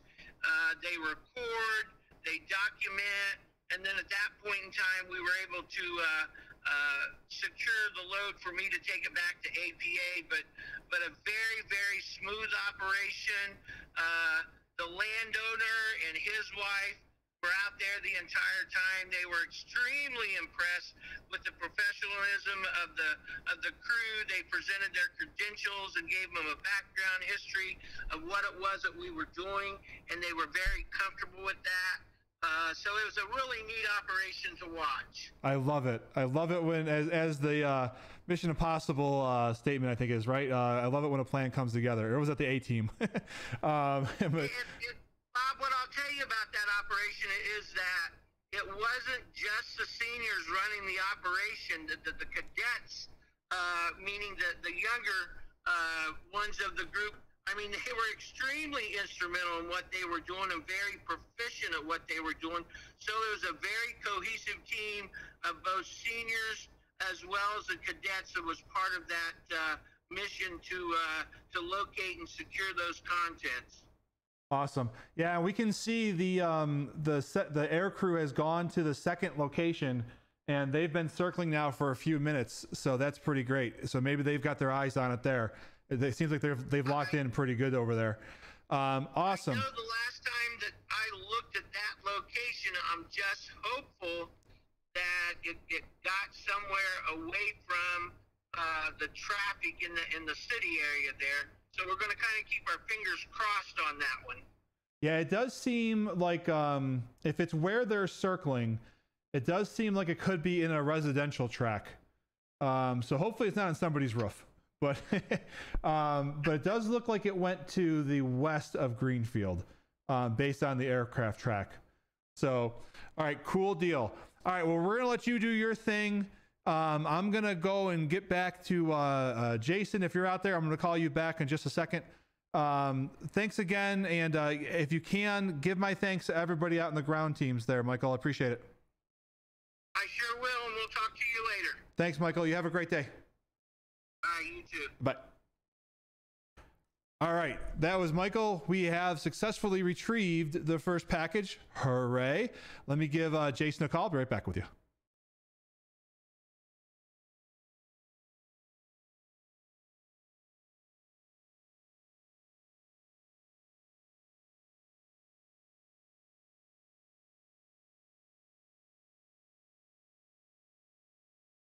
All right, we got Jason back. Can you hear me? We can. How are you? Great. Did you get the news? We got the first package. Okay, awesome. That is great news. Yep, we got the first package, and the aircraft is circling around the coordinates around the second package. I'm not sure if they have uh, sighting of it yet, but they're they're Okay. doing they're not doing a search grid over there. They're like they did the first time, where it looked like they were looking for it. They're they're doing a pretty a pretty good circle pattern. So I think that they- they probably have it. Uh, Okay, Based on cool. what I'm seeing, I could be seeing this wrong, but um, it seems like you know that that's a pretty good circular pattern. Um, so I bet you they got some pretty good eyes on it. Um, and I'm guessing the ground team is probably they weren't too far away. Um, you know, it was probably 15 minutes away. Yeah. Yeah, they're gonna go from um I'm not even sure what town this is. But yeah. Yeah, they don't seem like they're too far away. Um so I do want to say this. So I do have I, just for the folks on the internet, we still have a large number of people on the internet watching through us, and that's awesome. Um, and you know, Jason, thank you for everything you're doing today. Um, we couldn't do this without you. You know, without your Oh, expertise. thanks. Um, so it's huge. So if people wanted to, I'll- you know, I did my sales pitch for my uh, for YouTube channel, right, for AE. So tell us a little bit about StratoStar. What what type of work you're doing? How can people find out about you? Sure, yeah. I mean, the best way is to go to stratostar.com, and uh, that's our website. You can see all kinds of information. Did you pick it up actually? All right, I just got news that they picked up uh, payload number two. Woo! So uh, Successful you know, you might have to end your stream early. I don't know. I mean, uh, that's kind of unbelievable. Awesome. All right. Now, Man, guys, so- I so mean, we got the dream team here. We got aircraft, we got ground crews, they're trained, we got walkie talkies. It's not, we're making it look a little too easy right for the internet. Um, I'm going to say that it's, it's, uh, this is a challenging kind of an endeavor. Um, if you know what geocaching is, this is like geocaching extreme, um, going out there and trying to find these things. So we're making it a little bit uh, too easy on the internet. But uh, yeah, anyways, uh, if you guys check out our website, stratostar.com, uh, S T R A T O S T A R dot com. Um, you can learn a little bit more about us. We actually have a uh, ebook on high altitude ballooning for education. You can check that out.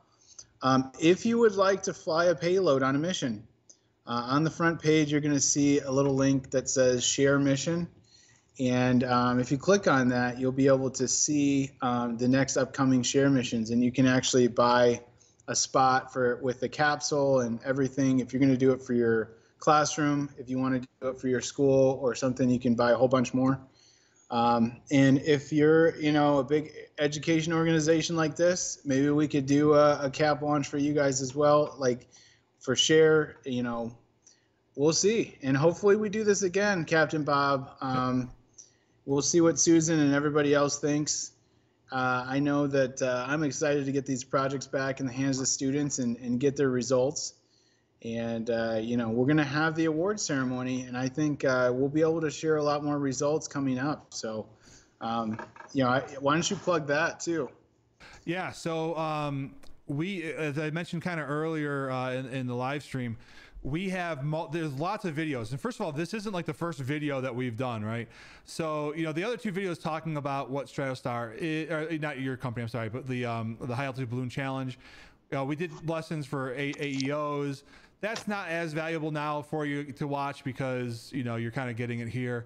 But we did an over hour long interview specifically with colonel joe um, really got more in the details of, of, of, what he's done. A lot of that you've heard today as well. But, um, you know, I'd recommend if you've got the time, um, you know, share that video um, of Colonel Joe. Um, you know, he is he is a legend in our in our in our community. Um, and then going forward, we have several videos. So sometime I know Jason probably wants it to happen within 35 seconds of me closing the live stream, but at some but it's um, but at some point, you know, relatively soon, day, two days, three days, um, you'll get a quick little recap video. Um, this is going to be a super fast one.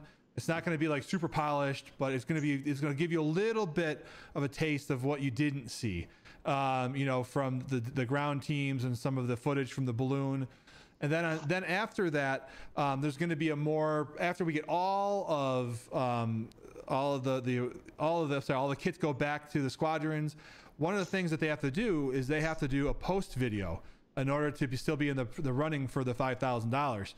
And think about it, the, the cap squadrons. Five thousand dollars. Think about what you could do for five thousand um, dollars. So, like I said, I, Jason, I, I, went through a good portion of those um, those videos already, and I got my eye on eight squadrons. I'm not going to say who they are, but um, all right, I, I almost kind of want to email them and say, hey, you know, go all out on this post thing because you're in the running for that five. So you, you, Susan, and me have to talk about it whether or not we want to let let those eight, who I consider the top eight. Well, you know what? Here's what I was thinking, Bob. Uh, you know, maybe the other teams because that was the first run. Uh, maybe yep. the other teams, you give them a little feedback. Maybe they kick it up a notch, and uh, you know we get some more submissions and follow the directions. I think that they can do it. Everybody's doing TikTok. Yep. This is TikTok for science, okay? right. And you know what? Honestly, all you guys listening, to be able to communicate online like this, um, to be able to do science and projects across the country. I've never even met Captain Bob in person. Um, we have completely worked on this virtually. Uh, Susan, I met once or twice in person, and this whole thing has been done online. Your communications, just like when we were growing up, writing a paper, we didn't have typewriters. We did have computers, but um, they're like writing is so important and it, it is vital. But being able to put your information in a video for science, for you know, communicating um, to to businesses or you know whatever you're doing is vital. So I think that the other groups can kick it up another yeah. notch. Agreed. Um, two things, and then we're going to start wrapping up here. Um, number one, uh, talking about ne- oh, actually, I want to go back to the the, the videos. Um, you get bonus points if you make me laugh out loud. Um, I don't remember, and I apologize. I should have wrote this down, um, and because I'm live streaming, I can't go look for it now. But um, I, I, was watching videos at like 1.30 in the morning when I was still trying to get some of the technology working at my desk here. Um, one of the videos I saw, uh, and if, if, you're online, say, hey, that was us, and I'll, I'll, give you a call out, you know, live here. Um, there was a female cadet and she was inside of a house um, and she i think she was in uniform I, I might be wrong about that and she was talking about how much her squadron is like a family right so it's this nice heartwarming story and then she's standing in front of a window and there's two cadets in the back of the window arguing with each other. it's like a family. so, um, and they, they kind of built onto that. And so that was inventive. Um, it, it made me laugh. Um, you know, it wasn't necessarily tied into the science per se. Um, but anyways, I enjoyed the, uh, enjoying the artisticness of that. Uh, all right. So going forward, as we wrap up here, um, we're going to have that short little video and then we're going to have a longer, more polished video. Uh, once we get the video video back from the Air Force when they clear the video that we can use for it. Um, we're going to have that. We are going to have probably around the same time, maybe even slightly before. Um, we're going to try to get this. Um, it's probably going to be a huge file, um, but the, the the video from the balloons. Uh, I'm going to try to put up that whole hour, hour and a half. It's going to be two hours almost. Um, video. I'll put some nice music behind it. We'll do a little jazz music, you know, um, so you can watch it um, on your screen, watch it go up and come back down um, as it happened. I think that'll be really kind of cool. Uh, it didn't seem like it was spinning very much, so I think it actually is going to be pretty nice. Oh, you just wait. Oh, is it going to be just spinning? wait. Yeah. When uh, I, you know, we'll we'll put it up so everybody can see, but uh, it's intense Yeah. at certain points. Um, you know, if you get motion sick, you know, close your eyes. It, it might need to come with a warning on it, Yeah, Captain don't, Bob. don't don't do it in VR. And then um and then the fourth video is going to be um it's going to be the awards ceremony. We are still very much up in the air with that. Um, obviously, everybody in the nation knows what's going on um, with COVID. Um, Florida is especially getting hit hard right now with it. And um, so we're going to have to kind of play with that a little bit to see the best that we can do.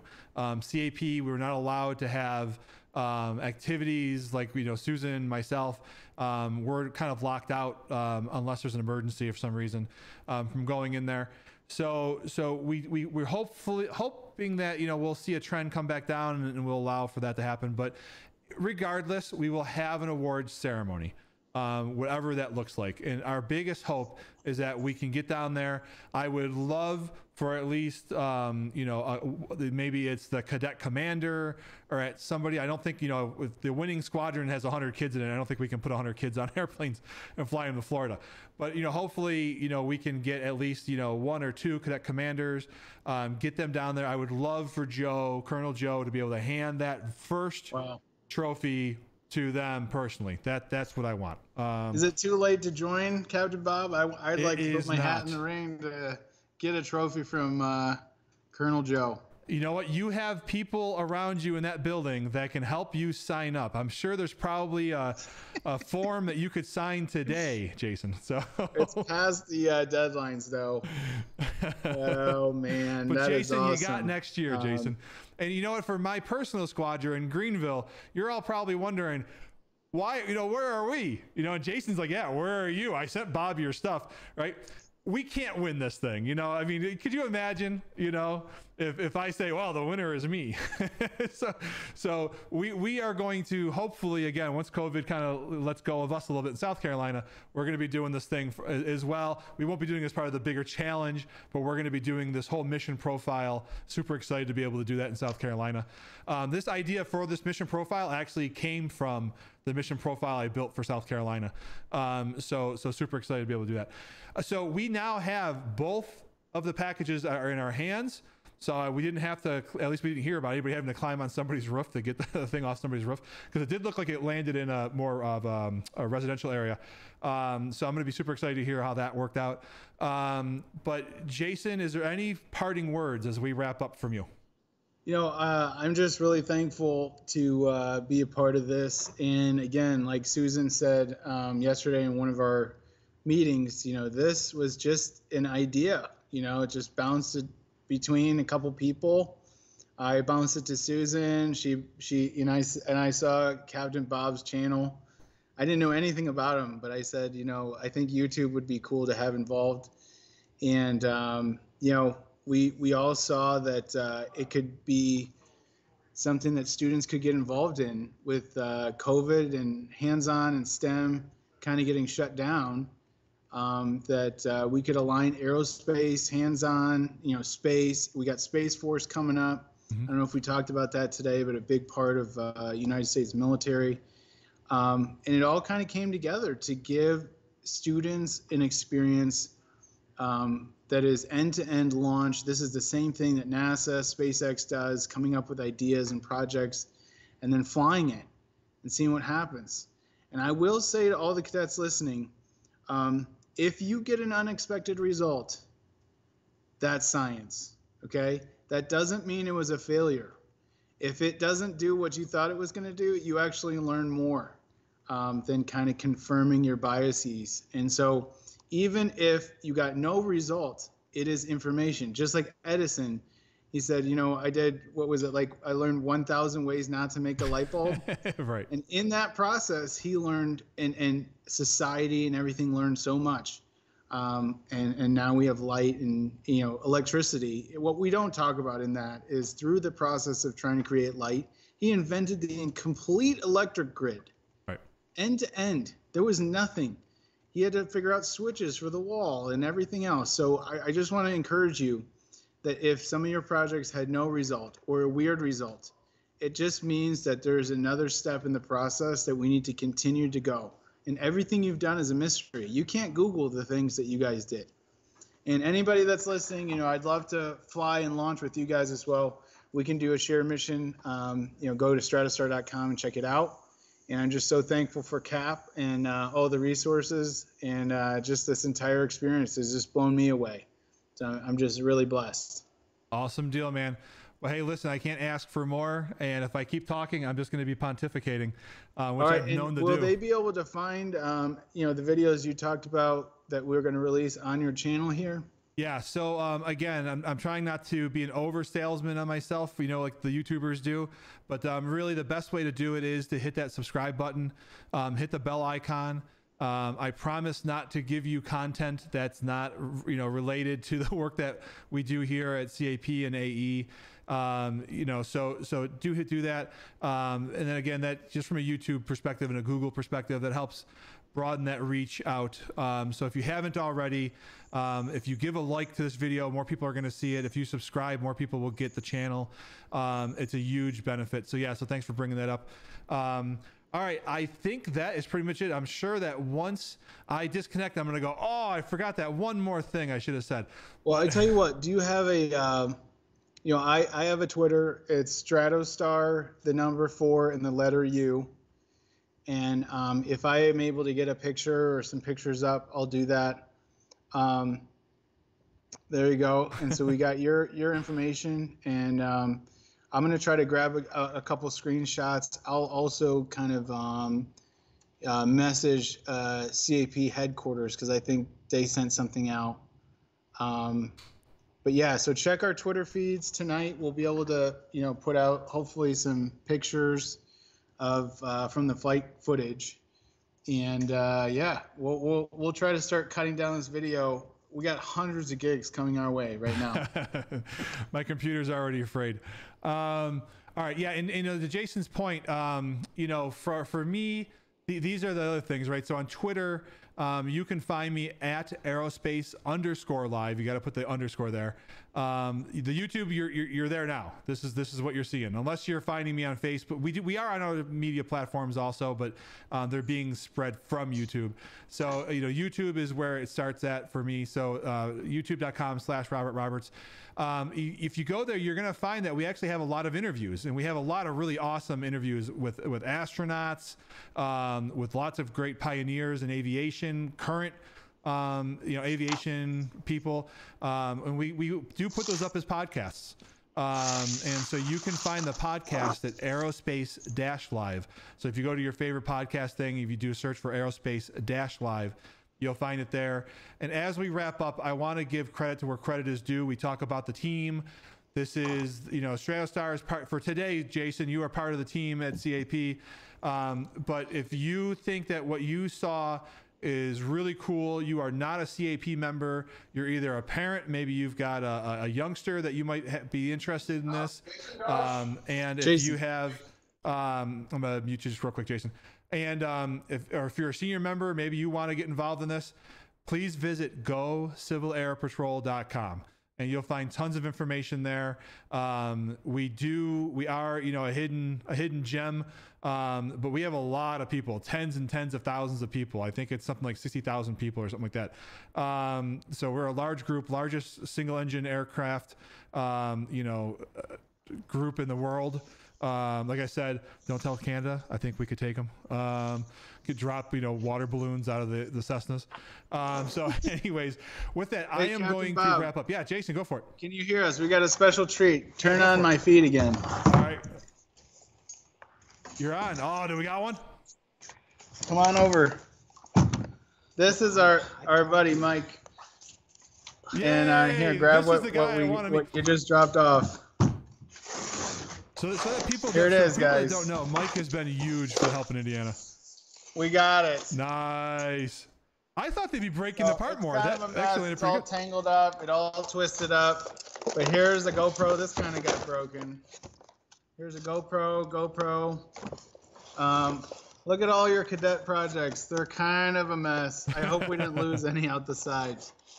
This is number one, right? Correct. Okay, cool.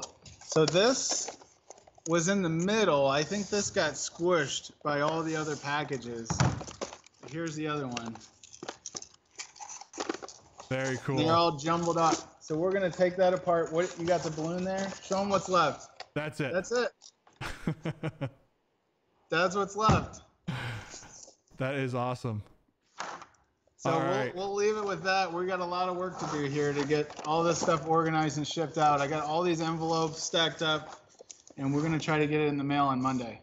Michael, I can't imagine a better way to end the live stream than to have you show up with the package. That that literally was made for for TV moment right there. That was awesome. There you go. Well, we're here to please, and it's been a great day. And thanks so much for uh, this is Michael's uh, school that we're here at, and uh, he volunteered it, so we were able to use the field and everything. And he took all the calls and made everything happen here. So thanks so much. No problem. Appreciate it.